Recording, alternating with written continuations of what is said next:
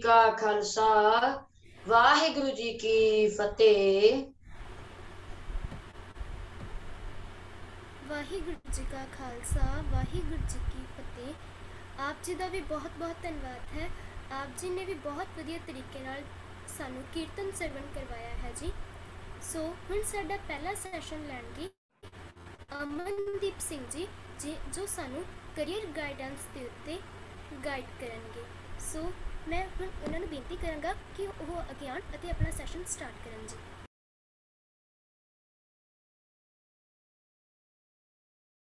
ਇੱਕ ਬਹੁਤ ਵਧੀਆ ਇਨੀਸ਼ੀਏਟਿਵ ਗੁਰੂ ਨਾਨਕ ਮਲਟੀਵਰਸਿਟੀ ਵੱਲੋਂ ਤੁਹਾਡੇ ਸਾਰੇ ਬੱਚਿਆਂ ਦੇ ਨਾਲ ਕੀਤਾ ਜਾ ਰਿਹਾ ਹੈ। ਤੁਸੀਂ ਮੈਂ ਰੈਗੂਲਰ ਟੱਚ ਦੇ ਵਿੱਚ ਰਹਿਣਾ ਤੋਂ ਬਹੁਤ ਸਾਰੇ ਬੱਚਿਆਂ ਨੂੰ ਅਸੀਂ ਦੇਖਦੇ ਹਾਂ ਕੀਰਤਨ ਦਾ ਪ੍ਰੋਗਰਾਮ ਜਿਵੇਂ ਜਿਵੇਂ ਇੱਕ ਬੱਚੇ ਨੇ ਬਹੁਤ ਵਧੀਆ ਕੀਰਤਨ ਦਾ ਪ੍ਰੋਗਰਾਮ ਕੀਰਤਨ ਕੀਤਾ, ਮੇਰੇ ਰਾਮ ਰਾਏ ਤੋਂ ਰੱਖਾ ਸੰਤੇ ਤੋਂ। ਬੱਚਿਆਂ ਨੇ ਕੀ ਹੈ, ਬਹੁਤ ਵਧੀਆ ਤਰੀਕੇ ਨਾਲ, ਸਾਰੇ ਬੱਚਿਆਂ ਨੇ ਬਹੁਤ ਵਧੀਆ ਤਰੀਕੇ ਨਾਲ ਰਿਪਰੈਜ਼ੈਂਟ ਕੀਤਾ। ਸੋ ਸਟਾਰਟ ਕਰਦੇ ਹਾਂ ਅੱਜ ਦਾ ਸੈਸ਼ਨ ਤੋਂ। ਅੱਜ ਦਾ ਸੈਸ਼ਨ ਕੈਰੀਅਰ ਕਾਉਂਸਲਿੰਗ ਨੂੰ ਲੈ ਕੇ ਹੈ। ਤੁਹਾਡੇ ਲਾਈਫ ਨੂੰ ਵਧੀਆ ਬਣਾਉਣ ਲਈ, ਤੁਹਾਡੀ ਜ਼ਿੰਦਗੀ ਨੂੰ ਕਿਸੇ ਚੰਗੇ ਮੁਕਾਮ ਤੇ ਪਹੁੰਚਾਉਣ ਲਈ, ਕਿਸੇ ਚੰਗੇ ਲੈਵਲ ਤੇ ਪਹੁੰਚਾਉਣ ਲਈ ਇਹ ਅੱਜ ਸੈਮੀਨਾਰ ਕੀਤਾ ਜਾ ਰਿਹਾ ਹੈ। ਸੋ ਬਹੁਤ ਸਾਰੇ ਬੱਚੇ ਕੀ ਹੈ ਕਿਸੇ ਨਾ ਕਿਸੇ ਤਰੀਕੇ ਆਪਣੇ ਮੰਜ਼ਲਾਂ ਨੂੰ ਪਾਣਾ ਚਾਹੁੰਦੇ ਨੇ। ਕੋਈ ਬੱਚਾ 10th ਕਰ ਰਿਹਾ ਹੈ ਪਲੱਸ 1 ਕਰ ਰਿਹਾ ਹੈ ਪਲੱਸ 2 ਕਰ ਰਿਹਾ ਹੈ, ਕਰ ਚੁੱਕਾ ਹੈ ਗ੍ਰੈਜੂਏਸ਼ਨ ਕੰਪਲੀਟ ਹੈ ਜਾਂ ਗ੍ਰੈਜੂਏਸ਼ਨ ਕਰ ਰਿਹਾ ਹੈ। ਸੋ ਬਹੁਤ ਸਾਰੇ ਬੱਚੇ ਨੇ ਜਿਹੜੇ ਕੀ ਹੈ, ਕਿਸੇ ਮੰਜ਼ਲਾਂ ਤੇ ਪਹੁੰਚਣਾ ਚਾਹੁੰਦੇ ਨੇ, ਕਿਸੇ ਚੰਗੇ ਲੈਵਲਸ ਨੂੰ ਅਚੀਵ ਕਰਨਾ ਚਾਹੁੰਦੇ ਨੇ। ਬਟ ਲੈਕ ਆਫ ਨੌਲੇਜ ਕਰਕੇ ਕੀ ਕਰਨਾ ਚਾਹੀਦਾ ਲਾਈਫ ਦੇ ਵਿੱਚ? ਕਿੱਥੇ ਕਿੱਥੇ ਆਪਸ਼ਨਸ ਨੇ? ਕਿਵੇਂ ਅਸੀਂ ਘੱਟ ਪੈਸਿਆਂ ਦੇ ਵਿੱਚ ਕਹਿ ਸਕਦੇ ਹਾਂ ਜਾਂ ਕਿਵੇਂ ਅਸੀਂ ਕਹਿ ਲੋ ਕਿ ਈਜ਼ੀ ਵੇ ਦੇ ਨਾਲ ਸਮਾਰਟ ਵੇ ਦੇ ਨਾਲ ਆਪਣੀਆਂ ਮੰਜ਼ਿਲਾਂ ਤੱਕ ਪਹੁੰਚ ਸਕਦੇ ਹਾਂ। ਸੋ ਉੱਥੇ ਕੀ ਹੈ? ਲੈਕ ਆਫ ਨੌਲੇਜ ਇੱਕ ਬਹੁਤ ਵੱਡਾ ਕਾਰਨ ਹੁੰਦਾ ਹੈ ਕਿ ਮੈਂ ਆਪਣੇ ਸੁਪਨਿਆਂ ਨੂੰ ਪੂਰਾ ਨਹੀਂ ਕਰ ਪਾਉਂਦਾ। ਸੋ ਗੁਰੂ ਨਾਨਕ ਮਲਟੀਵਰਸਿਟੀ ਬਹੁਤ ਸਾਲਾਂ ਤੋਂ ਕੰਮ ਕਰ ਰਹੀ ਹੈ ਬੱਚਿਆਂ ਦੀ ਐਜੂਕੇਸ਼ਨ ਦੇ ਨਾਲ। So I always feel motivated ਜਦੋਂ ਵੀ ਮੈਂ ਦੇਖਦਾ ਬੱਚਿਆਂ ਨੂੰ ਛੋਟਿਆਂ ਛੋਟਿਆਂ ਨੂੰ, ਇੰਨਾ ਵਧੀਆ ਐਫਰਟਸ ਕਰਦੇ ਨੇ, ਇੰਨੀ ਮਿਹਨਤ ਕਰਦੇ ਨੇ ਐਂਡ uh, ਸਭ ਤੋਂ ਇੰਪੋਰਟੈਂਟ ਹੁੰਦਾ ਹੈ ਕਿ ਤੁਸੀਂ ਆਪਣੇ ਰੂਟਸ ਦੇ ਨਾਲ ਜਦੋਂ ਜੁੜੇ ਹੁੰਦੇ ਹੋ ਜਿਵੇਂ ਬੱਚਿਆਂ ਨੂੰ ਅਸੀਂ ਕੀਰਤਨ ਦੇ ਪ੍ਰੋਗਰਾਮਸ 'ਚ ਦੇਖਦੇ ਆ ਬਹੁਤ ਛੋਟੇ ਛੋਟੇ ਸ਼ਖਸੀਅਤ ਕੈਂਪਾਂ ਦੇ ਵਿੱਚ ਅੱਗੇ ਹੋ ਕੇ ਲੀਡਰਸ਼ਿਪ ਕਰਦੇ ਆ ਦੇਖਦੇ ਆ ਬੋਲਦੇ ਆ ਦੇਖਦੇ ਆ so I always feel happy ਕਿ ਤੁਸੀਂ ਬੱਚਿਓ ਬਹੁਤ ਬੜੀ ਭੀੜ ਤੋਂ ਅੱਗੇ ਹੋ। ਜਿਸ ਭੀੜ ਨੂੰ ਕੀ ਹੈ, ਆਪਣੇ ਰੂਟਸ ਦਾ ਨਹੀਂ ਪਤਾ, ਜਿਸ ਭੀੜ ਨੂੰ ਇਹ ਨਹੀਂ ਪਤਾ ਕਿ ਮੈਂ ਮੰਜ਼ਿਲਾਂ 'ਚ ਪਹੁੰਚਣਾ ਕਿਵੇਂ ਹੈ। ਔਰ ਜਿਸ ਨੂੰ ਇਹ ਨਹੀਂ ਪਤਾ ਕਿ ਮੈਂ ਇੱਕ ਲਾਈਫ ਲੈ ਕੇ ਆਇਆ, ਤਾਂ ਮੇਰੀ ਲਾਈਫ ਦਾ ਮਕਸਦ ਕੀ ਹੈ? So you all are lucky that you are a part of this beautiful platform Guru Nanak multiversity so ਅੱਜ ਮੈਨੂੰ ਮੌਕਾ ਮਿਲਿਆ ਤੁਹਾਡੇ ਸਾਰਿਆਂ ਨਾਲ ਛੋਟੀ ਜਿਹੀ ਇੰਟਰੈਕਸ਼ਨ ਦਾ। ਸੋ ਇੱਕ ਚਾਰ ਤੋਂ ਪੰਜ ਛੋਟਾ ਜਿਹਾ ਸੈਸ਼ਨ ਕਰ ਰਹੇ ਹਾਂ ਤੁਹਾਡੇ ਨਾਲ। ਸੋ ਜਿੰਨਾ ਵੀ ਹੋ ਸਕਿਆ, ਵੱਧ ਤੋਂ ਵੱਧ ਤੁਹਾਨੂੰ ਗਾਈਡ ਕਰਨ ਦੀ ਕੋਸ਼ਿਸ਼ ਕਰਾਂਗੇ।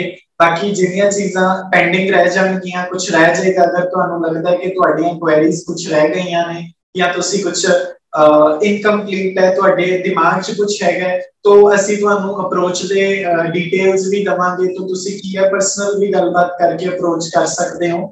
ਸੋ ਆਪਾਂ ਸਟਾਰਟ ਕਰਦੇ ਹਾਂ, ਬਹੁਤਾ ਟਾਈਮ ਨਾ ਲੈਂਦੇ ਹੋਇਆ। ਸੋ ਅੱਜ ਦਾ ਜਿਹੜਾ ਸੈਸ਼ਨ ਹੈਗਾ ਉਹ ਕੈਰੀਅਰ ਕਾਉਂਸਲਿੰਗ ਦੇ ਉੱਤੇ ਹੈ।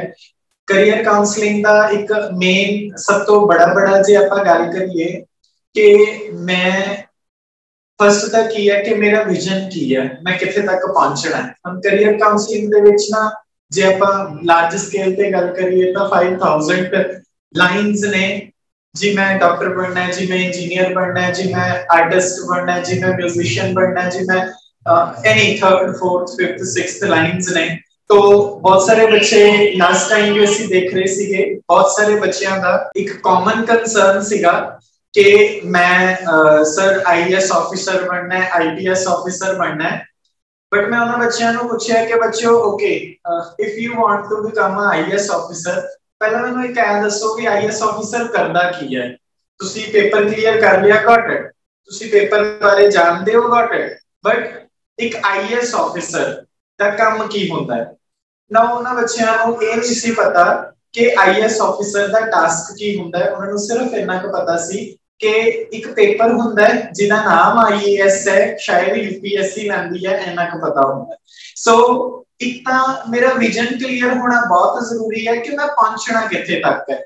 ਇਹ ਬਹੁਤ ਜ਼ਰੂਰੀ ਹੈ। ਅਗਰ ਮੈਨੂੰ ਇਹ ਨਹੀਂ ਪਤਾ ਕਿ ਮੈਂ ਦਿੱਲੀ ਜਾਣਾ ਹੈ, ਜਲੰਧਰ ਜਾਣਾ ਹੈ, ਪਠਾਨਕੋਟ ਜਾਣਾ ਹੈ ਤੇ ਗੱਡੀ ਜਿੰਨੀ ਮਰਜ਼ੀ ਵਧੀਆ ਹੋਵੇ ਮੇਰੇ ਕੋਲ। ਬਟ ਮੈਨੂੰ ਪਤਾ ਹੀ ਨਹੀਂ ਪਹੁੰਚਣਾ ਕਿੱਥੇ ਤੱਕ ਹੈ ਤਾਂ ਅਲਟੀਮੇਟਲੀ ਉਹ ਮਹਿੰਗੀ ਗੱਡੀ ਤੇ ਫੁੱਲ ਟੈਂਕੀ ਕਰਾਈ ਦਾ ਕੋਈ ਫਾਇਦਾ ਨਹੀਂ ਹੈ।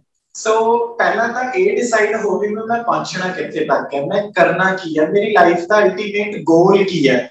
ਔਰ ਅਲਟੀਮੇਟਲੀ ਮੇਰਾ ਵਿਜ਼ਨ ਕੀ ਹੈ ਸੈਕਿੰਡ ਚੀਜ਼ ਆਂਦੀ ਹੈ ਫਸਟ ਤਾਂ ਠੀਕ ਹੈ, ਮੇਰਾ ਵਿਜ਼ਨ ਜਦੋਂ ਕਲੀਅਰ ਹੁੰਦਾ ਹੈ, ਦੂਸਰੀ ਚੀਜ਼ ਆਂਦੀ ਹੈ ਕਿ ਹੁਣ ਉੱਥੇ ਤੱਕ ਪਹੁੰਚਿਆ ਕਿਵੇਂ ਜਾਵੇ, ਹੈਨਾ? ਸੋ ਫਿਰ ਜਰਨੀ ਸਟਾਰਟ ਹੁੰਦੀ ਹੈ ਕਿ ਠੀਕ ਹੈ, ਅਗਰ ਮੈਂ ਦਿੱਲੀ ਪਹੁੰਚਣਾ ਹੈ, ਤੇ ਮੈਂ ਲੁਧਿਆਣੇ ਆ, ਠੀਕ ਹੈ, ਮੈਂ ਦਿੱਲੀ ਪਹੁੰਚਣਾ ਹੈ, ਤੋਂ ਹੁਣ ਮੈਂ ਆਪਣੀ ਸਪੀਡ ਇਸ ਹਿਸਾਬ ਨਾਲ ਕਰਾਂ ਕਿ ਮੈਂ ਪ੍ਰੋਪਰ ਤਰੀਕੇ ਨਾਲ ਟਾਈਮਲੀ ਦਿੱਲੀ ਪਹੁੰਚ ਜਾਵਾਂ। ਹੁਣ ਬਹੁਤ ਸਾਰੇ ਬੱਚੇ ਇਦਾਂ ਦੇ ਵੀ ਹੁੰਦੇ ਨੇ ਸੈਕੰਡ ਸਟੇਜ ਦੀ ਗੱਲ ਕਰਦਾ, ਜਿਨ੍ਹਾਂ ਨੂੰ ਇਹ ਤਾਂ ਪਤਾ ਹੁੰਦਾ ਕਿ ਵੀ ਮੈਂ ਪਹੁੰਚਣਾ ਕਿੱਥੇ ਤੱਕ ਹੈ। ਜਿਨ੍ਹਾਂ ਨੂੰ ਇਹ ਤਾਂ ਪਤਾ ਹੁੰਦਾ ਹੈ ਕਿ ਮੈਂ ਪਹੁੰਚਣਾ ਕਿੱਥੇ ਤੱਕ ਹੈ, ਲੇਕਿਨ ਉਹਨਾਂ ਨੂੰ ਇਹ ਨਹੀਂ ਪਤਾ ਹੁੰਦਾ ਮੈਨੂੰ ਉਸ ਮੰਜ਼ਲ ਤੱਕ ਪਹੁੰਚਣ ਦੇ ਲਈ ਸਪੀਡ ਕਿੰਨੀ ਚਾਹੀਦੀ ਹੈ। ਉਹਨਾਂ ਨੂੰ ਇਹ ਨਹੀਂ ਪਤਾ ਹੁੰਦਾ, ਉਹਨਾਂ ਨੂੰ ਇਹ ਨਹੀਂ ਪਤਾ ਹੁੰਦਾ ਕਿ ਮੈਂ ਕਿਵੇਂ ਉਸ ਮੰਜ਼ਿਲ ਤੱਕ ਪਹੁੰਚਾਂਗਾ। ਇਟ ਇਜ਼ ਲਾਈਕ ਕਿ ਮੈਂ ਦਿੱਲੀ ਜਾਣਾ ਹੈ, ਮੈਂ ਚੱਕ ਸਾਈਕਲ ਲਿਆ। ਸੋ ਕਦੇ ਵੀ ਨਹੀਂ ਹੁੰਦਾ ਕਿ ਮੈਂ ਉਸ ਸਪੀਡ ਦੇ ਨਾਲ ਦਿੱਲੀ ਪਹੁੰਚ ਪਾਵਾਂ। ਸੋ ਅਲਟੀਮੇਟਲੀ ਕੀ ਹੈ? ਮੈਨੂੰ ਆਪਣੀ ਸਪੀਡ ਕੀ ਹੈ? ਇਨਕਰੀਜ਼ ਕਰਨੀ ਹੀ ਪਏਗੀ ਅਗਰ ਮੈਂ ਦਿੱਲੀ ਪਹੁੰਚਣਾ ਤਾਂ ਮੈਨੂੰ ਗੱਡੀ ਵੀ ਉਵੇਂ ਲੈਣੀ ਪਏਗੀ, ਮੈਨੂੰ ਆਪਣੀਆਂ ਫੈਸਿਲਿਟੀਆਂ ਵੀ ਉਵੇਂ ਕਰਨੀਆਂ ਪੈਣਗੀਆਂ। ਸੋ ਅੱਜ ਆਪਾਂ ਦੋ ਵਿਜ਼ਨਸ ਤੇ ਗੱਲ ਕਰਾਂਗੇ। ਸਭ ਤੋਂ ਪਹਿਲਾਂ ਆਪਾਂ ਗੱਲ ਕਰਾਂਗੇ ਕਿ ਮੇਰੀ ਲਾਈਫ ਦੇ ਵਿੱਚ ਐਜ਼ ਅ ਕੈਰੀਅਰ ਆਪਸ਼ਨ ਕਿਹੜੀਆਂ ਕਿਹੜੀਆਂ ਬੈਸਟ ਆਪਸ਼ਨਸ ਨੇ, ਜਿਹਨੂੰ ਮੈਂ ਚੂਜ਼ ਕਰ ਸਕਦਾ। ਹੁਣ ਕੁਝ ਕਾਮਨ ਜਿਹੜੇ ਫੀਲਡਸ ਨੇ ਆਪਾਂ ਉਹ ਡਿਸਕਸ ਕਰਾਂਗੇ। ਸੋ ਸਭ ਤੋਂ ਕਾਮਨ ਫੀਲਡਸ ਜਿਹੜੇ ਬੱਚੇ ਕੀ ਹੈ ਆਪਟ ਕਰਦੇ ਨੇ। 10ਵੀਂ ਕਰ ਰਹੇ ਬੱਚੇ 11ਵੀਂ ਕਰ ਰਹੇ ਬੱਚੇ 12ਵੀਂ ਕਰ ਰਹੇ ਬੱਚੇ, ਉਹਨਾਂ ਵਾਸਤੇ ਆਪਾਂ ਡਿਸਕਸ ਕਰਾਂਗੇ। ਵੈਸੇ ਅਸੀਂ ਗ੍ਰੈਜੂਏਸ਼ਨ ਵੀ ਕਰਾਂਗੇ, ਲੇਕਿਨ ਗ੍ਰੈਜੂਏਸ਼ਨ ਦੇ ਵਿੱਚ ਕੀ ਹੈ? ਗ੍ਰੈਜੂਏਸ਼ਨ ਦੇ ਵਿੱਚ ਕੀ ਹੈ? ਬਹੁਤ ਬਲਕ ਦਾ ਇੱਕ ਸਿਸਟਮ ਹੈ, ਅਸੀਂ ਟੱਚ ਕਰਾਂਗੇ ਇਹਨਾਂ ਸੈਸ਼ਨਸ ਦੇ ਵਿੱਚ। ਸੋ ਸਭ ਤੋਂ ਪਹਿਲਾਂ ਆਪਾਂ ਗੱਲ ਕਰਦੇ ਹਾਂ। ਇੱਕ ਫੀਲਡ ਹੈਗਾ ਆਰਮੀ ਦਾ, ਇੱਕ ਫੀਲਡ ਹੈਗਾ ਯੂਪੀਐਸਸੀ ਦਾ, ਜਿਹਦੇ ਵਿੱਚ ਆਈਐਸ ਆਈਪੀਐਸ ਸੋ ਬਹੁਤ ਸਾਰੇ ਬੱਚਿਆਂ ਦਾ ਸੁਪਨਾ ਹੈਗਾ ਆਈਐਸ ਆਈਪੀਐਸ ਆਈਐਫਐਸ ਪੜ੍ਹਨਾ ਜਾਂ ਐਸਐਸਸੀ ਕਲੀਅਰ ਕਰਨਾ ਇੱਕ ਫੀਲਡ ਹੈਗਾ। ਠੀਕ ਹੈ ਸੈਂਟਰ ਗਵਰਨਮੈਂਟ ਦੇ ਹੋਰ ਫੀਲਡਸ ਦੀ ਗੱਲ ਕਰੀਏ ਤਾਂ ਬੈਂਕਿੰਗ ਸੈਕਟਰ ਇੱਕ ਫੀਲਡ ਹੈਗਾ। ਹੋਰ ਫੀਲਡ ਦੀ ਗੱਲ ਕਰੀਏ ਤਾਂ ਪੁਲਿਸ ਸੈਕਟਰ ਇੱਕ ਫੀਲਡ ਹੈਗਾ। ਇਸ ਤੋਂ ਇਲਾਵਾ ਹੋਰ ਸੈਕਟਰਸ ਦੀ ਗੱਲ ਕਰੀਏ ਤਾਂ ਆਰਮੀ ਬੈਂਕਿੰਗ ਪੁਲਿਸ ਯੂਪੀਐਸਸੀ ਤੋਂ ਇਲਾਵਾ staff selection commission SSC staff selection commission ਇਹ ਇੱਕ ਅਲੱਗ ਚੈਂਬਰ ਹੈਗਾ ਸੈਂਟਰ ਗਵਰਨਮੈਂਟ ਦਾ। ਤੋਂ ਹਜੇ ਮੈਂ ਗੱਲ ਕਰ ਰਿਹਾ ਸਿਰਫ ਸੈਂਟਰ ਗਵਰਨਮੈਂਟ ਦੀ ਕਿ ਸੈਂਟਰ ਗਵਰਨਮੈਂਟ ਦੇ ਵਿੱਚ ਕਿਹੜੇ-ਕਿਹੜੇ ਇੰਸਟੀਟਿਊਸ਼ਨਸ ਨੇ, ਇਹ ਪੰਜ ਸੈਕਟਰਸ ਨੇ। ਇਸ ਤੋਂ ਇਲਾਵਾ ਕੁਝ ਸੈਂਟਰ ਗਵਰਨਮੈਂਟ ਦੇ ਹੋਰ ਵੀ ਆ, ਤੋਂ ਆਪਾਂ ਇੰਨੀ ਡਿਟੇਲ ਦੇ ਵਿੱਚ ਨਹੀਂ ਜਾਵਾਂਗੇ। ਅਸੀਂ ਪਹਿਲਾਂ ਵੱਡੇ ਵੱਡੇ ਪ੍ਰੋਜੈਕਟਸ ਦੀ ਗੱਲ ਕਰਦੇ ਹਾਂ। ਸੋ ਹਾਂ, ਇੱਕ ਹੋਰ ਇੰਪੋਰਟੈਂਟ ਇਹਦੇ ਵਿੱਚ ਰਹਿ ਗਿਆ ਰੇਲਵੇਜ਼ ਰੇਲਵੇਜ਼ ਤੋਂ ਆਪਾਂ ਵੱਡੇ ਵੱਡੇ ਸਕੇਲ ਤੇ ਗੱਲ ਕਰਦੇ ਹਾਂ ਸੋ ਲਾਰਜ ਸਕੇਲ ਤੇ ਗੱਲ ਕਰਦੇ ਹਾਂ ਸੋ ਸਭ ਤੋਂ ਇੰਪੋਰਟੈਂਟ ਤੁਹਾਡੇ ਸਾਰੇ ਬੱਚਿਆਂ ਵਾਸਤੇ ਪਹਿਲਾਂ ਇਹ ਹੈ ਜਾਣਨਾ ਕਿ ਤੁਹਾਡਾ ਵਿਜ਼ਨ ਕੀ ਹੈ ठीक है if you want to become a army officer then ठीक है पहली चीज मेरी क्लियर है कि मैं आर्मी ऑफिसर बनना है सेकंड चीज आती है कि मैं अपनी वर्किंग्स या मैं अपनी क्वालिटीज या मैं कहा मैं अपनी सर्चिंग्स ਉਸ ਹਿਸਾਬ ਨਾਲ ਕਰਾਂਗੇ ਮੈਂ ਆਰਮੀ ਆਫੀਸਰ ਬਣਨਾ ਹੈ ਹੁਣ ਲੈਟਸ ਸੁਪੋਜ਼ ਮੇਰਾ ਪਹਿਲਾਂ ਡ੍ਰੀਮ ਨਹੀਂ ਕਲੀਅਰ ਤਾਂ ਮੈਂ ਕੀ ਕਰਦਾ ਗੂਗਲ ਤੇ ਹਨਾ ਬੈਸਟ ਕੈਰੀਅਰ ਫॉर ਮੀ ਹਨਾ so most of the students search best careers ਠੀਕ ਹੈ ਸੋ ਬੈਸਟ ਕੈਰੀਅਰ ਹੋ ਸਕਦਾ ਹੈ ਲਤਾ ਮੰਗੇਸ਼ਕਰ ਲਈ ਸਿੰਗਿੰਗ ਹੈ ਮੇਰੇ ਲਈ ਨਹੀਂ ਹੈ ਹੋ ਸਕਦਾ ਸਚਿਨ ਤੰਦੂਰਕਰ ਲਈ ਕ੍ਰਿਕਟ ਹੈ ਮੇਰੇ ਲਈ ਨਹੀਂ ਹੈ ਉਹਦੇ ਵਾਸਤੇ ਹੋ ਸਕਦਾ ਹੈ ਰਿਤਿਕ ਰੋਸ਼ਨ ਲਈ ਹੋ ਸਕਦਾ ਹੈ ਕਿ ਉਹਦੇ ਵਾਸਤੇ ਐਕਟਿੰਗ ਬੈਸਟ ਪਰਫਾਰਮੈਂਸ ਹੋਵੇ ਲੇਕਿਨ ਉਹ ਮੇਰੇ ਲਈ ਨਹੀਂ ਹੈ ਸੋ ਉੱਥੇ ਕੀ ਹੈ ਕਿ ਜੇ ਗੂਗਲ ਤੁਹਾਨੂੰ ਓਪੀਨੀਅਨਸ ਦਿੰਦਾ ਹੈਗਾ ਤਾਂ ਗੂਗਲ ਕੀ ਹੈ ਤੁਹਾਨੂੰ ਥਾਊਜ਼ੈਂਡ ਆਫ ਨਾਮਸ ਦੇ ਦੇਗਾ ਜਿਹਦੇ ਤੋਂ ਕੀ ਹੈ ਤੁਸੀਂ ਮੰਜ਼ਲਾਂ ਤੱਕ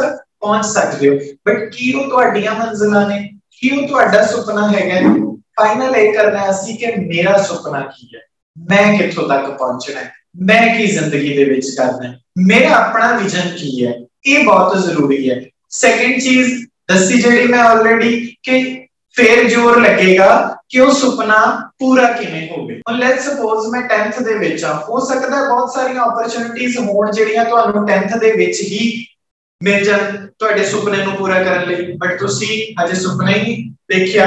ਤੁਸੀਂ ਅਜੇ ਉਹਨੂੰ ਪੂਰਾ ਕਰਨ ਦਾ ਵਿਜ਼ਨ ਹੀ ਨਹੀਂ ਰੱਖਿਆ।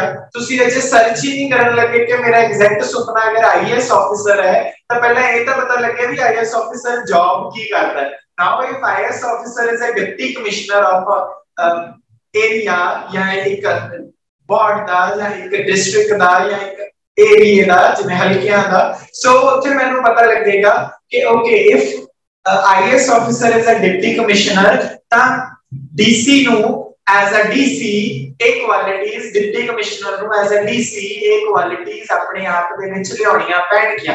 ਔਰ ਮੈਂ ਐਵਰੀ ਟਾਈਮ ਜਦੋਂ ਗੂਗਲ ਤੇ ਸਰਚ ਕਰਾਂਗਾ because my dream is to become IAS officer so every time i search on google what i do is i always prefer to search what's the how i became how i become a deputy commissioner so ਉੱਥੇ ਬਹੁਤ ਸੌਖਾ ਹੋ ਜਾਂਦਾ ਕਿਉਂਕਿ ਤੁਸੀਂ 100 ਲਾਈਨਾਂ ਚੋਂ ਪਹਿਲਾਂ ਇੱਕ ਲਾਈਨ ਬਾਹਰ ਕੱਢ ਲਈ ਹੁਣ ਉਸ ਇੱਕ ਲਾਈਨ ਤੇ ਜ਼ੋਰ ਲਗਾਣਾ ਹੈ ਕਿ ਮੈਂ ਆਪਣੀ ਮੰਜ਼ਿਲ ਤੱਕ ਪਹੁੰਚਣਾ ਕਿਵੇਂ ਹੈ ਔਰ ਥਰਡ ਜਿਹੜੀ ਗੱਲ ਹੈ ਵਿਜ਼ਨਸ ਤੋਂ ਐਂਡ ਐਫਰਟਸ ਤੋਂ ਇਲਾਵਾ ਹਾਰਡ ਵਰਕਸ ਤੋਂ ਇਲਾਵਾ, ਸਾਨੂੰ ਕੀ ਕਰਨਾ ਪਏਗਾ? ਸਮਾਰਟ ਵਰਕ ਕਰਨਾ ਪਏਗਾ। ਸੋ ਐਵਰੀ ਟਾਈਮ ਮੈਂ ਹਰ ਲੈਕਚਰ ਦੇ ਵਿੱਚ ਬੋਲਦਾ ਕਿ ਕੰਮ ਤਾਂ ਅੰਬਾਨੀ ਵੀ ਕਰ ਰਿਹਾ, ਕੰਮ ਮੈਂ ਵੀ ਕਰ ਰਿਹਾ।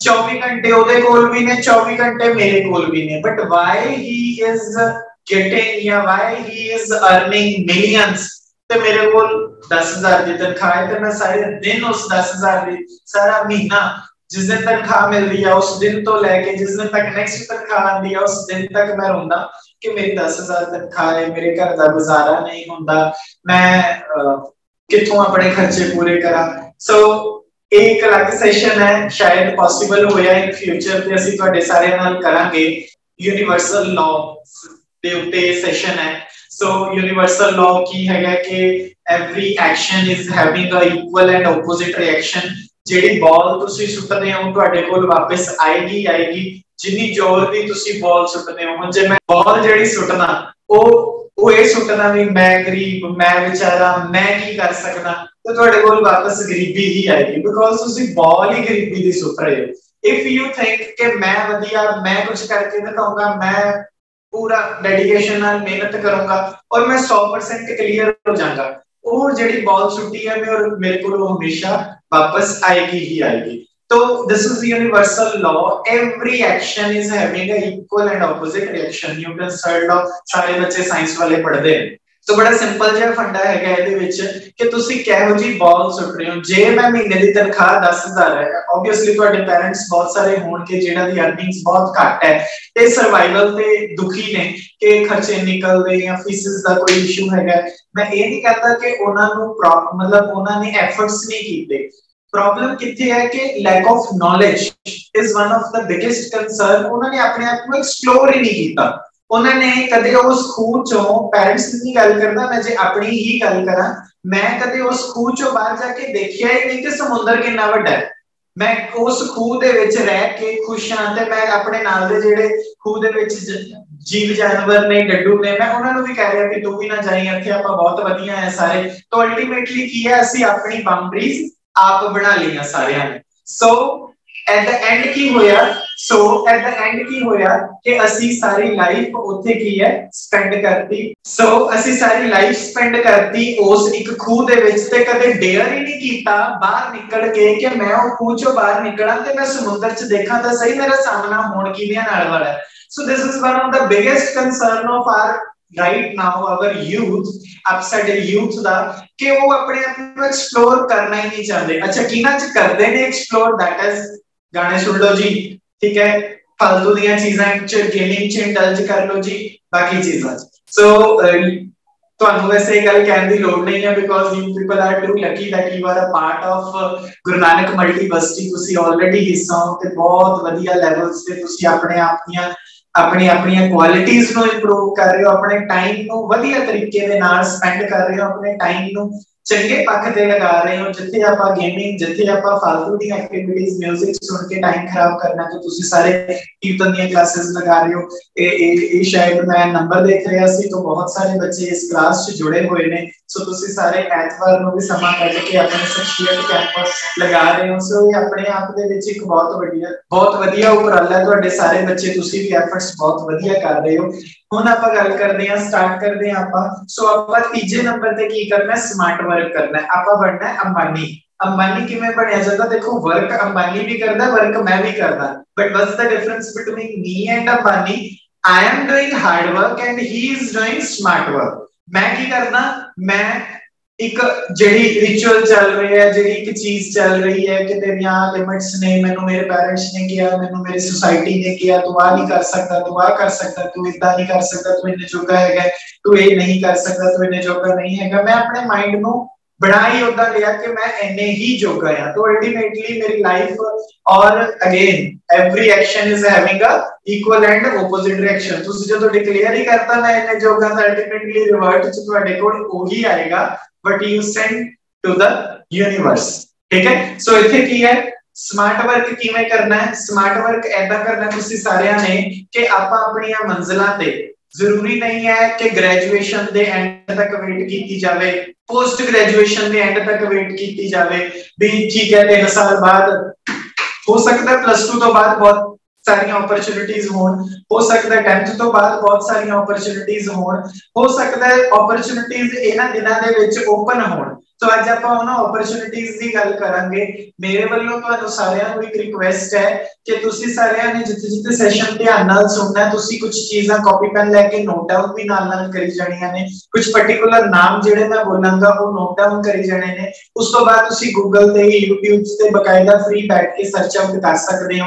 ਐਂਡ ਅਗਰ ਨਹੀਂ ਸਰਚ ਆਊਟ ਹੁੰਦਾ, ਫਿਰ ਵੀ ਤੁਹਾਨੂੰ ਪ੍ਰੋਬਲਮ ਆਉਂਦੀ ਹੈ। ਤਾਂ ਸਾਡਾ ਆਪਣਾ YouTube ਦਾ ਚੈਨਲ ਹੈਗਾ ਅਨਹਦ ਫਾਊਂਡੇਸ਼ਨ ਦੇ ਨਾਮ ਤੋਂ।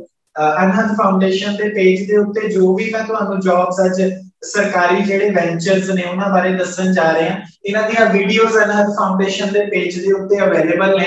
ਤੁਸੀਂ ਲਾਈਵ ਸਬਸਕ੍ਰਾਈਬ ਕਰਕੇ ਵੱਧ ਤੋਂ ਵੱਧ ਨੌਲੇਜ ਲੈ ਸਕਦੇ ਹੋ। ਅਸੀਂ ਤੀਸਰੇ, ਚੌਥੇ ਦਿਨ ਜਿਹੜੀਆਂ ਜਿਹੜੀਆਂ ਕੀ ਹੈ ਜੌਬਸ ਨੇ ਉਹਨਾਂ ਬਾਰੇ ਅਪਡੇਟ ਦਿੰਦੇ ਆ ਸੋ ਦੈਟ ਕਿ ਕਿਸੇ ਵੀ ਬੱਚੇ ਦੀ ਕੋਈ ਓਪਰਚ्युनिटी ਰਹਿ ਨਾ ਜਾਵੇ। So will start doing session now coming to the smart work ਆਪਾਂ ਕਿਵੇਂ ਕਰਨਾ ਹੈਗਾ ਸਮਾਰਟ ਵਰਕ ਆਪਾਂ ਸਟਾਰਟ ਕਰਦੇ ਹਾਂ ਸੋ ਸਭ ਤੋਂ ਪਹਿਲਾਂ ਆਪਾਂ ਗੱਲ ਕਰਦੇ ਹਾਂ ਜਿਹੜੇ ਇਸ ਟਾਈਮ 10th ਕਰ ਰਹੇ ਨੇ ਬੱਚੇ ਪਲੱਸ 1 ਕਰ ਰਹੇ ਨੇ ਬੱਚੇ ਜਾਂ 10th ਤੋਂ ਛੋਟੀਆਂ ਕਲਾਸਾਂ ਵਾਲੇ ਬੱਚੇ ਨੇ 10th ਤੋਂ ਛੋਟੀਆਂ ਕਲਾਸਾਂ ਦਾ ਮਤਲਬ ਹੈ ਕਿ ਜੇ ਤੁਸੀਂ 9th ਚੋਂ 8th ਚੋਂ ਤੁਸੀਂ 10th ਚੋਂ ਤੁਸੀਂ ਪਲੱਸ 1 ਚੋਂ ਇਹ ਸਾਰੇ ਬੱਚੇ ਕੀ ਹੈ ਕੁਝ ਐਗਜ਼ਾਮਸ ਦੀ ਗੱਲ ਕਰਾਂਗਾ ਉਹਨਾਂ ਵਾਸਤੇ ਐਲੀਜੀਬਲ ਨੇ ਲੇਕਿਨ ਇਹ ਹੈ ਕਿ ਪੇਪਰ ਸਿਰਫ 10th ਤੇ ਪਲੱਸ 1 ਦੇ ਬੱਚੇ ਭਰ ਸਕਦੇ ਨੇ 10ਵੀਂ ਤੇ 11ਵੀਂ 11ਵੀਂ ਦੇ ਵਿੱਚ ਸਟਰੀਮ ਨਾਨ ਮੈਡੀਕਲ ਹੈ, ਤੁਹਾਡਾ ਤੁਹਾਡਾ ਮੈਡੀਕਲ ਹੈ ਸਟਰੀਮ ਤੁਹਾਡਾ ਆਰਟਸ ਹੈ, ਤੁਹਾਡਾ ਕਾਮਰਸ ਹੈ। ਤੋਂ ਸਟਰੀਮ ਤੁਹਾਡਾ ਕੋਈ ਵੀ ਹੋ ਸਕਦਾ ਹੈ, ਤੋਂ ਭਰ ਸਕਦੇ ਹੋ ਤੁਸੀਂ ਇਹ ਪੇਪਰ ਨੂੰ। ਪਰ 10ਵੀਂ ਤੇ 11ਵੀਂ ਦੇ ਸਕਦੇ ਨੇ, ਲੇਕਿਨ ਤਿਆਰੀ 8ਵੀਂ ਕਲਾਸ ਵਾਲਾ ਵੀ ਕਰ ਸਕਦਾ ਹੈ। ਕਿਉਂ? ਕਿਉਂਕਿ ਕੁਝ ਫਿਕਸ ਪੈਰਾਮੀਟਰ ਨੇ ਜਿਹੜੇ ਕੀ ਹੈ, ਇਹਨਾਂ ਜੌਬਸ ਦੇ ਵਿੱਚ। ਅੱਜ ਮੈਂ ਜਿਹੜੀ ਜੌਬਸ ਦੀ ਗੱਲ ਕਰ ਰਿਹਾ, ਮੈਂ ਸਿਰਫ ਗਵਰਨਮੈਂਟ ਜੌਬਸ ਦੀ ਗੱਲ ਕਰ ਰਿਹਾ ਕਿ ਤੁਸੀਂ ਚੰਗੇ ਲੈਵਲ ਤੇ ਆਰਮੀ 'ਚ ਕਿਵੇਂ ਜਾ ਸਕਦੇ ਹੋ? ਤੁਸੀਂ ਚੰਗੇ ਲੈਵਲ ਤੇ ਪੁਲਿਸ 'ਚ ਕਿਵੇਂ ਜਾ ਸਕਦੇ ਹੋ? ਤੁਸੀਂ ਚੰਗੇ ਲੈਵਲ ਤੇ ਬੈਂਕਿੰਗ ਰੇਲਵੇ ਤੇ ਬਾਕੀ ਅਦਰਸ ਜਿੰਨੇ ਵੀ ਕੰਪੀਟੀਟਿਵ ਐਗਜ਼ਾਮ ਹੈ, ਉਹਨਾਂ 'ਚ ਕਿਵੇਂ ਜਾ ਸਕਦੇ ਹੋ? ਸੋ ਅੱਜ ਕਿਸੇ ਪ੍ਰਾਈਵੇਟ ਜੌਬ ਦੀ ਨਹੀਂ ਗੱਲ ਕਰ ਰਿਹਾ, ਮੈਂ ਨਾਰਮਲ ਜੌਬਸ ਦੀ ਨਹੀਂ ਗੱਲ ਕਰ ਰਿਹਾ, ਮੈਂ ਉਹਨਾਂ ਜੌਬਸ ਦੀ ਗੱਲ ਕਰ ਰਿਹਾ ਜਿਨ੍ਹਾਂ ਦੀ ਤਨਖਾਹ 1 ਲੱਖ ਰੁਪਇਆ ਮਹੀਨਾ ਤੋਂ ਸਟਾਰਟ ਹੁੰਦੀ ਹੈ। ਉਹਨਾਂ ਜੌਬਸ ਦੀ, ਜਿਹੜੀਆਂ ਜੌਬਸ ਤੁਹਾਡੇ ਸੁਪਨੇ ਪੂਰੇ ਕਰ ਸਕਦੀਆਂ ਨੇ। ਔਰ ਉਹਨਾਂ ਦੇ ਨਾਲ ਨਾਲ ਮੈਂ ਇੱਕ ਚੀਜ਼ ਹੋਰ ਵੀ ਕਰ ਰਿਹਾ, ਤੁਹਾਡੇ ਸਾਰਿਆਂ ਦੇ ਲਈ because you are a part of multiversity ਦਾ ਇੱਕ ਬਹੁਤ ਵੱਡਾ ਪੇਨ ਜੁੜਿਆ ਹੁੰਦਾ ਜਿਹੜੇ ਬੱਚੇ ਫਾਈਨੈਂਸ਼ੀਅਲੀ ਅਫੋਰਡ ਨਹੀਂ ਕਰ ਸਕਦੇ। ਉਹਨਾਂ ਨੂੰ, ਉਹਨਾਂ ਵੈਂਚਰਸ ਬਾਰੇ ਦੱਸਿਆ ਜਾਵੇ। ਜਿਹੜੇ ਵੈਂਚਰਸ ਕੀ ਨੇ ਅਲਟੀਮੇਟਲੀ ਮੈਨੂੰ ਕਾਸਟ ਹੋਣ ਜਾਂ ਬਹੁਤ ਘੱਟ ਖਰਚ ਹੋਣ ਤੇ ਸਿੱਧਾ ਮੈਂ ਮੰਜ਼ਲ ਤੱਕ ਪਹੁੰਚ ਜਾਵਾਂ। ਤੋਂ ਮੈਂ ਉਹ ਵੈਂਚਰਸ ਦੀ ਗੱਲ ਕਰਾਂਗਾ ਅੱਜ ਤੁਹਾਡੇ ਨਾਲ, ਸਾਰਿਆਂ ਨਾਲ। ਸੋ ਸਭ ਤੋਂ ਪਹਿਲਾਂ ਆਪਾਂ ਗੱਲ ਕਰਦੇ ਹਾਂ 9th 10th 1 2 8th 9th 10th 11th ਤੱਕ ਦੇ ਬੱਚਿਆਂ ਦੀ। ਸੋ 10th ਤੇ 1 ਬੱਚਿਆਂ ਵਾਸਤੇ ਗੁੱਡ ਨਿਊਜ਼ ਹੈ ਕਿ ਮਹਾਰਾਜਾ ਰਣਜੀਤ ਸਿੰਘ ਦੇ ਪੇਪਰਸ ਦੀਆਂ ਡੇਟ ਅਨਾਉਂਸ ਹੋ ਚੁੱਕੀਆਂ ਨੇ। Maharaja Ranjit Singh armed force preparatory institute ਹੈ। ਨਾਮ ਕਾਪੀ ਤੇ ਨੋਟ ਕਰ ਲਓ ਬੱਚਿਓ, ਜਿਨ੍ਹਾਂ ਜਿਨ੍ਹਾਂ ਦੇ ਇਹ ਕਲਾਸਾਂ ਹੈਗੀਆਂ ਨੇ 9th 10th ਪਲੱਸ 1 ਤੇ 8th ਤੋਂ ਉਹ ਨੋਟ ਡਾਊਨ ਕਰ ਲਓ। ਸੋ ਇਹਦੇ ਵਿੱਚ ਕੀ ਹੈ? ਮਹਾਰਾਜਾ ਰਣਜੀਤ ਸਿੰਘ ਅਕੈਡਮੀ ਮੋਹਾਲੀ ਦੇ ਵਿੱਚ ਬਹੁਤ ਬੜੀ ਅਕੈਡਮੀ ਖੋਲੀ ਗਈ ਸੀ। ਪੰਜਾਬ ਸਰਕਾਰ ਵੱਲੋਂ 2013 ਦੇ ਵਿੱਚ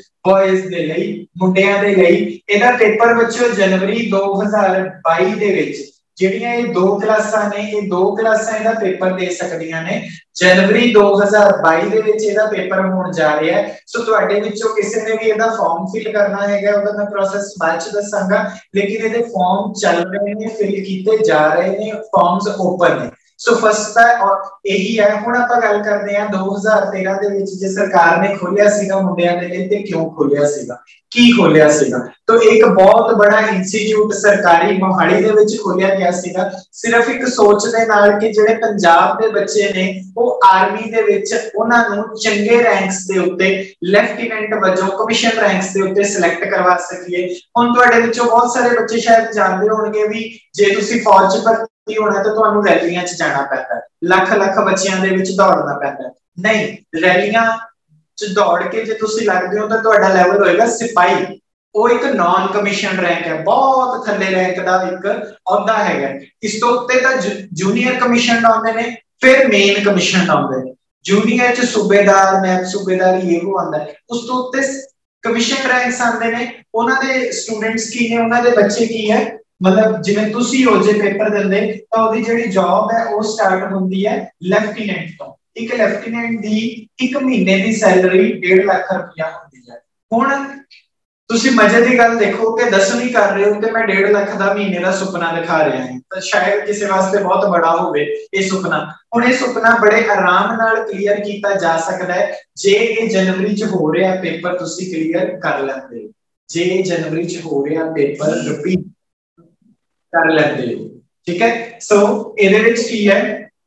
ਮਹਾਰਾਜਾ ਰਣਜੀਤ ਸਿੰਘ ਅਕੈਡਮੀ ਦੇ ਫਾਰਮ ਇਹਨਾਂ ਮਹੀਨਿਆਂ ਦੇ ਵਿੱਚ ਭਰੇ ਜਾ ਰਹੇ ਨੇ। ਹੁਣ ਕੌਣ-ਕੌਣ ਅਪਲਾਈ ਕਰ ਸਕਦਾ ਹੈ? 10th ਦੇ ਪਲੱਸ 1 ਵਾਲਾ ਬੱਚਾ ਅਪਲਾਈ ਕਰ ਸਕਦਾ ਹੈ। ਔਰ ਬੈਨੀਫਿਟ ਕੀ ਹੈ? ਜੇ ਤੁਸੀਂ ਪੇਪਰ ਕਲੀਅਰ ਕਰ ਲੈਂਦੇ ਹੋ। ਪਹਿਲਾਂ ਤਾਂ ਜਿਹੜੇ ਬੱਚੇ ਕੀ ਹੈ? ਪੇਪਰ ਕਲੀਅਰ ਕਰਦੇ ਨੇ, ਉਹ ਆਰਮੀ 'ਚ ਸਿੱਧਾ ਐਜ਼ ਅ ਲੈਫਟੀਨੈਂਟ ਸਿਲੈਕਟ ਹੁੰਦੇ ਨੇ। ਔਰ ਉਹਨਾਂ ਬੱਚਿਆਂ ਦਾ, ਉਹਨਾਂ ਬੱਚਿਆਂ ਦੀ ਅੱਗੇ ਦੀ 11ਵੀਂ 12ਵੀਂ ਦੀ ਪੜ੍ਹਾਈ ਰਹਿਣਾ ਖਾਣਾ ਪੀਣਾ ਫੂਡ ਅਕੋਮੋਡੇਸ਼ਨ ਤੁਹਾਡਾ ਰਹਿਣਾ ਖਾਣਾ ਪੀਣਾ। ਮਤਲਬ ਤੁਸੀਂ ਲੈਫਟੀਨੈਂਟ ਤਾਂ ਸਿਲੈਕਟ ਹੋਗੇ, ਲੇਕਿਨ ਅਜੇ ਤਿਆਰ ਨਹੀਂ ਹੈਗੇ ਨਾ। ਹੁਣ ਮੈਂ ਇਦਾਂ ਹੈ ਵੀ ਤੁਹਾਨੂੰ ਲੈਫਟੀਨੈਂਟ ਜੇ ਮੈਂ ਰੱਖ ਲਿਆ ਤਾਂ ਤਾਂ ਹੈ ਨਹੀਂ ਕਿ ਅੱਜ ਮੈਂ ਬੰਦੂਕ ਫੜਾਉਂਗਾ ਤੇ ਕਹੂੰਗਾ, ਚਲੋ ਜੰਗ ਦੇ ਮੈਦਾਨ 'ਚ ਜਾਓ। ਸੋ ਉੱਥੇ ਕੀ ਹੈ? ਮੈਨੂੰ ਟ੍ਰੇਨਿੰਗ ਪਾਰਟਿਕੂਲਰ ਪ੍ਰੋਵਾਈਡ ਕਰਨੀ ਪੈਗੀ ਸਾਰਿਆਂ ਨੂੰ ਤੋਂ ਉੱਥੇ ਮਹਾਰਾਜਾ ਰਣਜੀਤ ਸਿੰਘ ਅਕੈਡਮੀ ਇੱਕ ਸਰਕਾਰੀ ਸੰਸਥਾਨ ਹੈ ਤੇ ਟ੍ਰੇਨਿੰਗ ਪ੍ਰੋਵਾਈਡ ਕਰਦੇ ਨੇ ਤੁਹਾਨੂੰ। ਤੋਂ 2 ਇਅਰਸ ਤੁਹਾਡੀ ਇੱਥੇ ਟ੍ਰੇਨਿੰਗ ਚੱਲੇਗੀ। ਤੋਂ ਤੁਹਾਡਾ ਰਹਿਣਾ, ਖਾਣਾ ਪੀਣਾ ਵੀ ਇੱਥੇ ਹੀ ਹੋਏਗਾ, ਤੁਹਾਡੀ ਪੜ੍ਹਾਈ ਵੀ ਇੱਥੇ ਹੀ ਹੋਏਗੀ। ਸ਼ੂਟਿੰਗ ਤੁਹਾਨੂੰ ਬੰਦੂਕ ਚਲਾਣੀਆਂ ਸਵਿਮਿੰਗਸ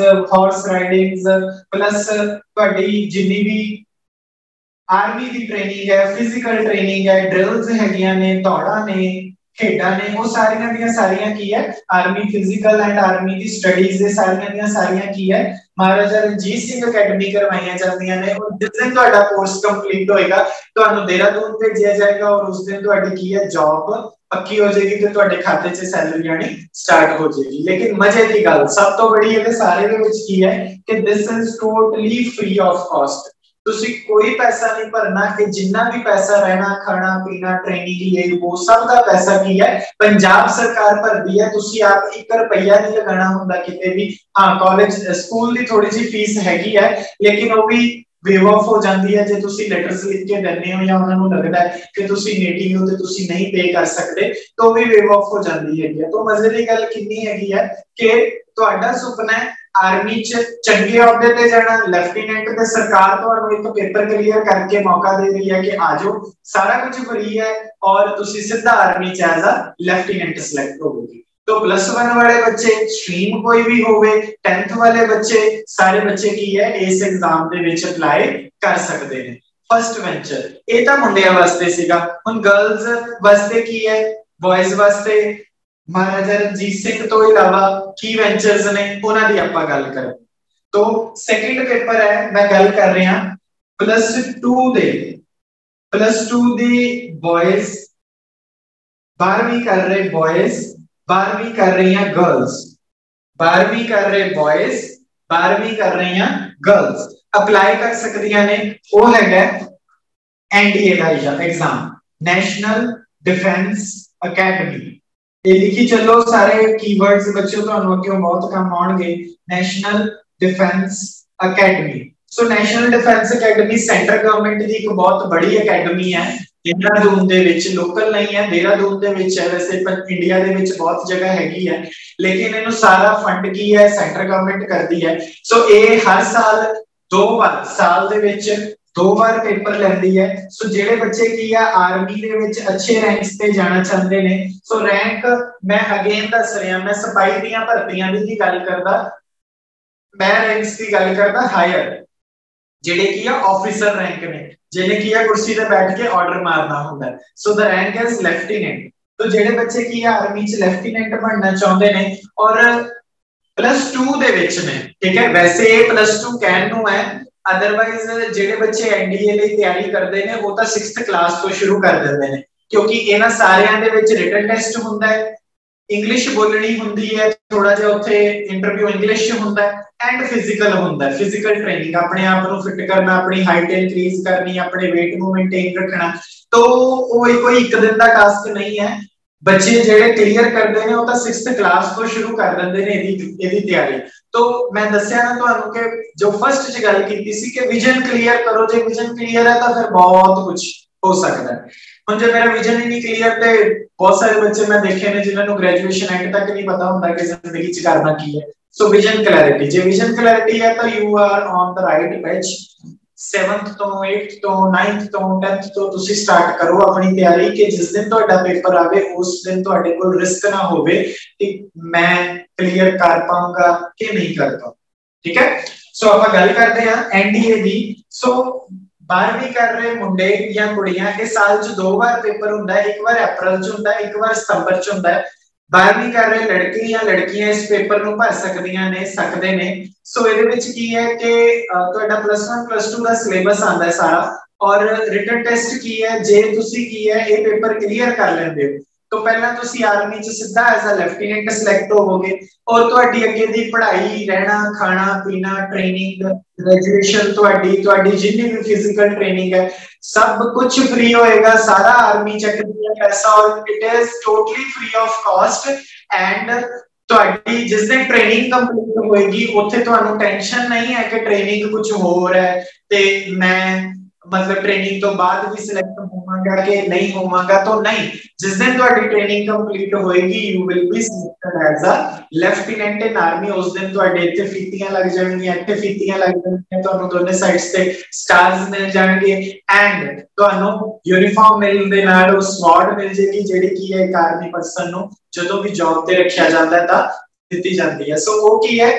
ਸਾਲ ਦੇ ਦੋ ਵਿੱਚ ਸਾਲ ਦੇ ਵਿੱਚ ਦੋ ਵਾਰ ਇਹ ਪੇਪਰ ਹੁੰਦਾ ਤਾਂ ਤੁਸੀਂ ਪਹਿਲੀ ਵਾਰ ਨਹੀਂ ਹੁੰਦੇ ਕਲੀਅਰ ਤਾਂ ਕੋਈ ਟੈਨਸ਼ਨ ਨਹੀਂ ਹੈ। ਸੈਕਿੰਡ ਟਾਈਮ ਸਤੰਬਰ ਵਾਲਾ ਪੇਪਰ ਦੇ ਸਕਦੇ ਹੋ।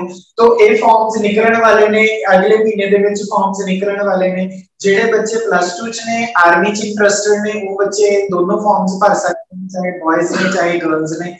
ਇਹਦਾ ਕ੍ਰਾਈਟੇਰੀਆ ਕੀ ਹੈ? ਸਿਲੇਬਸ ਕੀ ਹੈ? ਉਹ ਲਾਸਟ ਦੇ ਵਿੱਚ ਮੈਂ ਤੁਹਾਨੂੰ ਇੱਕ ਲਿੰਕ ਦੇ ਦਾਂਗਾ ਜਾਂ ਮੈਂ ਨੰਬਰ ਸ਼ੇਅਰ ਕਰ ਦਾਂਗਾ। ਤਾਂ ਤੁਸੀਂ ਪਰਸਨਲ ਮੈਸੇਜ ਕਰਕੇ ਮੈਨੂੰ ਪੁੱਛ ਸਕਦੇ ਹੋ। ਤੋਂ ਮੈਂ ਤੁਹਾਨੂੰ ਡਿਟੇਲਸ ਭੇਜਦਾ ਰਵਾਂਗਾ WhatsApp ਦੇ ਉੱਤੇ। ਸੋ ਗੱਲ ਕਰਦੇ ਆ ਆਪਾਂ ਐਨਡੀਏ ਦੇ ਵਿੱਚ ਵੀ ਸੇਮ ਜੇ ਬੱਚੇ ਨੇ ਲੈਫਟੀਨੈਂਟ ਸਿਲੈਕਟ ਹੋਣਾ ਹੈ, ਤਾਂ ਉਹ ਕੀ ਹੈ? ਪਲੱਸ 2 ਕਰ ਰਹੇ ਆ ਵਾਸਤੇ ਐਨਡੀਏ ਹੈ। ਪਲੱਸ 10th ਤੇ ਪਲੱਸ 1 ਕਰਨ ਵਾਸਤੇ ਮਹਾਰਾਜਾ ਰਣਜੀਤ ਸਿੰਘ ਅਕੈਡਮੀ ਇੱਕ ਹੋਰ ਬਹੁਤ ਵਧੀਆ ਓਪਰਚੁਨਿਟੀ ਹੈ, ਜਿਵੇਂ ਮਹਾਰਾਜਾ ਰਣਜੀਤ ਸਿੰਘ ਅਕੈਡਮੀ ਇਹ ਪੰਜਾਬ ਸਰਕਾਰ ਦੀ ਅਕੈਡਮੀ ਹੈ, ਇਹ ਸੈਂਟਰ ਦੀ ਹੈ, ਕੇਂਦਰ ਸਰਕਾਰ ਦੀ ਹੈ ਸੈਂਟਰ ਦੀ ਇਹ ਪੰਜਾਬ ਸਰਕਾਰ ਦੀ ਅਕੈਡਮੀ ਸੋ ਪੰਜਾਬ ਸਰਕਾਰ ਨੇ ਜਿੱਥੇ ਮੁੰਡਿਆਂ ਦੇ ਲਈ ਮਹਾਰਾਜਾ ਰਣਜੀਤ ਸਿੰਘ ਅਕੈਡਮੀ ਖੋਲੀ ਸੀ ਐਡੀ ਕੁੜੀਆਂ ਦੇ ਲਈ ਮਾਈ ਭਾਗੋ, ਇਹ ਤੀਜਾ ਕੀਵਰਡ ਹੈ, ਤੁਸੀਂ ਨੋਟ ਡਾਊਨ ਕਰ ਲਓ ਕੁੜੀਆਂ ਸਪੈਸ਼ਲੀ ਪਲੱਸ 2 ਕਰ ਰਹੀਆਂ ਕੁੜੀਆਂ ਵਾਸਤੇ ਮੌਕਾ ਹੈ ਪਲੱਸ 2 ਕਰ ਰਹੀਆਂ ਕੁੜੀਆਂ ਵਾਸਤੇ ਇਹ ਮੌਕਾ ਬॉयਜ਼ ਇਹਦੇ ਚ ਅਪਲਾਈ ਨਹੀਂ ਕਰ ਸਕਦੇ, ਮਹਾਰਾਜਾ ਰਣਜੀਤ ਸਿੰਘ ਚ ਗਰਲਸ ਅਪਲਾਈ ਨਹੀਂ ਕਰ ਸਕਦੇ। ਸੋ ਮਾਈ ਭਾਗੋ ਏਐਫਪੀਆਈ ਵੀ ਮੋਹਾਲੀ ਦੇ ਵਿੱਚ ਜਦੋਂ ਮਹਾਰਾਜਾ ਰਣਜੀਤ ਸਿੰਘ ਅਕੈਡਮੀ ਖੋਲੀ ਗਈ ਸੀ, ਉਦੋਂ ਹੀ ਮਾਈਪਾ ਗੋ ਅਕੈਡਮੀ ਖੋਲੀ ਗਈ ਸੀ ਮੋਹਾਲੀ ਦੇ ਵਿੱਚ। ਉਹ ਵੀ ਇਹੀ ਸੋਚ ਦੇ ਨਾਲ ਕਿ ਪੰਜਾਬ ਦੀਆਂ ਕੁੜੀਆਂ ਨੂੰ ਆਰਮੀ ਦੇ ਵਿੱਚ ਅੱਛੇ ਰੈਂਕਸ ਤੇ ਸਿਲੈਕਟ ਕੀਤਾ ਜਾਏ। ਸੋ ਪੰਜਾਬ ਦੀਆਂ ਕੁੜੀਆਂ ਨੂੰ ਆਰਮੀ ਦੇ ਵਿੱਚ ਐਜ਼ ਅ ਲੈਫਟੀਨੈਂਟ ਸਿਲੈਕਟ ਕੀਤਾ ਜਾਏ। ਸੋ ਉਹਦੇ ਵਿੱਚ ਕੀ ਹੈ, ਪੰਜਾਬ ਦੇ, ਪੰਜਾਬ ਸਰਕਾਰ ਵੱਲੋਂ ਹਰ ਸਾਲ ਇਹਦਾ ਵੀ ਪੇਪਰ ਲਿਆ ਜਾਂਦਾ ਹੈ। ਤੋ ਜਿਹੜੀਆਂ ਕੁੜੀਆਂ ਇਹਦਾ ਪੇਪਰ ਕਲੀਅਰ ਕਰ ਰਹੀਆਂ ਨੇ? ਸੇਮ ਜੋ ਪ੍ਰੋਸੈਸ ਮੈਂ ਇੱਥੇ ਮਹਾਰਾਜਾ ਰਣਜੀਤ ਸਿੰਘ ਦਾ ਦੱਸਿਆ, ਉਹ ਉਹ ਲੜਕੀਆਂ ਸਿੱਧਾ ਆਰਮੀ ਦੇ ਵਿੱਚ ਪਹਿਲਾਂ ਤਾਂ ਐਜ਼ ਅ ਲੈਫਟੀਨੈਂਟ ਸਿਲੈਕਟ ਹੁੰਦੀਆਂ ਨੇ, ਫਿਰ ਉਹਨਾਂ ਦੀ ਅੱਗੇ 3 ਸਾਲ ਗ੍ਰੈਜੂਏਸ਼ਨ ਕਰਵਾਈ ਜਾਂਦੀ ਹੈ। 12ਵੀਂ ਤੋਂ ਬਾਅਦ ਹੈ ਨਾ, ਤੋਂ 3 ਸਾਲ ਗ੍ਰੈਜੂਏਸ਼ਨ ਕਰਵਾਈ ਜਾਂਦੀ ਹੈ 3 ਸਾਲ ਆਰਮੀ ਦੀ ਟ੍ਰੇਨਿੰਗ ਚੱਲਦੀ ਹੈ 3 ਸਾਲ ਰਹਿਣਾ ਖਾਣਾ ਪੀਣਾ ਪਲੱਸ ਜਿੰਨੀ ਵੀ ਫਿਜ਼ੀਕਲ ਦੀ ਪਲੱਸ ਰਹਿਣਾ ਖਾਣਾ ਪੀਣਾ ਪਲੱਸ ਜਿੰਨਾ ਵੀ ਤੁਹਾਡਾ ਕਾਲਜ ਆਣੇ ਜਾਣੇ ਦਾ ਸਾਰਾ ਖਰਚਾ ਫ੍ਰੀ ਹੁੰਦਾ ਹੈ, ਸਾਰਾ ਪੈਸਾ ਤੁਹਾਡਾ ਪੰਜਾਬ ਸਰਕਾਰ ਭਰੇਗੀ, ਜੇ ਤੁਸੀਂ ਮਾਈ ਭਾਗੋ ਏਐਫਪੀਆਈ ਦਾ ਪੇਪਰ ਕਲੀਅਰ ਕਰ ਲੈਂਦੇ ਹੋ। ਅਗੇਨ ਸਾਡੇ ਅਨਹਦ ਫਾਊਂਡੇਸ਼ਨ ਦੇ ਪੇਜ ਦੇ ਉੱਤੇ, ਤਾਂ ਮੈਂ ਇੱਥੇ ਸਪੈਲਿੰਗ ਫੇਰ ਲਿਖ ਦੇਣਾ, ਅਨਹਦ ਫਾਊਂਡੇਸ਼ਨ ਮੋਹਾਲੀ ਸਰਚ ਕਰੋਗੇ, ਉਸ ਪੇਜ ਦੇ ਉੱਤੇ ਨਾ ਸਾਰਿਆਂ ਦੇ ਕ੍ਰਾਈਟੇਰੀਆਜ਼ ਦੀ ਡਿਟੇਲਸ ਪਈਆਂ ਹੋਈਆਂ ਨੇ, ਤਾਂ ਤੁਸੀਂ ਡਿਟੇਲ ਸੁਣ ਸਕਦੇ ਹੋ, ਮਹਾਰਾਜਾ ਰਣਜੀਤ ਸਿੰਘ ਅਕੈਡਮੀ ਹੈ।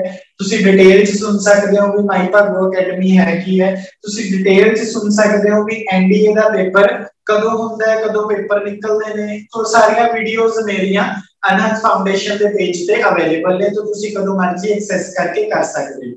ਠੀਕ ਹੈ? ਇਸ ਤੋਂ ਇਲਾਵਾ ਵੈਸੇ ਤੁਹਾਡੀ ਰੈਫਰੈਂਸ ਦੇ ਲਈ ਮੈਂ ਨੰਬਰਸ ਲਿਖ ਦੇਣਾ ਠੀਕ ਹੈ? ਸੋ ਕੋਈ ਵੀ ਕੋਈ ਵੀ ਬੱਚਾ ਕੁਝ ਪੁੱਛਣਾ ਚਾਹਤਾ ਹੈਗਾ, ਇਹਨਾਂ ਦੋਨੇ ਨੰਬਰਸ ਤੇ WhatsApp ਚੱਲ ਰਿਹਾ ਹੈਗਾ। ਤੁਸੀਂ ਮੈਸੇਜ ਕਰਕੇ ਕੁਐਰੀ ਕਰ ਸਕਦੇ ਹੋ, ਮੈਨੂੰ ਤੁਸੀਂ ਮੈਸੇਜ ਕਰਕੇ ਪੁੱਛ ਸਕਦੇ ਹੋ ਇਹਨਾਂ ਨੰਬਰਸ ਦੇ ਉੱਤੇ। ਠੀਕ ਹੈ? ਸੋ ਇਹ ਤਾਂ ਸੀਗੀ ਜਿਹੜੇ ਬੱਚੇ ਕੀ ਹੈ ਆਰਮੀ ਚ ਜਾਣ ਦੇ ਵੇਲੇ ਜਿਹੜੇ ਬੱਚੇ ਕੀ ਹੈ ਆਰਮੀ ਚ ਆਪਣਾ ਭਵਿੱਖ ਬਣਾਉਣਾ ਚਾਹੁੰਦੇ ਨੇ। ਮੈਂ ਨਾਲ ਨਾਲ ਗੱਲ ਕਰ ਰਿਹਾ ਕੁਝ ਹੋਰ ਵੀ ਜਿਹੜੇ ਇੰਜੀਨੀਅਰਿੰਗ ਚ ਜਾਣਾ ਚਾਹੁੰਦੇ ਨੇ, ਜਿਹੜੇ ਹੋਰ ਚੀਜ਼ਾਂ ਚ ਜਾਣਾ ਚਾਹੁੰਦੇ ਨੇ। ਅੱਛਾ, ਤੁਸੀਂ ਸਾਰੇ ਬੱਚੇ ਆ ਜਿਹੜੇ 9th ਦੇ 10th ਦੇ ਪਲੱਸ 1 ਦੇ ਪਲੱਸ 2 ਦੇ, ਬਹੁਤ ਸਾਰੇ ਬੱਚਿਓ ਸਕਾਲਰਸ਼ਿਪ ਦੇ ਪ੍ਰੋਗਰਾਮ ਇਸ ਟਾਈਮ ਚੱਲ ਰਹੇ ਨੇ। ਸੈਂਟਰ ਗਵਰਨਮੈਂਟ ਕੀ ਹੈ ਪੇਪਰ ਲੈਂਦੀ ਹੈ ਜਿਹੜੇ ਬੱਚੇ ਪੇਪਰ ਕੰਪਲੀਟ ਕਰਦੇ ਨੇ, ਉਹ ਬੱਚਿਆਂ ਨੂੰ 5000 ਰੁਪਏ ਮਹੀਨਾ ਸਕਾਲਰਸ਼ਿਪ ਮਿਲਦੀ ਹੈ ਮੈਂ ਸਿਰਫ ਪੇਪਰ ਦੇ ਨਾਮ ਲਿਖ ਰਿਹਾ, ਇੱਕ ਹੈਗਾ NTSC national talent search examination KVPY Kishore Vigyan Protsahan Yojana 올림픽ਿਆਡ ਇਹ ਕੁਝ ਪੇਪਰਸ ਨੇ ਜਿਹੜੇ ਕੀ ਹੈ ਸਕਾਲਰਸ਼ਿਪ ਦੇ ਲਈ ਹੁੰਦੇ ਨੇ ਠੀਕ ਹੈ ਲੇਕਿਨ ਅਗਰ ਤੁਹਾਡਾ ਇਹ ਪੇਪਰ ਕਲੀਅਰ ਹੋ ਜਾਂਦਾ ਹੈ ਤਾਂ ਤੁਹਾਨੂੰ ਚੰਗੇ ਇੰਸਟੀਚਿਊਟ ਜਾਂ ਚੰਗਾ ਕਿਸੇ ਜਗ੍ਹਾ ਤੇ ਜਿੱਥੇ ਕੀ ਹੈ ਥੋੜਾ ਭਾਵੇਂ ਪੇ ਵੀ ਹੈ ਤਾਂ ਤੁਸੀਂ ਆਰਾਮ ਨਾਲ ਆਪਣੀ ਪੇਮੈਂਟ ਨੂੰ ਆਪ ਹੀ ਅਫੋਰਡ ਕਰ ਸਕਦੇ ਹੋ ਤੁਸੀਂ ਆਪਣੀ ਸੈਲਰੀਜ਼ ਆਪ ਹੀ ਕੱਟ ਸਕਦੇ ਹੋ ਆਪਣੀਆਂ ਫੀਸਿਸ ਆਪ ਹੀ ਕੱਟ ਸਕਦੇ ਹੋ ਸੋ ਇਹ ਤਿੰਨ ਪੇਪਰ ਸਕਾਲਰਸ਼ਿਪ ਦੇ 9 10 1 2 ਇਹ ਸਾਰੇ ਬੱਚੇ ਕੀ ਹੈ ਇਹਦਾ ਪੇਪਰ ਦੇ ਸਕਦੇ ਨੇ, ਠੀਕ ਹੈ? ਇਸ ਤੋਂ ਇਲਾਵਾ ਆਪਾਂ ਗੱਲ ਕਰਦੇ ਹਾਂ ਪੁਲਿਸ ਦੀ, ਠੀਕ ਹੈ? ਸੋ ਬਹੁਤ ਸਾਰੇ ਬੱਚਿਆਂ ਦਾ ਇਹ ਤਿੰਨ ਕੀਵਰਡਸ ਲਿਖ ਲਓ, ਮਹਾਰਾਜਾ ਰਣਜੀਤ ਸਿੰਘ ਐਨਡੀਏ ਐਂਡ ਮਾਈਪਾਗੋ ਇਹਦੇ ਵਿੱਚ ਤੁਸੀਂ ਵੀਡੀਓਜ਼ ਸੁਣਦੇ ਰਹੋ। ਹੁਣ ਨੈਕਸਟ ਗੱਲ ਕਰਦੇ ਹਾਂ। ਪਲੱਸ 2 ਤੋਂ ਬਾਅਦ ਬਹੁਤ ਸਾਰੇ ਬੱਚੇ ਕੀ ਆ ਆਪਣੀਆਂ ਪੜ੍ਹਾਈ ਛੱਡ ਦਿੰਦੇ ਨੇ। ਮੈਂ ਬਹੁਤ ਸਾਰੇ ਪਿੰਡਾਂ ਦੇ ਵਿੱਚ ਜਾਣਾ, ਸੈਮੀਨਾਰ ਕਰਦਾ ਔਰ ਦੇਖਦੇ ਆ ਕਿ ਬੱਚੇ ਦੇ, ਲੜਕੀ ਦੇ 95% ਨੰਬਰ ਸੀਗੇ, ਲੇਕਿਨ ਲੈਕ ਆਫ ਨੌਲੇਜ ਕਰਕੇ ਘਰਦਿਆਂ ਨੂੰ ਕੋਈ ਰਾਹ ਨਹੀਂ ਮਿਲਿਆ ਔਰ ਘਰੇ ਕੋਈ ਨੀਅਰ ਬਾਏ ਸਕੂਲ ਵੀ ਨਹੀਂ ਸੀਗਾ ਕਾਲਜ ਵੀ ਨਹੀਂ ਸੀਗਾ ਬੱਚਿਆਂ ਨੂੰ ਤੋਂ ਲੜਕੀਆਂ 95 95% ਨੰਬਰ ਲੈ ਕੇ ਘਰੇ ਬੈਠੀਆਂ ਹੋਈਆਂ ਸੋ ਅਲਟੀਮੇਟਲੀ ਕੀ ਹੋਇਆ? ਅਲਟੀਮੇਟਲੀ ਕੀ ਹੋਇਆ ਕਿ ਲਾਈਫ ਸਪਾਇਲ ਹੋ ਗਈ ਹੈ ਸੋ ਪਲੱਸ 2 ਕਰ ਰਹੇ ਜਾਂ ਕਰ ਚੁੱਕੇ ਬੱਚੇ, ਜਿਨ੍ਹਾਂ ਦੀ 18 ਕੰਪਲੀਟ ਹੈ, ਬਹੁਤ ਸਾਰੀਆਂ ਬੱਚੇ ਗਵਰਨਮੈਂਟ ਜੌਬਸ ਡਾਇਰੈਕਟ ਨਿਕਲਦੀਆਂ ਨੇ। ਤੁਸੀਂ ਉਹ ਗਵਰਨਮੈਂਟ ਜੌਬਸ ਨੂੰ ਜਿਵੇਂ ਹੁਣ ਪੰਜਾਬ ਪੁਲਿਸ ਦੀਆਂ ਕੋਈ ਸੰਸਥਾ ਜਿਵੇਂ ਕੀ ਹੈ, ਹੁਣ ਪੰਜਾਬ ਪੁਲਿਸ ਦੀਆਂ ਬਹੁਤ ਸਾਰੀਆਂ ਵੈਕੈਂਸੀਜ਼ ਨਿਕਲੀਆਂ ਹੋਈਆਂ ਨੇ। ਤੁਸੀਂ ਉਹਨੂੰ ਡਾਇਰੈਕਟ ਪਲੱਸ 2 ਤੋਂ ਬਾਅਦ ਅਪਲਾਈ ਕਰਕੇ ਤੇ ਤੁਸੀਂ ਉਹਦਾ ਪੇਪਰ ਕਲੀਅਰ ਕਰਕੇ ਤੇ ਲੱਗ ਸਕਦੇ ਹੋ ਸਬ ਇੰਸਪੈਕਟਰ ਦੀ ਕਾਂਸਟੇਬਲ ਦੀ, ਬਾਕੀ ਚੀਜ਼ਾਂ ਦੀ। ਬਹੁਤ ਸਾਰੀਆਂ ਵੈਕੈਂਸੀਜ਼ ਆਲਰੇਡੀ ਤੁਸੀਂ ਇਹਨੂੰ ਕੀ ਹੈ ਪਲੱਸ 2 ਤੋਂ ਬਾਅਦ ਵੈਸੇ ਮੈਂ ਪੁਲਿਸ ਦੀ ਗੱਲ ਕਰ ਰਿਹਾ। ਤਾਂ ਉੱਥੇ ਕੀ ਹੈ ਤੁਸੀਂ ਇਸ ਪੇਪਰ ਨੂੰ।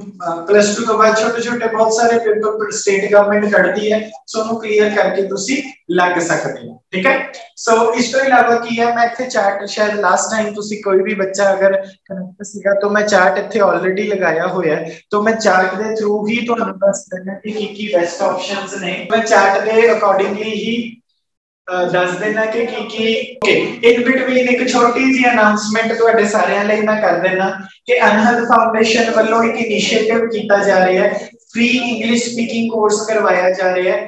ਡੇਲੀ ਵੀਕ ਦੇ ਵਿੱਚ 3 ਦਿਨ ਉਹਦੀਆਂ ਕਲਾਸਿਸ ਚੱਲਦੀਆਂ ਨੇ ਟਿਊਜ਼ਡੇ ਵੈਡਨਸਡੇ ਐਂਡ ਥਰਸਡੇ ਬੁੱਧਵਾਰ, ਵੀਰਵਾਰ ਤੇ ਸ਼ੁੱਕਰਵਾਰ ਟਿਊਜ਼ਡੇ ਮੰਗਲਵਾਰ, ਬੁੱਧਵਾਰ ਤੇ ਵੀਰਵਾਰ। ਸਪੈਲਿੰਗ ਪੰਜਾਬੀ ਮਿਸਟੇਕ ਹੋ ਗਈ। ਸੋ ਤਿੰਨ ਦਿਨ ਉਹਦੀਆਂ ਕਲਾਸਿਸ ਚੱਲਦੀਆਂ ਨੇ ਬੱਚਿਓ। ਜਿਹੜੇ ਬੱਚੇ ਕੀ ਹੈ, ਆਪਣੀ ਇੰਗਲਿਸ਼ ਵਧੀਆ ਕਰਨਾ ਚਾਹੁੰਦੇ ਨੇ ਇੰਪਰੂਵ ਕਰਨਾ ਚਾਹੁੰਦੇ ਨੇ ਕੁਝ ਵਧੀਆ ਆਪਣੇ ਇੰਗਲਿਸ਼ ਨੂੰ ਕੰਪੀਟੀਟਿਵ ਲੈਵਲ ਤੇ, ਤੋਂ ਮੈਂ ਖੁਦ ਕਲਾਸਿਸ ਲੈਣਾ ਉਹ ਕਲਾਸਿਸ ਕੀ ਹੈ, ਇਸ ਪੇਜ ਦੇ ਉੱਤੇ ਅਨਹਦ ਫਾਊਂਡੇਸ਼ਨ ਪੇਜ ਦੇ ਉੱਤੇ ਉਹਦੀਆਂ ਰਿਕਾਰਡਿੰਗਸ ਵੀ ਪੈਂਦੀਆਂ ਨੇ।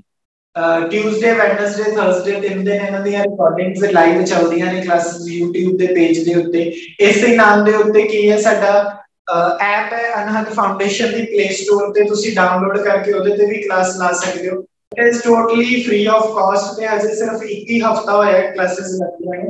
ਤਾਂ ਤੁਸੀਂ ਜੁਆਇਨ ਕਰ ਸਕਦੇ ਹੋ, ਤਾਂ ਜਿਹਨੇ free English speaking course join ਕਰਨਾ, ਉਹ ਵੀ ਤੁਸੀਂ ਮੈਨੂੰ ਮੈਸੇਜ ਕਰਕੇ ਦੱਸ ਸਕਦੇ ਹੋ। ਬਾਕੀ ਦਾ ਜਿਹੜਾ ਪ੍ਰੋਸੀਜਰ ਹੈਗਾ ਉਹ ਹਾਂ, ਇਹਦੇ ਵਿੱਚ ਕੀ ਹੈ, ਸਿਰਫ 100 ਰੁਪਏ ਰਜਿਸਟ੍ਰੇਸ਼ਨ ਫੀਸ ਹੈ।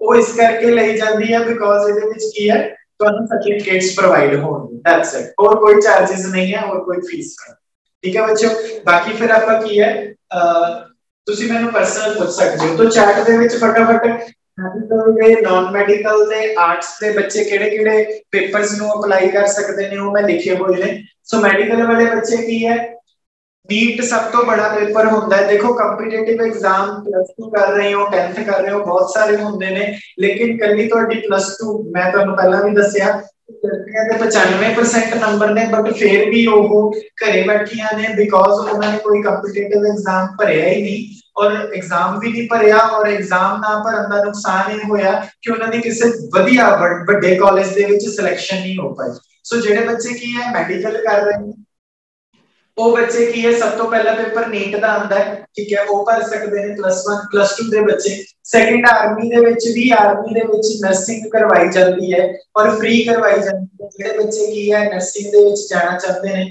ਮਿਲਟਰੀ ਨਰਸਿੰਗ ਸਰਵਿਸਿਜ਼ ਦਾ ਇਹ ਇੱਕ ਟੈਸਟ ਹੁੰਦਾ ਹੈ। ਐਮਐਨਐਸ ਦਾ ਹਰ ਫਰਵਰੀ ਦੇ ਵਿੱਚ ਟੈਸਟ ਹੁੰਦਾ ਹੈ। ਪਲੱਸ 2 ਕਰ ਰਹੇ ਬੱਚੇ, ਆਹੀ ਮਹੀਨਿਆਂ ਦੇ ਵਿੱਚ ਫਾਰਮ ਭਰੇ ਜਾਣੇ ਨੇ। ਇੱਕ ਦੋ ਦਿਨਾਂ ਬਾਅਦ, ਇੱਕ ਦੋ ਵੀਕਸ ਬਾਅਦ ਹਫ਼ਤਿਆਂ ਬਾਅਦ ਤੋਂ ਕੀ ਹੈ military nursing services M N S ਇਹਦਾ ਪੇਪਰ ਹੁੰਦਾ ਹੈ ਇਹਦੇ ਵਿੱਚ ਕੀ ਹੈ ਜੇ ਤੁਹਾਡਾ ਪੇਪਰ ਇਹ ਕਲੀਅਰ ਹੋ ਜਾਂਦਾ ਹੈ ਤਾਂ ਤੁਹਾਨੂੰ ਸਿੱਧਾ ਕੀ ਹੈ ਆਰਮੀ ਦੇ ਵਿੱਚ ਆਰਮੀ ਦੇ ਹਸਪੀਟਲਸ ਦੇ ਵਿੱਚ ਨਰਸਿੰਗ ਡਿਪਾਰਟਮੈਂਟ ਦੇ ਵਿੱਚ ਜੌਬ ਸਿਕਿਉਰ ਹੋ ਜਾਏਗੀ ਔਰ ਤੁਹਾਡੀ 3 ਸਾਲ ਦੀ ਜਿਹੜੀ ਬੀਐਸਸੀ ਨਰਸਿੰਗ ਹੁੰਦੀ ਹੈ ਉਹ ਆਰਮੀ ਫ੍ਰੀ ਆਫ ਕਾਸਟ ਕਰਵਾਉਂਦੀ ਹੈ ਬਾਕੀ ਚੀਜ਼ਾਂ ਵੀ ਫ੍ਰੀ ਨੇ ਔਰ ਤੁਸੀਂ ਐਜ਼ ਅ ਪੱਕੀ ਆਰਮੀ EMPLOYEE ਹੀ ਬਣ ਕੇ ਜਾਓਗੇ ਨੈਕਸਟ ਹੈ ਏਮਸ ਦਾ ਆਪਣਾ ਪੇਪਰ ਹੁੰਦਾ ਹੈ ਬੱਚਿਓ ਆਈਸਰ ਜਿਹੜੇ ਬੱਚੇ ਸਾਇੰਟਿਸਟ ਬਣਨਾ ਚਾਹੁੰਦੇ ਨੇ ਸਾਇੰਸ ਫੀਲਡ 'ਚ ਜਾਣਾ ਚਾਹੁੰਦੇ ਨੇ, ਉਹਨਾਂ ਬੱਚਿਆਂ ਵਾਸਤੇ ਆਈਸਰ ਬੈਸਟ ਆਪਸ਼ਨ ਹੈ। ਇਹ ਵੀ ਕੀਵਰਡ ਤੁਸੀਂ ਲਿਖ ਲਓ, Indian Institute of Science and Engineering Research again repeat, Indian Institute of Science and Engineering ਸੋ ਇੱਥੇ ਕੀ ਹੈ, ਇਹ ਜਿਹੜੇ ਬੱਚੇ ਕੀ ਹੈ, ਆਪਣਾ ਆਪਣਾ ਫਿਊਚਰ ਜਿਹੜਾ ਉਹ ਐਜ਼ ਅ ਸਾਇੰਟਿਸਟ ਬਣਾਉਣਾ ਚਾਹੁੰਦੇ ਨੇ ਸਾਇੰਸ ਫੀਲਡ ਦੇ ਵਿੱਚ ਜਾਣਾ ਚਾਹੁੰਦੇ ਨੇ, ਉਹ ਬੱਚੇ ਕੀ ਹੈ, ਇਸ ਪੇਪਰ ਨੂੰ ਭਰ ਸਕਦੇ ਨੇ। ਮੈਡੀਕਲ ਵਾਲੇ ਬੱਚਿਆਂ ਲਈ ਬਾਬਾ ਫਰੀਦ ਯੂਨੀਵਰਸਿਟੀ ਦੇ ਆਪਣੇ ਪੇਪਰ ਹੁੰਦੇ ਨੇ ਬਿਕੋਜ਼ ਇਹ ਪੇਪਰ ਕੀ ਨੇ ਪੰਜਾਬ ਦੇ ਜਿੰਨੇ ਵੀ ਮੈਡੀਕਲ ਕਾਲਜਸ ਨੇ, ਉਹ Baba Farid university through counselling ਕਰਦੇ ਨੇ। ਚੰਡੀਗੜ੍ਹ ਦੇ ਕਾਲਜਸ ਦੀ ਵੀ ਸੈਂਟਰਲ ਕਾਉਂਸਲਿੰਗ ਹੁੰਦੀ ਹੈ, ਤੇ ਜਿਹੜੇ ਬੱਚਿਆਂ ਨੇ ਚੰਡੀਗੜ੍ਹ ਦੇ ਕਿਸੇ ਕਾਲਜ 'ਚ ਦਾਖਲਾ ਲੈਣਾ ਹੋਇਆ, ਤਾਂ ਇਹ ਬੱਚੇ ਚੰਡੀਗੜ੍ਹ ਦੀ ਸੈਂਟਰਲ ਕਾਉਂਸਲਿੰਗ ਭਰ ਸਕਦੇ ਨੇ। ਠੀਕ ਹੈ? ਵੈਸੇ ਪਿਛਲੇ ਬੈਚ ਦੀ ਹੁਣੀ ਕੰਪਲੀਟ ਹੋਈ ਹੈ। ਤੁਸੀਂ ਆਪਣੇ ਪਲੱਸ 2 ਤੋਂ ਬਾਅਦ ਭਰੋਗੇ ਸਾਰੇ ਬੱਚੇ ਸਿਮਿਲਰਲੀ ਨਾਨ ਮੈਡੀਕਲ ਤੋਂ ਐਨਡੀਏ ਮੈਂ ਤੁਹਾਨੂੰ ਸਾਰਿਆਂ ਨੂੰ ਦੱਸਤਾ ਜਿਵੇਂ ਐਨਡੀਏ ਇਹਦੇ ਵਰਗਾ ਇੱਕ ਡਾਇਰੈਕਟ ਐਂਟਰੀ ਸਕੀਮ ਵੀ ਆਰਮੀ ਦੇ ਵਿੱਚ ਉਹਨੂੰ ਬੋਲਦੇ ਆ ਟੀਈਐਸ ਅਗਰ ਤੁਹਾਡੇ ਪਲੱਸ 2 ਦੇ ਵਿੱਚ 90% ਤੋਂ ਨੰਬਰ ਉੱਪਰ ਆ ਜਾਂਦੇ ਨੇ, ਤਾਂ ਤੁਹਾਨੂੰ ਐਨਡੀਏ ਦਾ ਪੇਪਰ ਵੀ ਦੇਣ ਦੀ ਲੋੜ ਨਹੀਂ ਹੈ ਤੁਸੀਂ direct entry scheme TES through ਵੀ ਜਾ ਸਕਦੇ ਹੋ ਆਰਮੀ ਦੇ ਵਿੱਚ ਐਜ਼ ਅ ਲੈਫਟੀਨੈਂਟ ਠੀਕ ਹੈ? ਚਲੋ ਨੈਕਸਟ ਹੈ ਜੇਈ ਜੇਈ ਦਾ ਮਤਲਬ ਹੈ ਜੁਆਇੰਟ ਐਂਟਰੈਂਸ ਐਗਜ਼ਾਮ ਇਹ ਪੇਪਰ ਹੈ, ਜੇ ਤੁਸੀਂ ਇੰਜੀਨੀਅਰਿੰਗ ਫੀਲਡ 'ਚ ਜਾਣਾ ਚਾਹੁੰਦੇ ਹੋ ਔਰ ਇੰਜੀਨੀਅਰਿੰਗ ਫੀਲਡ ਵਿੱਚ ਤੁਸੀਂ ਕਿਸੇ ਚੰਗੇ ਕਾਲਜ 'ਚ ਦਾਖਲਾ ਲੈਣਾ ਚਾਹੁੰਦੇ ਹੋ, ਤਾਂ ਉਹ ਕਾਲਜ ਦੀ ਐਡਮਿਸ਼ਨ ਕਿਹੜੇ ਪੇਪਰ ਥਰੂ ਹੋਏਗੀ? JEE ਜੁਆਇੰਟ ਐਂਟਰੈਂਸ ਐਗਜ਼ਾਮ ਇਹਦੇ ਵਿੱਚ ਕੀ ਹੈ? IITs ਆਉਂਦੀਆਂ ਨੇ NITs ਆਉਂਦੀਆਂ ਨੇ। ਮੈਂ ਇੱਥੇ ਲਿਖਿਆ ਵੀ ਹੋਇਆ, ਤੁਹਾਨੂੰ ਦਿਖ ਰਿਹਾ ਹੋਵੇਗਾ ਹੁਣ ਲਾਈਟ ਮੈਂ ਲੋ ਕੀਤੀ ਹੈ। ਸੋ ਇਹਦੇ ਵਿੱਚ ਕੀ ਹੈ? 23 IITs ਨੇ 32 NITs ਨੇ। IIT ਮਤਲਬ Indian institute of technologies NIT ਮਤਲਬ ਨੈਸ਼ਨਲ ਇੰਸਟੀਚਿਊਟ ਆਫ ਟੈਕਨੋਲੋਜੀ ਇਹਦਾ ਮਤਲਬ ਕੀ ਹੈ? ਇਹ ਸੈਂਟਰ ਗਵਰਨਮੈਂਟ ਦੇ ਫ੍ਰੀ ਇੰਜੀਨੀਅਰਿੰਗ ਦੇ ਸੈਂਟਰ ਗਵਰਨਮੈਂਟ ਦੇ ਫ੍ਰੀ ਇੰਜੀਨੀਅਰਿੰਗ ਦੇ ਡਿਪਾਰਟਮੈਂਟਸ ਨੇ। ਜਿਹੜੇ ਬੱਚੇ ਕੀ ਹੈ? ਇੰਜੀਨੀਅਰਿੰਗ 'ਚ ਜਾਣਾ ਚਾਹੁੰਦੇ ਨੇ ਤੇ ਪੈਸੇ ਘੱਟ ਨੇ, ਖਰਚਾ ਨਹੀਂ ਅਫੋਰਡ ਇੰਜੀਨੀਅਰਿੰਗ ਦਾ ਕਰ ਸਕਦੇ। ਮੈਂ ਬੱਚੇ ਹਮੇਸ਼ਾ ਹੀ ਇੱਕ ਚੀਜ਼ ਦੱਸਦਾ ਹੁੰਦਾ ਕਿ ਜੇ ਤੁਸੀਂ ਕਰਨਾ ਹੀ ਹੈ ਆਪਣੇ ਕੈਰੀਅਰ ਨੂੰ, ਉਸ ਪਾਰਟਿਕੂਲਰ ਮੰਨ ਲਓ ਮੈਥਮੈਟਿਕਸ ਮੰਨ ਲਓ ਇੰਜੀਨੀਅਰਿੰਗ ਮੰਨ ਲਓ ਆਰਟ ਪੇਂਟਿੰਗ ਮੰਨ ਲਓ ਕੋਈ ਵੀ 4th 5th 6th ਤਾਂ go for the top one ਜਿਹੜਾ ਗੁਰੂ ਰੱਖੋ, ਇੰਨਾ ਕੁ ਵਧੀਆ ਰੱਖੋ ਕਿ ਜਿਸ ਦਿਨ ਤੁਸੀਂ ਉੱਥੋਂ ਨਿਕਲੋ ਤੇ ਤੁਹਾਨੂੰ ਕੀ ਹੈ? ਉੱਥੇ ਰਿਸਕ ਦਾ ਮਾਰਜਨ ਨਾ ਰਹੇ। So go for the top one otherwise ਤਾਂ ਬਹੁਤ ਸਾਰੇ ਇੰਜੀਨੀਅਰਸ ਬੀਟੈਕ ਕਰਕੇ 10-10000 ਤੇ ਘੁੰਮ ਰਹੇ ਨੇ। ਵੇਲੇ ਘੁੰਮ ਰਹੇ ਨੇ, ਲੱਖਾਂ ਰੁਪਇਆ ਲਗਾ ਕੇ 6-7 ਲੱਖ ਰੁਪਇਆ ਲੱਗਦਾ ਕਿ ਇੰਜੀਨੀਅਰਿੰਗ ਕੰਪਲੀਟ ਕਰਨ ਲਈ। ਸੋ ਲੱਖਾਂ ਰੁਪਇਆ ਲਗਾ ਕੇ ਵੀ ਵੇਲੇ ਘੁੰਮ ਰਹੇ ਨੇ, ਉਹਨਾਂ ਦਾ ਕੋਈ ਫਾਇਦਾ ਨਹੀਂ ਹੈਗਾ ਬਿਕੋਜ਼ ਲਾਈਫ ਬਾਰ-ਬਾਰ ਤੁਹਾਨੂੰ ਟਾਈਮ ਨਹੀਂ ਦੇਗੀ ਓਪਰਚ्युनिटीज ਨਹੀਂ ਦੇਗੀ, ਮੌਕੇ ਨਹੀਂ ਦੇਗੀ। ਇੱਕ ਹਰ ਚੀਜ਼ ਦੀ ਲਿਮਿਟ ਹੈ ਏਜ ਦੀ ਲਿਮਿਟ ਹੈ, ਤੁਹਾਡੇ ਵਰਕਿੰਗਸ ਦੀ ਲਿਮਿਟ ਹੈ। ਔਰ ਚਲੋ ਲੈਕਚਰ ਥੋੜਾ ਜਿਹਾ ਜ਼ਿਆਦਾ ਟੈਕਨੀਕਲ ਹੋ ਰਿਹਾ ਮੈਂ ਇੱਕ ਛੋਟੀ ਜਿਹੀ ਐਗਜ਼ਾਮਪਲ ਸ਼ੇਅਰ ਕਰ ਦੇਣਾ ਵੈਸੇ ਮੈਂ ਹਰ ਵਾਰ ਕਰਦਾ ਹੁੰਦਾ। ਫਰਾਡ ਦੀ ਐਗਜ਼ਾਮਪਲ ਹੈ। ਸੋ ਉਹ ਮੈਂ ਕੱਲ ਵੀ ਸੈਮੀਨਾਰ ਸੀ, ਉਹਦੇ ਵਿੱਚ ਵੀ ਸ਼ੇਅਰ ਕੀਤੀ ਸੀਗੀ। ਸੋ ਸੇਮ ਅੱਜ ਵੀ ਸ਼ੇਅਰ ਕਰਨਾ ਸੋ ਬਹੁਤ ਸਾਰੇ ਬੱਚੇ ਹੁੰਦੇ ਨੇ ਜਿਹੜੇ ਇਹ ਸੋਚਦੇ ਨੇ ਜਾਂ ਪੈਰੈਂਟਸ ਕਈ ਵਾਰ ਡੀਮੋਟੀਵੇਟ ਕਰ ਦਿੰਦੇ ਨੇ ਬੱਚਿਆਂ ਨੂੰ। ਜੇ ਤੁਹਾਡੇ ਪੈਰੈਂਟਸ ਲਾਗੇ ਬੈਠੇ ਹੋਏ ਨੇ, ਤੁਸੀਂ ਔਨ ਕਰ ਸਕਦੇ ਹੋ ਆਪਣੀਆਂ ਆਡੀਓਜ਼ ਉਹਨਾਂ ਦੇ ਨਾਲ ਵੀ। ਸੋ ਆਪਾਂ ਨੂੰ ਕੀ ਹੈ, ਬੱਚੇ ਐਕਸਪਲੋਰ ਜ਼ਿਆਦਾ ਤੋਂ ਜ਼ਿਆਦਾ ਕਰਨਾ ਚਾਹੀਦਾ ਸੋ ਬਹੁਤ ਸਾਰੇ ਬੱਚੇ ਹੈਗੇ ਨੇ ਜਿਹੜੇ ਕੀ ਹੈ ਲਿੰਕਰ ਆਨ ਕਰਦੇ ਆ ਕਿ ਦੇਖ ਲਾਂਗੇ 12ਵੀਂ ਤੋਂ ਬਾਅਦ ਦੇਖ ਲਾਂਗੇ ਗ੍ਰੈਜੂਏਸ਼ਨ ਤੋਂ ਬਾਅਦ ਦੇਖ ਲਾਂਗੇ ਦੇਖ ਲਾਂਗੇ।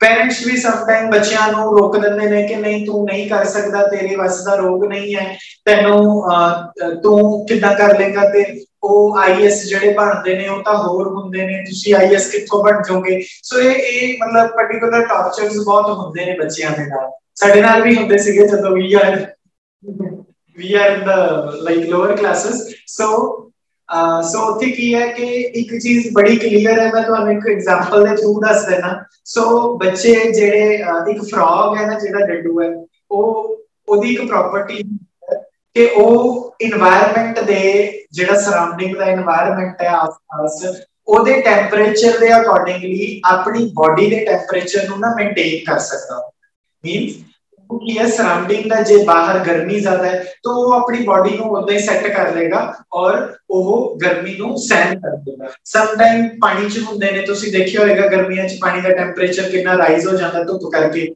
ਉੱਥੇ ਕੀ ਹੈ? ਉਹ ਫਰੌਗਸ ਉਹ ਡੱਡੂ ਕੀ ਹੈ? ਉਸ ਗਰਮ ਟੈਂਪਰੇਚਰ ਦੇ ਵਿੱਚ ਵੀ ਆਪਣੇ ਆਪ ਨੂੰ ਰਿਟੇਨ ਰੱਖਦੇ ਨੇ। ਔਰ ਟੈਂਪਰੇਚਰ ਦਾ ਅਸਰ ਵੈਸੇ ਦੇਖਿਆ ਜਾਵੇ ਤਾਂ ਜਿਹਦੀ ਸਿਲਕੀ ਸਕਿਨ ਹੁੰਦੀ, ਮੰਨ ਲਓ ਮੇਰੇ ਕੋਈ ਕੋਈ ਵੀ ਪਾਣੀ ਹੋਵੇ ਸਕਿਨ ਤੇ ਜਾਂ ਮੈਂ ਕਰੀਮ ਲਗਾਈ ਹੋਵੇ, ਮੈਂ ਬਾਹਰ ਜਾਵਾਂ ਤਾਂ ਕੁਝ ਡਰਾਈ ਹੋ ਜਾਏਗੀ। ਤੁਸੀਂ ਫਰੋਗ ਦੀ ਸਕਿਨ ਦੇਖੀ ਹੋਏਗੀ, ਸਭ ਤੋਂ ਜ਼ਿਆਦਾ ਸੈਂਸਿਟਿਵ ਹੁੰਦੀ ਹੈ।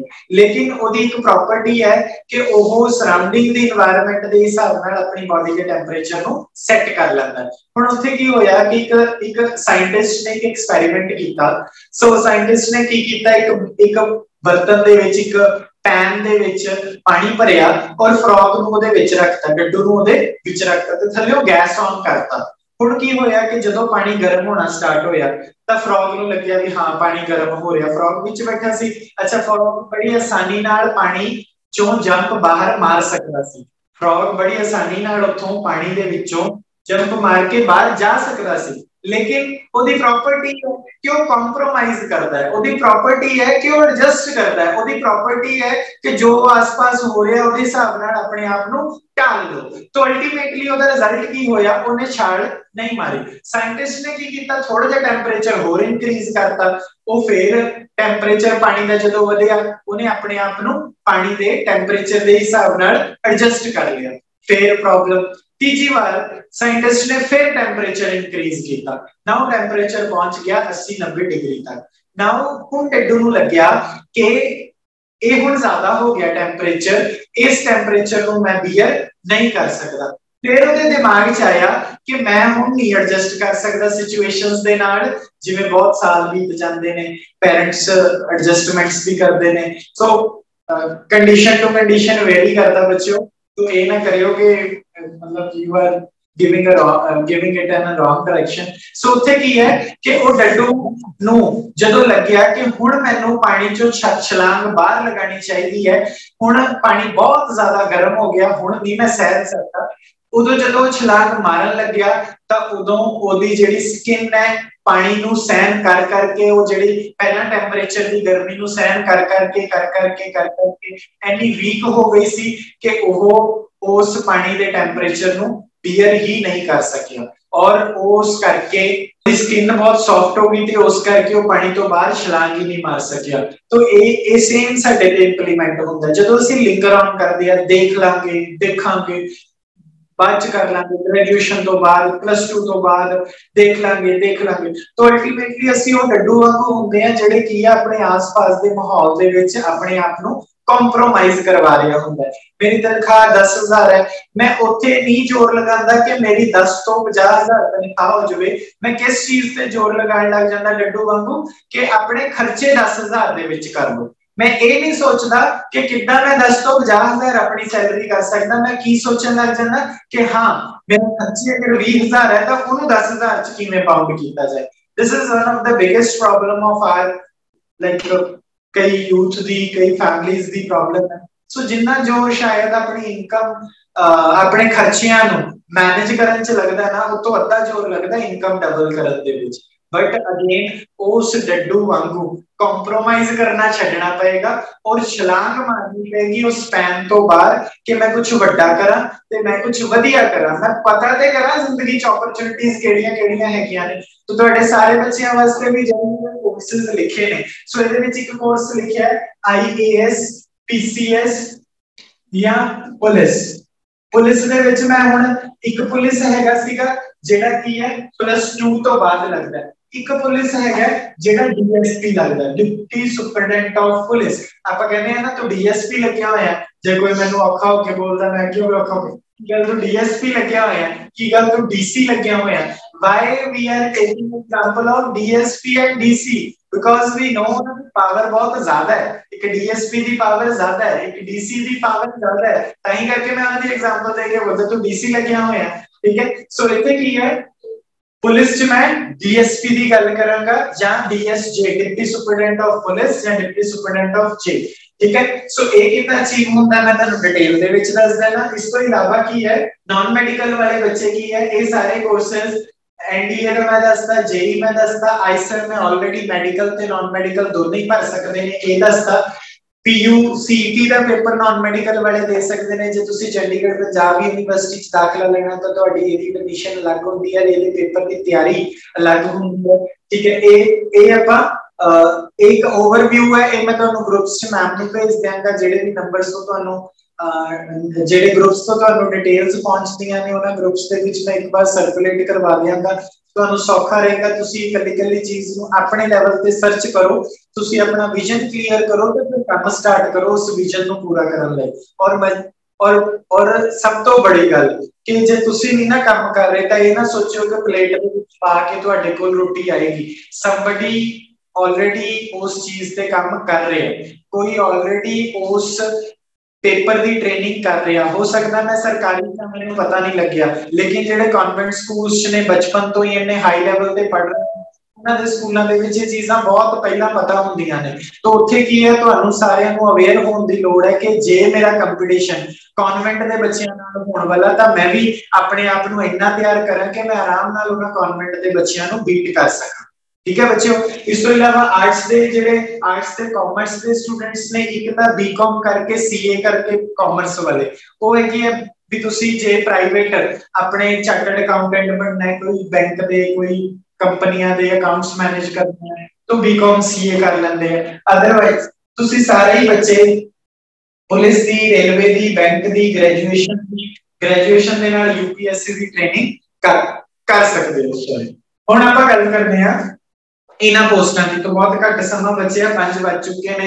ਤੋਂ 5-10 ਮਿੰਟ ਦਾ ਬਸ ਸੈਸ਼ਨ ਆਪਾਂ ਐਕਸਟੈਂਡ ਕਰਾਂਗੇ, ਫਿਰ ਆਪਾਂ ਕੰਪਲੀਟ ਕਰ ਦਾਂਗੇ, ਕਿਉਂਕਿ ਆਈ ਥਿੰਕ ਟਾਈਮ ਬਾਉਂਡਸ ਨੇ ਤੁਹਾਡੇ ਸਾਰਿਆਂ ਦੇ। ਸੋ ਯੂਪੀਐਸਸੀ ਆਈਐਸ ਪੀਸੀਐਸ ਤੇ ਪੁਲਿਸ। ਤੋਂ, ਹਰ ਸਾਲ ਬੱਚਿਓ, ਇਹ ਸਾਰੇ ਪੇਪਰ ਯੂਪੀਐਸਸੀ ਦੇ ਅੰਡਰ ਆਉਂਦੇ ਨੇ ਯੂਨੀਅਨ ਪਬਲਿਕ ਸਰਵਿਸ ਕਮਿਸ਼ਨ ਦੇ ਅੰਡਰ। ਇਹ ਇਹ ਪੇਪਰ ਕੀ ਨੇ? ਜਿਹੜੇ ਬੱਚੇ ਕੀ ਹੈ ਆਈਐਸ ਬਣਨਾ ਚਾਹੁੰਦੇ ਨੇ? ਆਈਐਸ ਇੱਕ ਡਿਪਟੀ ਕਮਿਸ਼ਨਰ ਲੱਗਦਾ ਹੈ। ਡੀਸੀ ਲੱਗਦਾ ਹੈ ਡਿਪਟੀ ਕਮਿਸ਼ਨਰ ਲੱਗਦਾ ਹੈ। ਸੋ ਇਹਦੇ ਵਿੱਚ ਕੀ ਹੈ? ਯੂਨੀਅਨ ਪਬਲਿਕ ਸਰਵਿਸ ਕਮਿਸ਼ਨ ਦੇ ਅੰਡਰ ਆਂਦਾ ਹੈ ਸੈਂਟਰ ਗਵਰਨਮੈਂਟ ਦੀਆਂ ਪੋਸਟਾਂ ਨੇ। ਤੋ ਇਹਦਾ ਹਰ ਸਾਲ ਪੇਪਰ ਹੁੰਦਾ ਹੈ ਡਿਪਟੀ ਕਮਿਸ਼ਨਰ ਲਈ। ਆਈਐਸ ਦਾ ਹਰ ਸਾਲ ਪੇਪਰ ਹੁੰਦਾ ਹੈ। ਲੇਕਿਨ ਇਹਦੇ ਵਿੱਚ ਐਲੀਜੀਬਿਲਟੀ ਚਾਹੀਦੀ ਹੈ ਗ੍ਰੈਜੂਏਸ਼ਨ ਤੁਸੀਂ ਗ੍ਰੈਜੂਏਸ਼ਨ ਦੇ ਤੀਜੇ ਸਾਲ ਦੇ ਵਿੱਚੋਂ ਥਰਡ ਇਅਰ ਦੇ ਵਿੱਚੋਂ, ਤੁਸੀਂ ਗ੍ਰੈਜੂਏਸ਼ਨ ਦੇ ਥਰਡ ਇਅਰ ਦੇ ਵਿੱਚੋਂ, ਤੁਸੀਂ ਗ੍ਰੈਜੂਏਸ਼ਨ ਪਾਸ ਆਊਟ ਹੋ। ਤੇ ਏਜ ਹੈ 32 ਇਅਰਸ ਤੋਂ ਘੱਟ। ਏਜ ਹੈਗੀ ਹੈ 18 ਤੋਂ 32 ਦੇ ਵਿਚਕਾਰ। ਤਾਂ ਤੁਸੀਂ ਇਹ ਪੇਪਰ ਨੂੰ ਅਪਲਾਈ ਕਰ ਸਕਦੇ ਹੋ। So IAS officer deputy commissioner ਲੱਗਦਾ ਹੈ ਔਰ ਡੀਸੀ ਦੀਆਂ ਪਾਵਰ ਸ਼ਾਇਦ ਮੈਨੂੰ ਦੱਸਣ ਦੀ ਲੋੜ ਨਹੀਂ ਹੈ। ਇੱਕ ਪੇਪਰ ਹੈ ਜਿਹੜਾ ਕਲੀਅਰ ਕਰਨਾ ਹੈਗਾ ਔਰ ਸਾਰੀ ਜ਼ਿੰਦਗੀ ਸੌਖੀ ਹੋ ਜਾਏਗੀ। ਮਤਲਬ ਸਭ ਤੋਂ ਇੰਪੋਰਟੈਂਟ ਹੈਗਾ ਕਿ ਤੁਹਾਡੇ ਵਿੱਚ ਉਹ ਸਪਾਰਕ ਹੋਵੇ, ਜਿਹੜੀ ਤੁਹਾਨੂੰ ਰੋਜ਼ ਜਗਾਵੇ ਸਵੇਰੇ 4 ਵਜੇ ਤੇ ਤੁਹਾਨੂੰ ਕਵੇ ਵੀ ਬਣਨਾ ਤੇ ਤੁਸੀਂ ਹੈ ਔਰ ਤੂੰ ਸੁੱਤਾ ਪਿਆ ਤੂੰ ਉੱਠ ਕੇ ਵਰਕਆਊਟ ਕਰ ਤੂੰ ਉੱਠ ਕੇ ਮਿਹਨਤ ਕਰ ਮੈਂ ਰੋਜ਼ ਆਪਣੇ ਆਪ ਨੂੰ ਰਾਤ ਸੌਣ ਤੋਂ ਪਹਿਲਾਂ ਪੁੱਛਣਾ ਕਿ ਜਿਹੜੇ ਮੇਰੇ ਸੁਪਨੇ ਆ, ਮੈਂ ਆਪਣੇ ਸੁਪਨਿਆਂ ਨੂੰ ਪੂਰਾ ਕਰਨ ਲਈ ਅੱਜ ਕੀ ਕੀਤਾ? ਤੇ ਦਿਮਾਗ ਨਾ 2 ਸੈਕਿੰਡ ਵਿੱਚ ਜਵਾਬ ਦੇ ਦਿੰਦਾ ਵੀ ਅੱਜ ਆਪਣੇ ਸੁਪਨੇ ਨੂੰ ਕਰਨ ਲਈ, ਪੂਰਾ ਕਰਨ ਲਈ ਤੂੰ ਕੁਝ ਨਹੀਂ ਕੀਤਾ। 2 ਮਿੰਟ ਚ ਜੋ ਤੇ ਤੁਹਾਨੂੰ ਵੀ ਸਾਰਿਆਂ ਨੂੰ ਤੁਹਾਡਾ ਦਿਮਾਗ ਜਵਾਬ ਦੇਗਾ ਕਿ ਜੇ ਮੇਰਾ ਸੁਪਨਾ ਆਰਮੀ ਆਫੀਸਰ ਬਣਦਾ, ਤੇ ਮੈਂ ਕਿੰਨਾ ਕੁ ਫਿਜ਼ੀਕਲ ਵਧੀਆ ਰੋਜ਼-ਰੋਜ਼ ਕਰ ਰਿਹਾ। ਕਿੰਨੀ ਕੁ ਮੈਂ ਮਿਹਨਤ ਆਪਣੇ ਆਪ ਤੇ ਕਰ ਰਿਹਾ ਕਿ ਕੱਲ ਨੂੰ ਜੇ ਮੇਰਾ ਫਿਜ਼ੀਕਲ ਦਾ ਟ੍ਰਾਇਲ ਹੋਵੇ ਤੇ ਮੈਂ ਬੜੇ ਆਰਾਮ ਨਾਲ ਕਲੀਅਰ ਕਰ ਜਾਵਾਂ। ਦਿਸ ਇਜ਼ ਦਾ ਕੁਐਸਚਨ ਤੁਸੀਂ ਰੋਜ਼ ਆਪਣੇ ਆਪ ਨੂੰ ਪੁੱਛੋਗੇ ਤਾਂ ਲਾਈਫ ਦੇ ਵਿੱਚ ਕਿਸੇ ਚੰਗੇ ਮੁਕਾਮ ਤੇ ਪਹੁੰਚ ਪਾਓਗੇ। ਨਹੀਂ ਤਾਂ ਜੋ ਮੈਂ ਪਹਿਲਾਂ ਬੋਲਿਆ ਕਿ ਤੁਸੀਂ ਕੀ ਕਰੋਗੇ, ਤਾਂ ਇਹ ਨਾ ਸੋਚਿਓ ਕਿ ਤੁਹਾਨੂੰ ਜੌਬ ਆਰਾਮ ਨਾਲ ਮਿਲ ਜੇਗੀ ਤੁਹਾਡੀ ਜਗ੍ਹਾ ਕੋਈ ਮਿਹਨਤ ਕਰ ਰਿਹਾ, ਤੁਸੀਂ ਨਾ ਕਰੋ, ਉਹ ਲੈ ਜਾਏਗਾ ਸੀਟ ਕਿਉਂਕਿ ਉਹ ਮਿਹਨਤ ਕਰ ਰਿਹਾ, ਉਹ ਸਵੇਰੇ 4 ਵਜੇ ਉੱਠ ਰਿਹਾ, ਉਹ ਗਰਾਊਂਡ 'ਚ ਜਾ ਰਿਹਾ, ਉਹ ਇੰਗਲਿਸ਼ ਸਪੀਕਿੰਗ ਕਰ ਰਿਹਾ, ਉਹ ਰਿਟਨ ਟੈਸਟ ਦੀਆਂ ਤਿਆਰੀਆਂ ਕਰ ਰਿਹਾ। ਠੀਕ ਹੈ? ਸੋ ਇੱਥੇ ਕੀ ਹੈ? ਸੋ ਜਿਹੜੇ ਬੱਚੇ ਵੀ ਕੀ ਹੈ? ਯੂਪੀਐਸਸੀ ਆਈਐਸ ਬਣਨਾ ਚਾਹੁੰਦੇ ਨੇ ਆਈਪੀਐਸ ਬਣਨਾ ਚਾਹੁੰਦੇ ਨੇ, ਇਹ ਗ੍ਰੈਜੂਏਸ਼ਨ ਦੇ ਫਾਈਨਲ ਈਅਰ ਚ ਪੇਪਰ ਦਿੱਤਾ ਜਾਂਦਾ ਹੈ ਔਰ ਉਹਦੇ ਵਿੱਚ ਕੀ ਹੈ? ਤੁਸੀਂ ਤੁਸੀਂ ਸੁਪਨਾ ਹੋਣੇ ਤੋਂ ਹੀ ਹੈ, ਤਾਂ ਤੁਸੀਂ ਇਹਦੀ ਪ੍ਰੈਪਰੇਸ਼ਨ ਹੋਣੇ ਤੋਂ ਹੀ ਕਰਨੀ ਹੈ, ਕਿਉਂਕਿ ਹੁਣੇ ਤੋਂ ਪ੍ਰੈਪਰੇਸ਼ਨ ਸਟਾਰਟ ਕਰੋਗੇ, ਤਾਂ ਕਰਕੇ ਤੁਹਾਡੀ 3rd ਈਅਰ ਤੱਕ ਡ੍ਰੀਮ ਪੂਰਾ ਹੋ ਪਾਏਗਾ ਇਹ।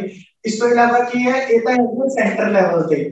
ਸਟੇਟ ਲੈਵਲ ਤੇ ਜਿਹੜੇ ਪੇਪਰ ਹੁੰਦੇ ਆ ਸੈਂਟਰ ਲੈਵਲ ਤੇ ਜਿੰਨੇ ਵੀ ਹੋਰ ਪੇਪਰ ਹੁੰਦੇ ਆ ਕੁਝ ਪੇਪਰ ਪਲੱਸ 2 ਤੋਂ ਬਾਅਦ ਨਿਕਲਦੇ ਆ ਕੁਝ ਪੇਪਰ ਗ੍ਰੈਜੂਏਸ਼ਨ ਤੋਂ ਬਾਅਦ ਨਿਕਲਦੇ ਆ, ਜਿਹੜੇ ਮੈਂ ਲਿਖੇ ਸੀ ਸਟਾਰਟਿੰਗ ਦੇ ਵਿੱਚ ਕਿ ਪੁਲਿਸ ਦਾ ਬੈਂਕਿੰਗ ਦਾ ਰੇਲਵੇ ਦਾ, ਇਹਦੇ ਵਿੱਚ ਘੱਟੋ ਘੱਟ ਨਹੀਂ ਜੇ ਮੈਂ ਸਾਲ ਦੇ ਸਾਰੀਆਂ ਪੋਸਟਾਂ ਦੀ ਗੱਲ ਕਰਾਂ ਤੇ 6 ਤੋਂ 7 ਲੱਖ ਪੋਸਟਾਂ ਨਿਕਲਦੀਆਂ ਨੇ। ਬਟ ਮੈਨੂੰ ਪਤਾ ਹੀ ਨਹੀਂ ਹੁੰਦਾ ਤਾਂ ਕੰਮ ਖਤਮ, ਕਿਉਂਕਿ ਮੈਂ ਆਪਣੇ ਆਪ ਨੂੰ ਐਕਸਪਲੋਰ ਨਹੀਂ ਕਰ ਰਿਹਾ ਹੁੰਦਾ। ਸੋ ਉੱਥੇ ਕੀ ਹੈ? ਸਟੇਟ ਲੈਵਲ ਤੇ ਪੇਪਰ ਹੁੰਦਾ ਪੀਸੀਐਸ ਦਾ। Punjab civil services Punjab civil services ਤੋਂ ਪੰਜਾਬ ਸਿਵਲ ਸਰਵਿਸਿਜ਼ ਦੇ ਵਿੱਚ ਬੇਸਿਕਲੀ ਕੀ ਹੈਗਾ ਜਿਹੜੇ ਬੱਚੇ ਕੀ ਹੈ? ਮੈਂ ਪੋਸਟਾਂ ਲਿਖ ਦੇਣਾ ਤਹਿਸੀਲਦਾਰ, ਤਹਿਸੀਲ, ਤਹਿਸੀਲਦਾਰ ਲੱਗਦਾ ਹੈ ਪੈਰੈਂਟਸ ਨੂੰ ਪਤਾ ਹੋਵੇਗਾ ਇੱਕ ਤਹਿਸੀਲਦਾਰ ਲੱਗਦਾ ਹੈ ਡੀਐਸਪੀ ਲੱਗਣਾ ਹੈ ਡਿਪਟੀ ਸੁਪਰਡੈਂਟ ਆਫ ਜੇਲ ਲੱਗਣਾ ਹੈ ਡਿਪਟੀ ਸੁਪਰਡੈਂਟ ਆਫ ਪੁਲਿਸ ਲੱਗਣਾ ਹੈ। ਫੂਡ ਇਨਸਪੈਕਟਰ ਇਨਸਪੈਕਟਰ ਛਾਪੇ ਮਾਰਦੇ ਹੁੰਦੇ ਨੇ ਨਾ। ਹਲਵਾਈ ਦੀਆਂ ਦੁਕਾਨਾਂ ਤੇ ਜਾ ਕੇ ਤੇ ਸੁੱਕਾ ਮੇਵਾ ਵਗੈਰਾ ਪਕੜਦੇ ਨੇ ਤੋਂ ਕਿਸੇ ਨੇ ਸਬ ਇੰਸਪੈਕਟਰ ਲੱਗਣਾ ਕਿਸੇ ਨੇ ਫੂਡ ਇੰਸਪੈਕਟਰ ਲੱਗਣਾ ਕਿਸੇ ਨੇ ਬਲਾਕ ਡਿਵੈਲਪਮੈਂਟ ਆਫੀਸਰ ਲੱਗਣਾ ਵੀਡੀਓ ਇੱਕ ਬਹੁਤ ਵੀਡੀਓ ਇੱਕ ਕਹਿਣ ਨੂੰ ਇੱਕ ਛੋਟੀ ਜੌਬ ਹੈ ਛੋਟੀ ਨਹੀਂ ਕਹਿ ਸਕਦੇ ਇੱਕ ਨਾਰਮਲ ਜੌਬ ਹੈ ਲੇਕਿਨ ਵੀਡੀਓ ਕੋਲ 150 ਪਿੰਡ ਆਂਦਾ ਸ਼ਾਇਦ ਜੇ ਤੁਸੀਂ ਪਿੰਡਾਂ ਦੇ ਬੱਚੇ ਹੈਗੇ ਤਾਂ ਤੁਹਾਨੂੰ ਪਤਾ ਹੋਏਗਾ, ਤੁਹਾਡਾ ਪਿੰਡ ਵੀ ਕਿਸੇ ਬਲਾਕ ਦੇ ਅੰਡਰ ਆਂਦਾ ਹੈ। ਔਰ ਜਿਹੜਾ ਵੀਡੀਓ ਹੈ ਉਹਦੇ ਅੰਡਰ 150 ਪਿੰਡ ਆਂਦਾ ਤੁਸੀਂ ਲਾਓ 150 ਸਰਪੰਚ ਹੱਥ ਜੋੜ ਕੇ ਅੱਗੇ ਖੜਾ ਹੁੰਦਾ ਵੀਡੀਓ ਦੇ, ਕਿਉਂਕਿ ਗ੍ਰਾਂਟ ਉਹਦੇ ਤੋਂ ਪਾਸ ਕਰਵਾਣੀ ਹੁੰਦੀ ਹੈ। ਸੋ ਕਹਿਣ ਨੂੰ ਇੱਕ ਪੋਸਟ ਹੈ ਲੇਕਿਨ ਪਾਵਰ ਬਹੁਤ ਜ਼ਿਆਦਾ ਹੈਗੀ ਹੈ ਤੇ ਇਹ ਸਾਰੀਆਂ ਦੀਆਂ ਸਾਰੀਆਂ ਪੋਸਟਾਂ ਨੇ ਜਿਹੜੀਆਂ ਇਹ ਸਾਰੀਆਂ ਦੀਆਂ ਸਾਰੀਆਂ ਸਿਰਫ ਇੱਕ ਪੇਪਰ ਕਲੀਅਰ ਕਰਨਾ ਹੈ ਪੰਜਾਬ ਸਿਵਲ ਸਰਵਿਸ ਤੁਹਾਨੂੰ ਉਹ ਪੋਸਟਾਂ ਮਿਲ ਜਾਣਗੀਆਂ ਠੀਕ ਹੈ? ਸੋ ਬਹੁਤਾ ਸਮਾਂ ਨਾ ਵੇਸਟ ਕਰਦੇ ਹੋਏ ਸੋ ਜਿਹੜੇ ਵੀ ਬੱਚੇ ਪੀਸੀਐਸ ਸੁਪਨਾ ਹੈਗਾ, ਉਹ ਇਸ ਪੇਪਰ ਥਰੂ ਜਾ ਸਕਦੇ ਨੇ। ਇਸ ਤੋਂ ਇਲਾਵਾ ਅਨਹਦ ਫਾਊਂਡੇਸ਼ਨ ਜਿੰਨੇ ਵੀ ਮੈਂ ਹੁਣ ਤੱਕ ਤੁਹਾਨੂੰ ਸਾਰਿਆਂ ਨੂੰ ਫੋਨ 'ਚ ਦੱਸੇ ਨੇ, ਚਾਹੇ ਉਹ ਮਹਾਰਾਜਾ ਰਣਜੀਤ ਸਿੰਘ ਹੈ, ਚਾਹੇ ਉਹ ਮਾਈ ਭਾਗੂ ਹੈ ਚਾਹੇ ਉਹ ਆਈਐਸ ਪੀਸੀਐਸ ਹੈ, ਚਾਹੇ ਉਹ ਅਦਰ ਰੇਲਵੇ, ਬੈਂਕਿੰਗ, ਪੁਲਿਸ ਦਾ ਪੇਪਰ ਹੈਗਾ ਅਨੰਦ ਫਾਊਂਡੇਸ਼ਨ ਇਹਨਾਂ ਸਾਰੇ ਪੇਪਰਾਂ ਦੀ ਤਿਆਰੀ ਕਰਵਾਉਂਦਾ ਹੈ। ਤੇ ਤੁਹਾਡੇ ਵਿੱਚੋਂ ਜਿਹੜੇ ਵੀ ਬੱਚੇ ਸਾਨੂੰ ਜੁਆਇਨ ਕਰਨਾ ਚਾਹੁੰਦੇ ਨੇ, ਉਹ ਪੇਪਰ ਦੀਆਂ ਤਿਆਰੀਆਂ ਦੇ ਲਈ। ਉਹ ਕਰ ਸਕਦੇ ਨੇ। ਫਿਲਹਾਲ ਅਸੀਂ ਮਹਾਰਾਜਾ ਸਿੰਘ ਤੇ ਮਾਈ ਭਾਗੋ ਦੇ ਫਾਰਮ ਭਰ ਰਹੇ ਹਾਂ। ਜਿਹੜੇ ਬੱਚੇ ਵੀ ਫਾਰਮ ਭਰਵਾਉਣਾ ਚਾਹੁੰਦੇ ਭਾਗੋ ਦੇ ਮਹਾਰਾਜਾ ਰਣਜੀਤ ਸਿੰਘ ਦੇ ਮੈਂ ਨੰਬਰਸ ਆਲਰੇਡੀ ਮੈਂਸ਼ਨ ਕੀਤੇ ਹੋਏ ਨੇ ਮੈਸੇਜ ਡ੍ਰੌਪ ਕਰਕੇ ਤੁਸੀਂ ਭਰਵਾ ਸਕਦੇ ਹੋ। ਤੁਸੀਂ ਆਪਣੇ ਜਿਹੜੇ ਵੀ ਗਰੁੱਪਸ ਦੇ ਵਿੱਚੋਂ ਤੁਹਾਨੂੰ ਮੈਸੇजेस ਆਉਂਦੇ ਨੇ, ਉਸ ਗਰੁੱਪਸ ਦੇ ਵਿੱਚੋਂ ਪੁੱਛ ਸਕਦੇ ਹੋ, ਉਹਨਾਂ ਟੀਚਰਸ ਨਾਲ ਗੱਲ ਕਰ ਸਕਦੇ ਹੋ, ਉਹਨਾਂ ਤੋਂ ਨੰਬਰ ਲੈ ਸਕਦੇ ਹੋ, ਉਹਨਾਂ ਨਾਲ ਗੱਲਬਾਤ ਕਰ ਸਕਦੇ ਹੋ। ਤੋਂ ਸਾਡਾ ਸਿਰਫ ਇੱਕੋ ਹੀ ਏਜੰਡਾ ਰਹਿੰਦਾ ਇਹਨਾਂ ਸੈਮੀਨਾਰਸ ਦਾ ਕਿ ਵੱਧ ਤੋਂ ਵੱਧ ਤੁਹਾਨੂੰ ਨੌਲੇਜ ਮਿਲ ਸਕੇ, ਵੱਧ ਤੋਂ ਵੱਧ ਬੱਚੇ ਪੇਪਰ ਭਰ ਸਕਣ, ਵੱਧ ਤੋਂ ਵੱਧ ਬੱਚੇ ਜਿਹੜੇ ਗਰੀਬੀ ਕਾਰਨ ਕਿਸੇ ਨਾ ਕਿਸੇ ਮੁਕਾਮ ਤੇ ਨਹੀਂ ਪਹੁੰਚ ਪਾਉਂਦੇ ਐਟਲੀਸਟ ਉਹ ਚੰਗੇ ਲੈਵਲਸ ਤੇ ਪਹੁੰਚਣ, ਉਹ ਚੰਗੇ ਲੈਵਲਸ ਤੱਕ ਅਪਰੋਚ ਕਰਨ ਔਰ ਚੰਗੇ ਅਦਾਰਿਆਂ ਤੋਂ ਕੋਚਿੰਗ ਲੈਣ ਸੋ ਦੈਟ ਕਿ ਕੱਲ ਨੂੰ ਜਦੋਂ ਬਾਹਰ ਨਿਕਲਣ ਦਾ ਕੋਈ ਰਿਸਕ ਨਾ ਹੋਵੇ ਕਿ ਹਾਂ, ਮੈਨੂੰ ਜੌਬ ਮਿਲੇਗੀ ਜਾਂ ਨਹੀਂ ਮਿਲੇਗੀ। ਤੋ ਇੱਕ ਹੈ ਕਿ ਤੁਸੀਂ ਆਪਣੀਆਂ ਕੋਈ ਵੀ ਕੁਐਰੀਜ਼ ਨੇ, ਉਹ ਪੁੱਛ ਸਕਦੇ ਹੋ। ਦੂਸਰਾ ਕੀ ਹੈਗਾ ਕਿ ਮੈਂ ਜਿਵੇਂ ਬਿਗਨਿੰਗ ਚ ਦੱਸਿਆ, ਇੱਕ ਮਿੰਟ ਚ ਦੱਸਿਆ ਸੀ ਕਿ ਇੱਕ ਫ੍ਰੀ ਇੰਗਲਿਸ਼ ਸਪੀਕਿੰਗ ਕੋਰਸ ਚੱਲ ਰਿਹਾ ਹੈਗਾ ਸਾਡਾ। ਫ੍ਰੀ ਚੱਲ ਰਿਹਾ ਇਹਦੀ ਸਿਰਫ 100 ਰੁਪਏ ਰਜਿਸਟ੍ਰੇਸ਼ਨ ਫੀ ਹੈ। 100 ਰੁਪਏ ਰਜਿਸਟ੍ਰੇਸ਼ਨ ਫੀ ਹੈ, ਜਿਹਦੇ ਵਿੱਚ ਤੁਹਾਨੂੰ ਸਾਰਿਆਂ ਨੂੰ ਸਰਟੀਫਿਕੇਟ ਪ੍ਰੋਵਾਈਡ ਕਰਨੇ ਨੇ। ਇਹ ਟਿਊਜ਼ਡੇ ਵੈਡਨਸਡੇ ਥਰਸਡੇ ਤਿੰਨ ਦਿਨ ਮੈਂ ਹੀ ਲਗਾਣਾ ਮੈਂ ਹੀ ਕਲਾਸ ਲਗਾਣਾ ਇਹ ਕਲਾਸ ਅਨਰ ਫਾਊਂਡੇਸ਼ਨ ਤੋਂ YouTube ਪੇਜ ਤੇ ਵੀ ਚੱਲਦੀ ਹੈ ਔਰ ਇਸੇ ਨਾਮ ਦੀ ਐਪ ਹੈ Play Store ਦੇ ਉੱਤੇ Android ਦੇ ਵਿੱਚੋਂ ਤੁਸੀਂ ਡਾਊਨਲੋਡ ਕਰ ਸਕਦੇ ਹੋ, ਉਹਦੇ ਵਿੱਚ ਵੀ ਚੱਲਦੀ ਹੈ। ਸੋ ਟਿਊਜ਼ਡੇ ਵੈਡਨਸਡੇ ਤੇ ਥਰਸਡੇ ਇਹ ਤਿੰਨ ਦਿਨ ਕਲਾਸ ਚੱਲਦੀ ਹੈ, ਤਾਂ ਤੁਸੀਂ ਸਾਨੂੰ ਇਹ ਕਲਾਸ ਦੇ ਵਿੱਚ ਜੁਆਇਨ ਕਰ ਸਕਦੇ ਹੋ। ਠੀਕ ਹੈ, ਇਹ ਕਲਾਸ ਤੁਸੀਂ ਜੁਆਇਨ ਕਰਕੇ ਆਪਣੀ ਇੰਗਲਿਸ਼ ਨੂੰ ਇੰਪਰੂਵ ਕਰ ਸਕਦੇ ਹੋ, ਤੋਂ ਫ੍ਰੀ ਇੰਗਲਿਸ਼ ਸਪੀਕਿੰਗ ਕੋਰਸ ਹੈ ਜਿਹੜਾ ਚੱਲਦਾ ਹੈ ਇਹਦੇ ਵਿੱਚ ਕਿਸੇ ਨੇ ਇਨਰੋਲਮੈਂਟ ਕਰਵਾਣੀ ਹੈ ਰਜਿਸਟ੍ਰੇਸ਼ਨ ਪ੍ਰੋਸੈਸ ਪੁੱਛਣਾ ਹੈ ਜਾਂ ਕੁਝ ਵੀ YouTube ਦੇ ਬਾਰੇ ਪੁੱਛਣਾ ਹੈ ਅਗੇਨ ਇਹਨਾਂ ਨੰਬਰਸ ਤੇ ਤੁਸੀਂ ਪੁੱਛ ਸਕਦੇ ਹੋ ਅਦਰਵਾਇਜ਼ ਸਿੱਧਾ ਸਰਚ ਕਰੋ YouTube ਤੇ ਤੁਹਾਨੂੰ ਚੈਨਲ ਮਿਲ ਜਾਏਗਾ ਉਹਨੂੰ ਲਾਈਕ ਸਬਸਕ੍ਰਾਈਬ ਕਰੋ ਡੇਲੀ ਦੋ ਟਾਈਮ ਨੇ ਇੱਕ ਟਾਈਮ ਹੈਗਾ 12 ਤੋਂ 1 ਵਜੇ ਦਾ ਇੱਕ ਟਾਈਮ ਹੈਗਾ 4 ਤੋਂ 5 ਵਜੇ ਦਾ ਇਹ ਦੋਨੇ ਟਾਈਮ ਤੇ ਸੇਮ ਕਲਾਸ ਚੱਲਦੀ ਹੈ, ਤਾਂ ਤੁਸੀਂ ਦੋਨਾਂ ਟਾਈਮਸ ਦੇ ਵਿੱਚੋਂ ਕੋਈ ਵੀ ਟਾਈਮ 'ਚ ਕਲਾਸ ਲਗਾ ਸਕਦੇ ਹੋ। ਪਹਿਲਾ, ਅਗਰ ਦੋਨੇ ਟਾਈਮ 'ਚ ਤੁਸੀਂ ਬਿਜ਼ੀ ਹੋ, ਤਾਂ ਇਹ ਲਾਈਵ ਕਲਾਸ YouTube ਤੇ ਰਿਕਾਰਡ ਹੁੰਦੀ ਹੈ, ਤਾਂ ਤੁਸੀਂ ਜਦੋਂ ਮਰਜ਼ੀ ਫ੍ਰੀ ਹੁੰਦੇ ਹੋ ਉਦੋਂ ਤੁਸੀਂ YouTube ਤੇ ਜਾ ਕੇ ਸਰਚ ਕਰਕੇ ਉਸ ਸੈਸ਼ਨ ਨੂੰ ਸੀਕੁਐਂਸ ਦੇ ਵਿੱਚ ਅਟੈਂਡ ਕਰ ਸਕਦੇ ਹੋ। ਤਾਂ ਦੋ ਮਹੀਨੇ ਕਲਾਸਿਸ ਚੱਲ ਰਹੀਆਂ ਨੇ। ਹਜੇ 1 ਵੀਕ ਹੀ ਨਿਕਲਿਆ ਤੇ ਜਿਹੜੇ ਜਿਹੜੇ ਬੱਚਿਆਂ ਨੇ ਇਨਰੋਲ ਹੋਣਾ ਹੋ ਸਕਦਾ ਬਾਕੀ ਦਾ ਕੋਰਸਿਸ ਲਈ ਆਈ ਥਿੰਕ ਮੈਂ ਤੁਹਾਨੂੰ ਕੀਵਰਡਸ ਦਿੱਤੇ ਨੇ ਡਿਟੇਲ ਚ ਮੈਂ ਬਿਲਕੁਲ ਨਹੀਂ ਦੱਸਿਆ। ਕੀਵਰਡਸ ਦਿੱਤੇ ਨੇ, ਤੁਸੀਂ ਥੋੜਾ ਜਿਹਾ ਖੁਦ ਸਰਚ ਕਰੋ, ਜਿੱਥੇ ਤੁਹਾਨੂੰ ਲੱਗਦਾ ਹੈ ਕਿ ਮੈਨੂੰ ਹੋਰ ਨੌਲੇਜ ਦੀ ਲੋੜ ਹੈ, ਸਾਨੂੰ ਅਪਰੋਚ ਕਰੋ, ਜਿੱਥੇ ਤੁਹਾਨੂੰ ਲੱਗਦਾ ਹੈ ਕਿ ਗੂਗਲ ਦੇ ਵਿੱਚ ਤੁਹਾਨੂੰ ਐਕਸਪਲੋਰ ਕਰਨਾ ਚਾਹੀਦਾ ਹੈ, ਉਹਨੂੰ ਕਰੋ। ਸੋ ਆਈ ਹੋਪ ਕਿ ਅਸੀਂ ਸਾਰੇ ਰਲ ਮਿਲ ਕੇ ਇੱਕ ਬਹੁਤ ਵਧੀਆ ਫਿਊਚਰ ਕ੍ਰੀਏਟ ਕਰ ਸਕੀਏ। ਮੇਰੀ ਇੱਕ ਬਹੁਤ ਬੜੀ ਪਲੇਨ ਹੁੰਦੀ ਹੈ ਕਿ ਸਿੱਖਾਂ ਦੇ ਬੱਚੇ ਆਈਐਸ ਪੀਸੀਐਸ ਨਹੀਂ ਬਣਦੇ। ਸਿੱਖਾਂ ਦੇ ਬੱਚਿਆਂ ਨੂੰ ਕੈਨੇਡਾ ਜਾਣ ਦੀ ਦੌੜ ਹੈ, ਉਹ 12ਵੀਂ ਕੰਪਲੀਟ ਕਰੋ ਤੇ ਦੌੜ ਜਾਓ ਕੈਨੇਡਾ। ਸਿੱਖਾਂ ਦੇ ਬੱਚਿਆਂ ਨੂੰ ਨਾ ਆਰਮੀ 'ਚ ਜਾਣ ਦਾ ਕਰੇਜ਼ ਹੈ, ਨਾ ਆਰਮੀ 'ਚ ਜਾਣ ਦਾ ਕਰੇਜ਼ ਹੈ, ਨਾ ਉਹਨਾਂ ਨੂੰ ਇਨ ਇਨ ਆਈਐਸ ਜਾਣ ਦਾ ਮੇਰਾ ਰੋਜ਼ ਸੈਕਟਰੇਟ ਵਿਜ਼ਿਟ ਹੁੰਦਾ ਜਿੱਥੇ ਸਾਰੇ ਪੰਜਾਬ ਦੇ ਆਈਐਸ ਆਫੀਸਰਸ ਪੀਸੀਐਸ ਆਫੀਸਰਸ ਬੰਦੇ ਨੇ। ਔਰ ਸਭ ਤੋਂ ਬੁਰੀ ਗੱਲ ਮੈਨੂੰ ਉੱਥੇ ਲੱਗਦੀ ਹੈ, ਮੈਨੂੰ ਯਾਦ ਹੈ 2015 ਦੇ ਵਿੱਚ ਨਾ ਮੈਂ ਲੈਣਾ ਸੀਗਾ ਇੱਕ ਧਾਰਮਿਕ ਦਾ ਧਾਰਮਿਕ ਦਾ ਸਕੂਲਾਂ ਦੇ ਵਿੱਚ ਪੇਪਰ ਲੈਣਾ ਸੀਗਾ ਸਿੱਖ ਹਿਸਟਰੀ ਦੇ ਉੱਤੇ ਪੇਪਰ ਸੀਗਾ ਔਰ ਸਿੱਖ ਹਿਸਟਰੀ ਦੇ ਪੇਪਰ ਦੇ ਲਈ ਮੈਨੂੰ ਇੱਕ ਸਾਊਥ ਇੰਡੀਅਨ ਤੋਂ ਅਪਰੂਵਲ ਲੈਣੀ ਸੀ ਜਾ ਕੇ। ਹੁਣ ਤੁਸੀਂ ਸੋਚੋਗੇ ਇੱਕ ਸਾਊਥ ਇੰਡੀਅਨ ਤੋਂ ਮੈਂ ਕੀ ਗੱਲ ਕਰਾਂਗਾ ਕਿ ਮੈਂ ਸਿੱਖੀ ਦੇ ਪ੍ਰਚਾਰ ਦੇ ਲਈ ਸਰ ਇੱਕ ਪੇਪਰ ਕਰਵਾ ਰਿਹਾ ਸਕੂਲਾਂ ਦੇ ਵਿੱਚ ਕਿ ਵੱਧ ਤੋਂ ਵੱਧ ਬੱਚੇ ਸਿੱਖੀ ਨਾਲ ਜੁੜ ਸਕਣ, ਕਿਉਂਕਿ ਉਹ ਇੱਕ ਸਾਊਥ ਇੰਡੀਅਨ ਹੈ, ਉਹਨੂੰ ਕੀ ਪੇਨ ਦਾ ਪਤਾ? ਅੱਛਾ, ਉਹ ਇੱਕ ਆਈਐਸ ਆਫੀਸਰ ਹੈ, ਇਸ ਕਰਕੇ ਕੀ ਹੈ? ਉਹ ਆਈਐਸ ਆਫੀਸਰ ਕਰਕੇ ਉਹ ਕੀ ਹੈ? ਉਹਦੇ ਕੋਲੋਂ ਸਾਈਨ ਕਰਵਾਣੇ ਜ਼ਰੂਰੀ ਵੀ ਸੀਗੇ ਮੇਰੇ ਲਈ, ਠੀਕ ਹੈ? ਸੋ ਇਹ ਬਹੁਤ ਵੱਡੀ ਪ੍ਰੋਬਲਮ ਹੈ ਕਿ ਪੰਜਾਬ ਦੇ ਵਿੱਚ ਵੀ, ਪੰਜਾਬ ਤੋਂ ਬਾਹਰ ਦਾ ਬਹੁਤ ਦੂਰ ਦੀ ਗੱਲ ਹੈ, ਪੰਜਾਬ ਦੇ ਵਿੱਚ ਵੀ ਸਿਰਫ ਤੇ ਸਿਰਫ 5% ਪੰਜਾਬ ਚੋਂ IAS officer 95% IAS officer south Indian ਨੇ ਕਿਉਂ ਕਿਉਂਕਿ ਸਾਡੇ ਬੱਚਿਆਂ ਨੂੰ ਪਤਾ ਹੀ ਨਹੀਂ ਹੈ ਸਾਡੇ ਬੱਚਿਆਂ ਦਾ ਦਿਲ ਹੀ ਨਹੀਂ ਕਰਦਾ ਪੜਨ ਦਾ ਜਾਂ ਅਸੀਂ ਅਵੇਅਰ ਹੀ ਨਹੀਂ ਹੈ ਕਿ ਬਣ ਕਿਵੇਂ ਸਕਦੇ ਹਾਂ ਤੋਂ ਸਭ ਤੋਂ ਇੰਪੋਰਟੈਂਟ ਤੁਹਾਡੇ ਸਾਰਿਆਂ ਲਈ ਬਸ ਇੱਕੋ ਹੀ ਹੈ ਤੁਸੀਂ ਐਕਸਪਲੋਰ ਕਰੋ, ਜਿੱਥੇ ਤੁਹਾਨੂੰ ਲੱਗਦਾ ਸਾਡੀ ਗਾਈਡੈਂਸ ਦੀ ਲੋੜ ਹੈ, ਅਸੀਂ ਅਵੇਲੇਬਲ ਆ ਤੁਸੀਂ ਆਲਰੇਡੀ ਬਹੁਤ ਵਧੀਆ ਪਲੇਟਫਾਰਮ ਨਾਲ ਜੁੜੇ ਹੋਏ ਹੋ। ਤੁਸੀਂ ਉੱਥੇ ਪੁੱਟ ਕਰ ਸਕਦੇ ਹੋ ਕੁਐਰੀਜ਼ ਉੱਥੇ ਆਪਾਂ ਚੀਜ਼ਾਂ ਨੂੰ ਕਰ ਸਕਦੇ ਹਾਂ। ਸੋ ਇਹਨਾਂ ਕਹਿੰਦੇ ਹੋਇਆ, ਇਜਾਜ਼ਤ। ਥੈਂਕ ਯੂ ਸੋ ਮੱਚ ਬੱਚਿਓ ਥੈਂਕ ਯੂ ਸੋ ਮੱਚ ਜਿਹੜੇ ਜਿਹੜੇ ਬੱਚਿਆਂ ਨੂੰ ਕੋਈ ਵੀ ਕਨਫਿਊਜ਼ਨ ਹੈ, ਫਿਰ ਆਪਾਂ ਹੋ ਸਕੇ ਤਾਂ ਕੋਈ ਇੱਕ ਅੱਧਾ ਲੈਕਚਰ ਤੁਹਾਡੇ ਸਾਰਿਆਂ ਨਾਲ ਹੋਰ ਕਰ ਲਾਂਗੇ। ਥੈਂਕ ਯੂ ਸੋ ਮੱਚ ਬੱਚਿਓ। ਸੋ ਮੈਨੂੰ ਲੱਗਦਾ ਟਾਈਮ ਮੈਂ 10 ਮਿੰਟ ਤੁਹਾਡਾ ਸਾਰਿਆਂ ਦਾ ਜ਼ਿਆਦਾ ਲੈ ਲਿਆ। ਸੋ ਥੈਂਕ ਯੂ ਸੋ ਮੱਚ ਤੁਹਾਨੂੰ ਐਕਸਟਰਾ ਟਾਈਮ ਦੇਣ ਲਈ ਤੇ ਸ਼ਾਇਦ ਤੁਸੀਂ ਆਪਣੇ ਬਿਜ਼ੀ ਬਿਜ਼ੀ ਸ਼ਡਿਊਲ ਚੋਂ ਟਾਈਮ ਕੱਢਿਆ। Thank you so much thank you okay ਬੱਚਿਆਂ ਦੇ ਮੈਸੇजेस ਮੈਨੂੰ ਆ ਸ਼ੋ ਹੋ ਰਹੇ ਨੇ। Thank you so much I hope ਤੁਹਾਨੂੰ ਵਧੀਆ ਸਮਝ ਲੱਗਿਆ ਹੋਵੇਗਾ ਸੈਸ਼ਨਸ ਤੋਂ ਬਾਕੀ ਮੈਂ ਅਗੇਨ ਕੀਵਰਡਸ ਦਿੱਤੇ ਨੇ ਤੁਸੀਂ ਖੁਦ ਐਕਸਪਲੋਰ ਕਰੋ ਵੱਧ ਤੋਂ ਵੱਧ ਜਾਣੋ। ਜਿੱਥੇ ਤੁਹਾਨੂੰ ਲੱਗਦਾ ਹੈ ਕਿ ਆਪਣੇ ਆਪ ਨੂੰ ਇੰਪਰੂਵ ਕਰਨ ਦੀ ਲੋੜ ਹੈ ਸੋ ਤੁਸੀਂ ਇੰਪਰੂਵ ਕਰੋ। Thank you so much Waheguru ji ਕਾ ਖਾਲਸਾ ਵਾਹਿਗੁਰੂ ਜੀ ਕੀ ਫਤਿਹ। Okay, ਮੈਂ ਬਹੁਤ ਬਹੁਤ ਧੰਨਵਾਦ ਕਰਦਾ ਹਾਂ। ਜਿੱਥੇ ਉਹਨਾਂ ਨੇ ਸਾਨੂੰ ਸਾਡੇ ਕੈਰੀਅਰ ਦੁਆਰਾ ਗਾਈਡ ਕੀਤਾ ਉਸੇ ਤਰ੍ਹਾਂ ਸਾਨੂੰ ਇੱਕ ਕਰਨ ਦੀ ਐਨਕਰੇਜ ਵੀ ਕੀਤਾ। ਅਸੀਂ ਇਸ ਕਰਕੇ ਵੀਰ ਜੀ ਦਾ ਬਹੁਤ ਬਹੁਤ ਧੰਨਵਾਦ ਕਰਦੇ ਹਾਂ। ਇੱਕ ਹੈਂਡ ਰੇਜ਼ ਹੋਇਆ ਹੈ 13503 ਮੋਗਾ ਤੋਂ। ਕਿਰਪਾ ਕਰਕੇ ਆਪਣਾ ਸਵਾਲ ਪੁੱਛੋ ਜੀ। ਤੋਂ ਪਹਿਲਾਂ ਮੈਂ ਬੇਨਤੀ ਕਰਾਂਗੀ ਵੀਰ ਜੀ ਨੂੰ ਕਿ ਜੋ ਇਨਫੋਰਮੇਸ਼ਨ ਜਿਵੇਂ ਕੁਝ ਬੱਚੇ ਕੁਐਸਚਨ ਪੁੱਛ ਰਹੇ ਹੈ ਕਿ YouTube ਚੈਨਲ ਦਾ ਨੇਮ ਜਾਂ ਉਹ ਕਿੱਥੇ ਹੋਰ ਸਰਚ ਕਰ ਸਕਦੇ ਹੋ ਅਗਰ ਉਹਦਾ ਲਿੰਕ ਉਹ ਚੈਟ ਦੇ ਵਿੱਚ ਪਾ ਦੇਣ ਜੀ ਤਾਂ ਹੋਰ ਵਧੀਆ ਹੋ ਜਾਏਗਾ।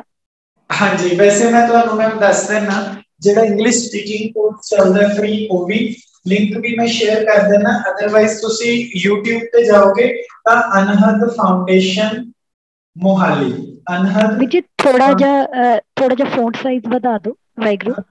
ਵੌਇਸ ਨਹੀਂ ਆਡੀਬਲ ਕੀ ਕਹਿ ਅਹ, ਰਹੇ? ਵੀਰ ਜੀ ਫੌਂਟ ਸਾਈਜ਼ ਵੱਡਾ ਕਰ ਦਿਓ ਲਿਖਿਆ ਥੋੜਾ ਛੋਟਾ ਹੈ ਪੜਿਆ ਨਹੀਂ ਜਾ ਰਿਹਾ। ਠੀਕ ਹੈ ਠੀਕ ਹੈ। ਜੀ ਸੋ ਅਨਹਦ ਫਾਊਂਡੇਸ਼ਨ ਦਾ ਪੇਜ ਹੈ ਮੈਮ ਇਹਦੇ ਤੇ ਮੈਂ ਬਹੁਤ ਛੋਟੀਆਂ ਛੋਟੀਆਂ ਵੀਡੀਓਜ਼ ਰਿਕਾਰਡ ਕਰਕੇ ਪਾਈਆਂ ਹੋਈਆਂ ਨੇ ਨੌਲੇਜ ਦੇ ਲਈ ਕਿ ਜਿਹੜੇ ਜਿਹੜੇ ਅੱਜ ਮੈਂ ਪੇਪਰ ਦੱਸੇ ਨੇ, ਇਹਦੇ ਤੇ ਛੋਟੀਆਂ ਛੋਟੀਆਂ ਵੀਡੀਓਜ਼ ਰਿਕਾਰਡਡ ਨੇ। ਇਸ ਤੋਂ ਇਲਾਵਾ ਕੁਝ ਵੀਡੀਓਜ਼ ਹੋਰ ਵੀ ਅਸੀਂ ਪਾ ਰਹੇ ਹਾਂ। ਤੋ ਜਿਹੜਾ ਮਾਈ ਭਾਗੋ ਦਾ, ਮਹਾਰਾਜਾ ਰਣਜੀਤ ਸਿੰਘ ਦਾ ਆਈਐਸ ਆਫੀਸਰ ਦਾ ਐਨਡੀਏ ਦਾ, ਇਹ ਵੀਡੀਓਜ਼ ਅਵੇਲੇਬਲ ਨੇ। ਤੁਸੀਂ YouTube ਤੇ ਸਰਚ ਕਰੋ। ਔਰ ਜਿਹੜਾ ਫ੍ਰੀ ਇੰਗਲਿਸ਼ ਸਪੀਕਿੰਗ ਕੋਰਸ ਦਾ ਪ੍ਰੋਗਰਾਮ ਚੱਲਦਾ ਹੈ, ਉਹ ਵੀ ਤੁਸੀਂ YouTube ਥਰੂ ਸਬਸਕ੍ਰਾਈਬ ਕਰਕੇ ਤੇ ਡੇਲੀ ਲਗਾ ਸਕਦੇ ਹੋ ਕਲਾਸਿਸ ਮੈਂ ਟਾਈਮਿੰਗਸ ਦੱਸਦੇ ਦਿੰਦੇ ਤੇ ਤੁਸੀਂ ਨੋਟ ਕਰ ਲਓ ਅਨੰਦ ਫਾਊਂਡੇਸ਼ਨ ਮੋਹਾਲੀ ਐਦਾਂ ਇੱਕ ਲੋਗੋ ਆਏਗਾ, ਇਹਦੇ ਵਿੱਚ ਇੱਕ ਫੇਸ ਬਣਿਆ ਹੋਏਗਾ ਲੋਗੋ ਆਏਗਾ, ਉਹ ਫੇਸ ਬਣਿਆ ਹੋਏਗਾ ਇਦਾਂ ਦਾ ਕਰਕੇ ਲੋਗੋ ਆਏਗਾ। ਤਾਂ ਤੁਸੀਂ ਉਹ ਚੈਨਲ ਸਬਸਕ੍ਰਾਈਬ ਕਰ ਲੈਣਾ। ਵੈਸੇ ਤੁਸੀਂ ਜਦੋਂ ਸਰਚ ਕਰੋਗੇ ਮੈਨੂੰ ਮੇਰੀਆਂ ਫੋਟੋਜ਼ ਤੁਹਾਨੂੰ ਦਿਖ ਜਾਣਗੀਆਂ ਉੱਥੇ। ਤਾਂ ਤੁਸੀਂ ਉਹਦੇ ਥਰੂ ਸਬਸਕ੍ਰਾਈਬ ਕਰਕੇ ਸਾਰੇ ਪੇਪਰਸ ਦੀਆਂ ਸ਼ਾਰਟ ਸ਼ਾਰਟ ਵੀਡੀਓਜ਼ ਨੇ ਉਹਦੇ ਚ ਐਲੀਜੀਬਿਲਟੀ ਏਜ ਕਦੋਂ ਹੁੰਦਾ ਪੇਪਰ ਟਾਈਮਿੰਗ ਸਭ ਕੁਝ ਦਿੱਤਾ। ਵਾਹਿਗੁਰੂ ਜੀ ਕਾ ਖਾਲਸਾ ਵਾਹਿਗੁਰੂ ਜੀ ਕੀ ਫਤਿਹ ਜੀ। ਵਾਹਿਗੁਰੂ ਜੀ ਕਾ ਖਾਲਸਾ ਫਤਿਹ ਬੇਟਾ ਹਾਂਜੀ। ਸਰ ਜੀ ਮੇਰਾ ਨਾ ਕੁਐਸਚਨ ਸੀਗਾ ਕਿ ਅਸੀਂ ਆਈਐਸ ਆਫੀਸਰ ਦੇ ਲਈ ਪਲੱਸ 2 ਤੋਂ ਬਾਅਦ ਕਿਹੜੀ ਗ੍ਰੈਜੂਏਸ਼ਨ ਕਰ ਸਕਦੇ ਆ ਕਿਹੜੇ subject related very good very good so ਬਹੁਤ ਵਧੀਆ ਕੁਐਸਚਨ ਹੈ ਬੱਚੇ, ਸ਼ਾਇਦ ਬਹੁਤ ਬੱਚਿਆਂ ਦੇ ਦਿਮਾਗ 'ਚ ਕੁਐਸਚਨ ਹੁੰਦਾ ਹੈ। ਸੋ ਆਈਐਸ ਦੇ ਵਿੱਚ ਬੱਚਿਓ, ਜਿਹੜੇ ਆਰਟਸ ਦੇ ਸਬਜੈਕਟ ਨੇ, ਉਹ ਜ਼ਿਆਦਾ ਆਉਂਦੇ ਨੇ। History public administration history public administration and ਤੁਸੀਂ ਕੋਈ ਵੀ ਉਹਨਾਂ ਦੇ ਨਾਲ ਕੰਬੀਨੇਸ਼ਨ ਰੱਖ ਸਕਦੇ ਹੋ ਪੋਲਿਟੀ ਰੱਖ ਸਕਦੇ ਹੋ। ਆਈਐਸ ਦੇ ਵਿੱਚ ਟੋਟਲ 36 ਸਬਜੈਕਟਸ ਹੁੰਦੇ ਨੇ, ਜਿਹੜੇ ਆਪਾਂ ਪੜ੍ਹਨੇ ਹੁੰਦੇ ਨੇ। ਤੋਂ ਉਹਦੇ ਵਿੱਚ ਸਾਰੇ ਦੇ ਸਾਰੇ ਸਬਜੈਕਟਸ ਆਰਟਸ ਦੇ ਹੀ ਹੁੰਦੇ ਨੇ। ਆਈਐਸ ਦੇ ਵਿੱਚ ਦੋ ਪੇਪਰ ਹੁੰਦੇ ਨੇ, ਪਹਿਲਾ ਹੁੰਦਾ ਪ੍ਰੀ ਫਿਰ ਹੁੰਦਾ ਮੇਨਸ ਮੇਨਸ ਜਿਹੜਾ ਪੇਪਰ ਹੁੰਦਾ ਹੈ, ਉਹ ਪੇਪਰ ਕੀ ਹੈ? ਤੁਸੀਂ ਜਿਹੜਾ ਵੀ ਸਬਜੈਕਟ ਪੜਿਆ ਮੰਨ ਲਓ ਮੇਨਸ 'ਚ ਤੁਸੀਂ ਇੱਕ ਸਬਜੈਕਟ ਚੂਜ਼ ਕਰਨਾ ਹੁੰਦਾ, ਤੁਸੀਂ ਹਿਸਟਰੀ ਰੱਖ ਲਓ, ਤੁਸੀਂ ਪਬਲਿਕ ਐਡਮਿਨਿਸਟ੍ਰੇਸ਼ਨ ਰੱਖ ਲਓ, ਤੁਸੀਂ ਪੋਲਿਟੀ ਰੱਖ ਲਓ, ਇਹ ਰੱਖ ਸਕਦੇ ਹੋ। ਵੈਸੇ ਮੇਨ ਜਿਹੜੇ ਤਿੰਨ ਸਬਜੈਕਟ ਆਈਐਸ 'ਚ ਜ਼ਿਆਦਾ ਆਉਂਦੇ ਨੇ, ਇੱਕ ਆਉਂਦਾ ਪੋਲਿਟੀ ਪੋਲਿਟੀ ਦੇ ਵਿੱਚ ਸੰਵਿਧਾਨ ਇੰਡੀਆ ਦਾ ਪੜਿਆ ਜਾਂਦਾ ਸਾਰਾ ਕਨਸਟੀਟਿਊਸ਼ਨ ਕਿਹੜੇ ਮੇਰਾ ਖੁਦ ਸਬਜੈਕਟ ਸਪੈਸੀਫਿਕ ਪੋਲਿਟੀ ਰਿਹਾ ਤਾਂ ਕਿਹੜੇ ਸੰਵਿਧਾਨ ਦੇ ਵਿੱਚ ਕਿਹੜੇ, ਮਤਲਬ ਜਿਵੇਂ ਆਪਾਂ ਪੜ੍ਹਦੇ ਆ ਨਾ ਵੀ ਇਹ ਆਰਟੀਕਲ ਦੇ ਤਹਿਤ ਇਹ ਸਜ਼ਾ ਦਿੱਤੀ ਜਾਏਗੀ, ਇਹ ਮੁਜਰਮ ਨੂੰ ਇਹ ਸਜ਼ਾ ਦਿੱਤੀ ਜਾਏਗੀ ਸੋ ਉਹ ਸਾਰਾ ਕੁਝ ਉਹਦੇ ਵਿੱਚ ਗਿਵਨ ਹੁੰਦਾ ਹੈ ਔਰ polity public administration and history ਇਹ ਤਿੰਨ ਸਬਜੈਕਟ ਸਫੀਸ਼ੀਐਂਟ ਨੇ ਗ੍ਰੈਜੂਏਸ਼ਨ ਚ ਕਰੋ ਗ੍ਰੈਜੂਏਸ਼ਨ ਚ ਪ੍ਰੈਸ਼ਰ ਘੱਟ ਰੱਖੋ ਮਤਲਬ ਇਹ ਹੁੰਦਾ ਹੈ ਕਿ ਕਈ ਬੱਚੇ ਕੀ ਹੈ, ਇਹ ਕਹਿੰਦੇ ਨੇ ਕਿ ਸਰ ਮੈਂ ਮੈਡੀਕਲ ਕਰ ਲਵਾਂ, ਨਾਲ ਮੈਂ ਆਈਐਸ ਦੀ ਤਿਆਰੀ ਕਰ ਲਵਾਂ। ਦੇਖੋ, ਦੋ ਟਫ ਚੀਜ਼ਾਂ ਨਹੀਂ ਪੋਸੀਬਲ ਜਾਂ ਤਾਂ ਆਈਐਸ ਤੇ ਫੋਕਸ ਹੋਏਗਾ ਜਾਂ ਗ੍ਰੈਜੂਏਸ਼ਨ ਤੇ। ਜੇ ਤੁਸੀਂ ਟਫ ਰੱਖ ਲਈ, ਤਾਂ ਗ੍ਰੈਜੂਏਸ਼ਨ ਚ ਮੈਂ ਜੇ ਸਬਜੈਕਟ ਉਹ ਰੱਖੇ ਨੇ history public administration and polity ਫਿਰ ਮੈਨੂੰ ਬਹੁਤ ਈਜ਼ੀ ਹੈ ਕਿ ਮੈਂ ਆਈਐਸ ਦੀ ਤਿਆਰੀ ਵਧੀਆ ਤਰੀਕੇ ਨਾਲ ਨਾਲ ਕਰ ਸਕਾਂ ਜਾਂ ਇਹ ਕਹਿ ਲਓ ਤੁਸੀਂ ਆਈਐਸ ਦੀ ਤਿਆਰੀ ਕਰ ਰਹੇ ਹੋਵੋਗੇ ਉਸ ਕਾਲਜ ਵਾਲੇ ਤਾਂ ਬੜੇ ਆਰਾਮ ਨਾਲ ਤੁਹਾਡੇ ਹੋ ਜਾਣਗੇ। ਠੀਕ ਹੈ ਬੱਚੇ? ਇਹ 13499 ਇਹਨਾਂ ਨੇ ਹੈਂਡ ਰੇਜ਼ ਕੀਤਾ ਜੀ। ਇੱਕ ਹੋਰ ਹੈਂਡ ਰੇਜ਼ ਹੈ 13 ਵਾਹਿਗੁਰੂ ਜੀ ਖਾਲਸਾ ਵਾਹਿਗੁਰੂ ਜੀ ਕੀ ਫਤਿਹ ਜੀ। ਵਾਹਿਗੁਰੂ ਜੀ ਕਾ ਖਾਲਸਾ ਫਤਿਹ ਬੇਟਾ। ਸਰ ਮੇਰਾ ਕੁਐਸਚਨ ਇਹ ਸੀ ਕਿ ਜਿਸ ਤਰ੍ਹਾਂ ਹਨਾ ਆਪਾਂ 10th ਤੋਂ ਬਾਅਦ ਮੇਰੀ ਮਤਲਬ ਏਮ ਆਫ ਲਾਈਫ ਹੈ ਕਿ ਮੈਂ ਲਾਇਰ ਬਣਨਾ ਹੈ ਹਨਾ ਤੇ 10th ਤੋਂ ਬਾਅਦ ਆਪਾਂ ਜੇ ਆਰਟਸ ਰੱਖ ਲਈਏ ਤਾਂ ਇਹ ਬੈਸਟ ਆਪਸ਼ਨ ਹੈ ਬਟ ਮੇਰਾ ਮੈਥਸ ਦੇ ਵਿੱਚ ਵੀ ਇੰਟਰਸਟ ਬਹੁਤ ਜ਼ਿਆਦਾ ਹੈ ਤੇ ਮੇਰਾ ਮੈਥਸ ਪੜਨ ਨੂੰ ਮਤਲਬ ਜੀ ਕਰਦਾ ਹੈ ਦੈਨ ਮੈਂ ਮਤਲਬ ਕਨਫਿਊਜ਼ ਆ ਕਿ ਮੈਂ ਕੀ ਕਰਾਂ ਹੁਣ। ਓਕੇ ਸੋ ਇਸ ਕੇਸ ਦੇ ਵਿੱਚ ਤੁਸੀਂ ਬੱਚੇ ਐਡੀਸ਼ਨਲ ਆਰਟਸ ਰੱਖੋ ਆਰਟਸ ਰੱਖੋ ਆਰਟਸ ਦੇ ਨਾਲ ਐਡੀਸ਼ਨਲ ਮੈਥਸ ਰੱਖ ਲਓ। ਆਰਟਸ ਰੱਖੋ, ਅਗਰ ਮੈਥਸ 'ਚ ਇੰਟਰਸਟ ਹੈ ਤਾਂ ਤੁਸੀਂ ਐਡੀਸ਼ਨਲ ਮੈਥਸ ਰੱਖ ਲਓ। ਮੈਥਸ ਰੱਖਣ ਦੇ ਨਾ ਬਹੁਤ ਸਾਰੇ ਫਾਇਦੇ ਹੁੰਦੇ ਆ। ਦੇਖੋ ਨਾਨ ਮੈਡੀਕਲ ਵਾਲੇ ਬੱਚੇ ਬਹੁਤ ਸਾਰੇ ਪੇਪਰ ਭਰ ਸਕਦੇ ਆ ਜਿਹੜੇ ਆਰਟਸ ਵਾਲੇ ਨਹੀਂ ਭਰ ਸਕਦੇ। ਅਗਰ ਤੁਸੀਂ ਮੈਥ ਰੱਖ ਲਿਆ ਤਾਂ ਤੁਸੀਂ ਬਹੁਤ ਸਾਰੇ ਪੇਪਰ ਨਾਨ ਮੈਡੀਕਲ ਵਾਲੇ ਵੀ ਭਰ ਸਕਦੇ। ਹੋ ਜਿਹੜੇ ਪੇਪਰ ਕੀ ਹੈ, ਤੁਸੀਂ ਆਰਟਸ ਕੱਲਾ ਰੱਖਦੇ ਤਾਂ ਨਹੀਂ ਭਰ ਸਕਦੇ। ਅੱਛਾ ਐਡੀਸ਼ਨਲ ਪੇਪਰ ਦਾ ਫਾਇਦਾ ਵੀ ਹੈ ਤੇ ਨੁਕਸਾਨ ਵੀ ਹੈ? ਫਾਇਦਾ ਇਹ ਹੈ ਕਿ ਜੇ ਤੁਸੀਂ ਵਧੀਆ ਤਰੀਕੇ ਪੜ੍ਹਦੇ ਰਹੇ, ਤਾਂ ਫਿਰ ਤੁਸੀਂ ਪੇਪਰ ਦੇ ਦਿਓ। ਐਂਡ ਤੁਹਾਡਾ ਮੈਥਸ ਵੀ ਨਾਲ ਆ ਗਿਆ, ਪੰਜਾਂ ਸਬਜੈਕਟਾਂ ਦੇ ਨਾਲ, ਜਿਹੜੇ ਵੀ ਤੁਸੀਂ ਆਰਟਸ ਦੇ ਰੱਖ ਰਹੇ ਹੋ। ਦੋ ਤਾਂ ਕੰਪਲਸਰੀ ਨੇ ਤਿੰਨਾਂ ਦੇ ਨਾਲ। ਛੇਵਾਂ ਸਬਜੈਕਟ ਮੈਥ ਹੋ ਗਿਆ। ਅਗਰ ਤੁਸੀਂ ਬਾਈ ਚਾਂਸ ਤੁਹਾਡਾ ਲੱਗਦਾ ਹੈ ਪਲੱਸ 2 ਦੇ ਐਂਡ ਤੱਕ ਵੀ ਮੇਰੇ ਕੋਲ ਕੋਪ ਅਪ ਨਹੀਂ ਹੋ ਪਾ ਰਿਹਾ, ਵੀ ਮੈਂ ਆਰਟਸ ਨਾਲ ਮੈਥ ਕਰਾਂ ਕਿਵੇਂ ਠੀਕ ਹੈ? ਤਾਂ ਉੱਥੇ ਕੀ ਹੈ? ਤੁਸੀਂ ਜੇ ਨਹੀਂ ਵੀ ਉਹਦਾ ਪੇਪਰ ਦਿੰਦੇ ਤੇ ਤੁਹਾਨੂੰ ਰਿਜੈਕਟ ਨਹੀਂ ਹੁੰਦਾ, ਉਹ ਐਕਸੈਪਟਡ ਹੁੰਦਾ ਜੇ ਤੁਸੀਂ ਨਹੀਂ ਵੀ ਦਿੰਦੇ ਐਡੀਸ਼ਨਲ ਪੇਪਰ, ਤਾਂ ਉਹਦੇ ਵਿੱਚ ਬਾਕੀ ਸਿਲੇਬਸ ਬਾਕੀ ਚੀਜ਼ਾਂ ਦਾ ਕੋਈ ਫ਼ਰਕ ਨਹੀਂ ਪੈਂਦਾ ਹੁੰਦਾ। ਤੁਸੀਂ ਨਾ ਪੇਪਰ ਤੋਂ ਤੁਸੀਂ 2 ਸਾਲ ਦੱਸੋ ਵੀ ਨਾ ਸੀਬੀਐਸਈ ਨੂੰ ਕਿ ਮੈਂ ਪੇਪਰ ਨਹੀਂ ਦੇਣਾ। ਐਂਡ 'ਚ ਜਾ ਕੇ ਤੁਸੀਂ ਪੇਪਰ ਮੈਥ ਦਾ ਨਾਮ ਵੀ ਦਿਓ ਨਾ, ਤਾਂ ਕੁਝ ਵੀ ਫੇਲ ਨਹੀਂ ਲਿਖਿਆ ਹੁੰਦਾ ਸਰਟੀਫਿਕੇਟ ਤੇ, ਕਿਉਂਕਿ ਉਹਨਾਂ ਵਾਸਤੇ ਪੰਜ ਸਬਜੈਕਟ ਵੀ ਬੜੇ ਹੁੰਦੇ ਨੇ। ਬਾਕੀ ਤਾਂ ਤੁਸੀਂ ਐਡੀਸ਼ਨਲ ਐਡੀਸ਼ਨਲ ਕਦੇ ਵੀ ਕੋਈ ਫਲ, ਮਤਲਬ ਸਟ੍ਰੈਸਡ ਨਹੀਂ ਹੁੰਦੇ। ਪਹਿਲੀ ਗੱਲ। ਜੇ ਤੁਸੀਂ ਇਹਨੂੰ ਇਦਾਂ ਕਰਨਾ ਚਾਹੁੰਦੇ ਹੋ, ਵੈਸੇ ਤਾਂ ਤੁਸੀਂ ਲਾਅ ਕਰਨਾ ਹੈ, ਤਾਂ ਬੈਸਟ ਹੈਗਾ ਕਿ ਤੁਸੀਂ ਮਤਲਬ ਨਾਲ ਨਾਲ ਕਲੈਟ ਦੀ ਤਿਆਰੀ ਕਰੋ ਸੀ ਕਲੈਟ। ਕਲੈਟ ਦੋ ਹੁੰਦੇ ਨੇ, ਇੱਕ ਕਲੈਟ ਹੁੰਦਾ ਜਿਹੜਾ ਆਲ ਇੰਡੀਆ ਲੈਵਲ ਤੇ ਹੁੰਦਾ ਇੱਕ ਪੰਜਾਬ ਯੂਨੀਵਰਸਿਟੀ ਆਪਣਾ ਐਲ ਐਲ ਬੀ ਦਾ ਪੇਪਰ ਵੀ ਲੈਂਦੀ ਹੈ। ਪੰਜਾਬ ਯੂਨੀਵਰਸਿਟੀ ਆਪਣਾ ਵੀ ਐਲਐਲਬੀ ਦਾ ਪੇਪਰ ਲੈਂਦੀ ਹੈ। ਤੁਸੀਂ ਉਹ ਉਹ ਵੀ ਨਾਲ ਨਾਲ ਤਿਆਰੀ ਕਰੋ ਸੋ ਦੈਟ ਕਿ ਜਦੋਂ ਕੰਪੀਟੀਟਿਵ ਐਗਜ਼ਾਮ ਹੋਵੇ ਆਫਟਰ ਪਲੱਸ 2 ਤਾਂ ਬੜੇ ਆਰਾਮ ਨਾਲ ਤੁਹਾਡਾ ਕਲੀਅਰ ਹੋ ਜਾਵੇ। ਠੀਕ ਹੈ, ਵੈਸੇ ਆਰਮੀ ਦਾ ਸਭ ਤੋਂ ਬੜਾ ਜਿਹੜਾ ਲਾਅ ਦਾ ਇੰਸਟੀਚਿਊਟ ਹੈ, ਉਹ ਹੈਗਾ army institute of law Mohali. ਸਭ ਤੋਂ ਬੜਾ ਇੰਸਟੀਚਿਊਟ ਹੈ ਇਹ ਸਰਕਾਰੀ ਲਾਅ ਦਾ। ਅੱਛਾ ਹੈ, ਤੋਂ ਤੁਸੀਂ ਪੰਜਾਬ 'ਚ ਦੇਖਦੇ ਹੋ, ਪੰਜਾਬ ਤੋਂ ਬਾਹਰ ਤਾਂ ਬਹੁਤ ਹੈਗੇ ਨੇ। ਤੋਂ ਇਹ ਹੈ ਕਿ ਕਲੈਟ ਆਲ ਇੰਡੀਆ ਲੈਵਲ ਦਾ ਪੇਪਰ ਹੈ common law admission test otherwise ਜੇ ਤੁਸੀਂ ਪੰਜਾਬੀ ਯੂਨੀਵਰਸਿਟੀ ਐਡਮਿਸ਼ਨ ਲੈਣੀ ਹੈ ਤਾਂ ਤੁਸੀਂ ਐਲਐਲਬੀ ਠੀਕ ਹੈ ਬੱਚੇ? ਹਾਂ, ਇੱਕ ਹੋਰ ਚੀਜ਼ ਹੈ, ਮੈਂ ਦੱਸ ਦੇਣਾ ਤੁਹਾਨੂੰ। ਕਿ ਤੁਸੀਂ ਮਤਲਬ ਪਲੱਸ 1 ਪਲੱਸ 2 ਚ ਤਾਂ ਮੈਂ ਪ੍ਰੇਫਰ ਕਰਦਾ ਹਾਂ ਨਾਨ ਮੈਡੀਕਲ ਕਰ ਲਓ ਜਿਹੜੇ ਕਰ ਸਕਦੇ ਹੋ। ਉਹਦਾ ਰੀਜ਼ਨ ਇਹ ਹੁੰਦਾ ਹੈ ਕਿ ਮੈਂ ਨਾਨ ਮੈਡੀਕਲ ਕਰਕੇ ਆਰਟਸ ਵਾਲੇ ਸਾਰੇ ਕੰਪੀਟੀਟਿਵ ਐਗਜ਼ਾਮ ਭਰ ਸਕਦਾ ਹੁੰਦਾ। ਅਗਰ ਮੈਂ ਆਰਟਸ ਚ ਤਾਂ ਮੈਂ ਨਾਨ ਮੈਡੀਕਲ ਵਾਲਾ ਕੋਈ ਕੰਪੀਟੀਟਿਵ ਐਗਜ਼ਾਮ ਨਹੀਂ ਭਰ ਸਕਦਾ। ਤੋਂ ਬੈਟਰ ਹੁੰਦਾ। ਅੱਛਾ ਨਾਨ ਮੈਡੀਕਲ ਤੋਂ ਬਾਅਦ ਤੁਸੀਂ ਗ੍ਰੈਜੂਏਸ਼ਨ ਚ ਬੀਏ ਕਰ ਲੈਂਦੇ ਹੋ, ਕਿਸੇ ਨੂੰ ਕੀ ਫ਼ਰਕ ਹੈ? ਕੋਈ ਟੈਨਸ਼ਨ ਨਹੀਂ ਹੈ। ਲੇਕਿਨ ਅਗਰ ਤੁਸੀਂ ਪਲੱਸ 2 ਕੀਤੀ ਆਰਟਸ ਤੁਹਾਨੂੰ ਬਾਅਦ ਚ ਪਤਾ ਲੱਗਿਆ, ਅੱਛਾ ਆਰਮੀ ਚ ਇਹ ਪੇਪਰ ਇਦਾਂ ਦਿੱਤਾ ਜਾਂਦਾ ਹੈ। ਸੋ ਉੱਥੇ ਕੀ ਹੈ ਬੇਟਾ ਪਲੱਸ 2 ਕਰ ਰਹੀਆਂ ਕੁੜੀਆਂ ਹੀ ਮਾਈ ਭਾਗੋ ਦਾ ਫਾਰਮ ਫਿਲ ਕਰ ਸਕਦੀਆਂ। ਕਿਸੇ ਬੱਚੇ ਨੇ ਮੈਸੇਜ ਕੀਤਾ ਸੀ ਪਲੱਸ 2 ਕਰ ਰਹੀਆਂ ਕੁੜੀਆਂ ਹੀ ਮਾਈ ਭਾਗੋ ਦਾ ਫਾਰਮ ਭਰ ਸਕਦੀਆਂ। ਸੋ ਉੱਥੇ ਕੀ ਹੈ ਆਰਟਸ ਵਾਲੇ ਬੱਚੇ ਕੀ ਹੈ ਫਿਰ ਸੈਡ ਹੋ ਜਾਂਦੇ ਨੇ ਮੈਂ ਪੇਪਰ ਨਹੀਂ ਭਰ ਸਕਦਾ। ਠੀਕ ਹੈ? ਸੋ ਪ੍ਰੈਫਰ ਹੁੰਦਾ ਜੇ ਕਰ ਸਕਦੇ, ਨਹੀਂ ਕਰ ਸਕਦੇ ਤਾਂ ਨਾਟ ਐਨ ਇਸ਼ੂ ਠੀਕ ਹੈ? ਐਨੀਵਨ ਐਲਸ ਹਾਂਜੀ ਵੀਰ ਜੀ ਇੱਕ ਦੋ ਬੱਚਿਆਂ ਦੇ ਹੈਂਡ ਰੇਜ਼ ਹੈਗੇ ਅਸੀਂ ਚਾਹਾਂਗੇ ਆਨਸਰ ਅਗਰ ਕੀਤੇ ਜਾਣ ਅਗਰ ਤੁਹਾਡੇ ਕੋਲ ਸਮਾਂ ਹੋਵੇ ਵੈਸੇ ਸਮਾਂ ਤਾਂ ਉੱਪਰ ਹੋ ਚੁੱਕਾ ਹੈ। ਜੇ ਪੋਸੀਬਲ ਹੈ ਤਾਂ। ਸਰ ਹਾਂਜੀ। ਸਰ ਮੈਨੂੰ ਨਾ 10th ਤੋਂ ਬਾਅਦ ਕਾਮਰਸ ਰੱਖਣੀ ਹੈ ਆਪਣੀ ਪਲੱਸ 1 ਐਂਡ ਬਟ ਮੈਨੂੰ ਨਾ ਮੈਥਸ ਵਿੱਚ ਵੀ ਬਹੁਤ ਇੰਟਰਸਟ ਹੈ ਕਿਉਂਕਿ ਮੈਨੂੰ ਕਾਮਰਸ ਕੇ ਦੇ ਨਾਲ ਮੈਥਸ ਆਪਸ਼ਨਲ ਸਬਜੈਕਟ ਰੱਖਣਾ ਹੈ। ਕਿ ਉਹ ਰੱਖਣਾ? ਈਜ਼ੀ ਰਹੇਗਾ ਜਾਂ ਡਿਫਿਕਲਟ ਹੋਏਗਾ ਕਾਮਰਸ ਦੇ ਨਾਲ ਰੱਖਣਾ? ਕਾਮਰਸ ਬੱਚੇ ਆਪਣੇ ਆਪ 'ਚ ਵੀ ਟਫ ਹੈ। ਕਾਮਰਸ ਮਤਲਬ ਇੱਕ ਰੂਮਰ ਹੈ ਕਿ ਨਾਨ ਮੈਡੀਕਲ ਨਹੀਂ ਕਰ ਸਕਦੇ ਤਾਂ ਤੁਸੀਂ ਕਾਮਰਸ ਕਰ ਲਓ। ਰੂਮਰ ਹੈ ਇਹ। ਅਦਰਵਾਈਜ਼ ਕਾਮਰਸ ਵੀ ਉਨੀ ਟਫ ਹੈ ਨਾਨ ਮੈਡੀਕਲ ਹੈ। ਉਹਦੇ ਵਿੱਚ ਵੀ ਸਟੈਟਸ ਇਕਨੋਮਿਕਸ ਸਬਜੈਕਟ ਉਹੋ ਜਿਹੇ ਹੈਗੇ ਨੇ, ਜਿਹਦੇ ਵਿੱਚ ਮੈਥ ਬਹੁਤ ਜ਼ਿਆਦਾ ਹੈ। ਤੁਸੀਂ ਬੁక్స్ ਮੇਨਟੇਨ ਕਰਨੀ, ਉਹਦੇ ਵਿੱਚ ਆਲਰੇਡੀ ਮੈਥਸ ਬਹੁਤ ਜ਼ਿਆਦਾ ਹੁੰਦਾ। ਹੈ so you need not to take other maths ਉਹ ਤਾਂ ਫਿਰ ਜੇ ਤੁਸੀਂ, ਮਤਲਬ ਤੁਹਾਡਾ ਡ੍ਰੀਮ ਹੀ ਚਾਰਟਰਡ ਅਕਾਊਂਟੈਂਟ ਦਾ ਹੈ ਬੀਕਾਮ ਐਮਕਾਮ ਜਾਂ ਬੀਕਾਮ ਸੀਏ ਕਰਨ ਦਾ ਹੈ, ਤਾਂ ਦੈਨ ਯੂ ਨਾਟ ਲਾਈਕ ਮੈਨੂੰ ਲੱਗਦਾ ਵੀ ਨਹੀਂ ਲੈਣਾ ਚਾਹੀਦਾ ਤੁਹਾਨੂੰ ਐਡੀਸ਼ਨਲ ਪ੍ਰੈਸ਼ਰ ਕਿਉਂਕਿ ਆਲਰੇਡੀ ਟਫ ਹੁੰਦਾ ਹੈ ਕਾਮਰਸ ਹਾਂਜੀ ਬੇਟਾ ਮਹਾਰਾਜਾ ਰਣਜੀਤ ਸਿੰਘ ਵਾਲੇ ਪੇਪਰ 10th ਕਰ ਰਹੇ ਬੱਚੇ ਦੇ ਸਕਦੇ ਨੇ। 10th ਕਰ ਰਹੇ ਬੱਚਿਆਂ ਲਈ ਹੀ ਮਹਾਰਾਜਾ ਰਣਜੀਤ ਸਿੰਘ ਦਾ ਪੇਪਰ ਹੈ ਔਰ 10th ਤੇ ਪਲੱਸ 1 ਦੋਨੇ ਕਰ ਰਹੇ ਬੱਚੇ ਦੇ ਸਕਦੇ ਵਾਹਿਗੁਰੂ ਜੀ ਕਾ ਖਾਲਸਾ ਵਾਹਿਗੁਰੂ ਜੀ ਕੀ ਫਤਿਹ ਜੀ। ਖਾਲਸਾ ਫਤਿਹ ਬੇਟਾ ਹਾਂਜੀ। ਵੀਰ ਜੀ ਮੇਰਾ ਕੁਐਸਚਨ ਇਹ ਸੀ ਕਿ ਆਈਪੀਐਸ ਆਫੀਸਰ ਦੀ ਜੌਬ ਲਈ ਸਾਨੂੰ ਕਿਹੜੀ ਸਟਰੀਮ ਯੂਜ਼ ਕਰਨੀ ਚਾਹੀਦੀ ਹੈ ਕਮਰਸ ਜਾਂ ਫਿਰ ਆਰਟਸ ਤੋਂ ਤੁਸੀਂ ਕਿਹੜੀ ਕਲਾਸ ਚ ਇਸ ਟਾਈਮ ਬੱਚੇ 10th ਚ? ਵੀਰ ਜੀ ਮੈਂ 10th ਵਿੱਚ। ਓਕੇ ਸੋ ਵੈਸੇ ਮੈਂ ਤੁਹਾਨੂੰ ਇੱਕ ਤੁਸੀਂ ਆਰਟਸ ਹੀ ਚੂਜ਼ ਕਰਨੀ ਹੈ ਬੱਚੇ ਦੋ ਚੀਜ਼ਾਂ ਨੇ ਮੈਂ ਤੁਹਾਨੂੰ ਜਿਵੇਂ ਪਹਿਲਾਂ ਦੱਸਿਆ ਕਿ ਜਾਂ ਤਾਂ ਤੁਸੀਂ ਜੇ ਤਾਂ ਤੁਸੀਂ ਆਪਣੇ ਦਿਮਾਗ ਨੂੰ ਥੋੜਾ ਜਿਹਾ ਡਿਵੈਲਪ ਕਰਨਾ ਚਾਹੁੰਦੇ ਹੋ ਦੇਖੋ ਗ੍ਰੈਜੂਏਸ਼ਨ ਦੇ ਵਿੱਚ ਕਿਹੜੇ ਸਬਜੈਕਟ ਰੱਖਣੇ ਨੇ ਇਹ ਇੰਪੋਰਟੈਂਟ ਹੈ ਜਦੋਂ ਆਪਾਂ ਆਈਐਸ ਕਰਦੇ ਹਾਂ ਗ੍ਰੈਜੂਏਸ਼ਨ ਚ ਤੁਸੀਂ ਉਹ ਸਬਜੈਕਟ ਰੱਖੋ ਜਿਹੜੇ ਸਬਜੈਕਟ ਕੀ ਹੈ ਆਈਐਸ ਦੇ ਵਿੱਚ ਆਉਂਦੇ ਨੇ ਪਲੱਸ 2 ਦੇ ਵਿੱਚ ਮੈਨੂੰ ਲੱਗਦਾ ਹੈ ਕਿ ਤੁਹਾਨੂੰ ਐਕਸਪਲੋਰ ਕਰਨ ਦੀ ਲੋੜ ਹੈ ਆਪਣੇ ਆਪ ਨॉन ਮੈਡੀਕਲ ਵਾਲੇ ਬੱਚੇ ਜ਼ਿਆਦਾ ਐਕਸਪਲੋਰ ਕਰ ਪਾਉਂਦੇ ਨੇ ਰਦਰ ਦੈਨ ਆਰਟਸ ਵਨ ਕਿਉਂਕਿ ਉਹ ਨਾਲ ਨਾਲ ਸਾਇੰਸ ਵੀ ਪੜ੍ਹਦੇ ਨੇ। ਔਰ ਤੁਹਾਨੂੰ ਆਈਐਸ ਦੇ ਵਿੱਚ ਸਾਇੰਸ ਆਉਂਦੀ ਹੈ। ਉਦੋਂ ਸਾਇੰਸ ਪੜ੍ਹਨੀ ਬਹੁਤ ਔਖੀ ਹੋ ਜਾਂਦੀ ਹੈ। ਬੇਸਿਕ ਸਾਇੰਸ ਆਂਦੀ ਹੈ ਐਡਵਾਂਸ ਨਹੀਂ ਆਂਦੀ ਤੁਸੀਂ 10th ਤੱਕ ਵੀ ਸਾਇੰਸ ਪੜ੍ਹੀ ਹੁੰਦੀ ਹੈ। ਲੇਕਿਨ ਲੇਕਿਨ ਕੀ ਆ, ਉਹਦੇ ਚ ਕੁਝ ਸਬਜੈਕਟ ਨੇ ਆਈਐਸ ਸਾਈਬਰ ਸਿਕਿਉਰਿਟੀ ਸਬਜੈਕਟ ਹੈ। ਇੰਟਰਨੈਸ਼ਨਲ ਰਿਲੇਸ਼ਨਸ਼ਿਪ ਇੱਕ ਸਬਜੈਕਟ ਹੈ। ਸ਼ਾਇਦ ਕਿਸੇ ਆਮ ਬੰਦੇ ਨੇ ਸੁਣੇ ਵੀ ਨਹੀਂ ਹੁੰਦੇ ਨਾ।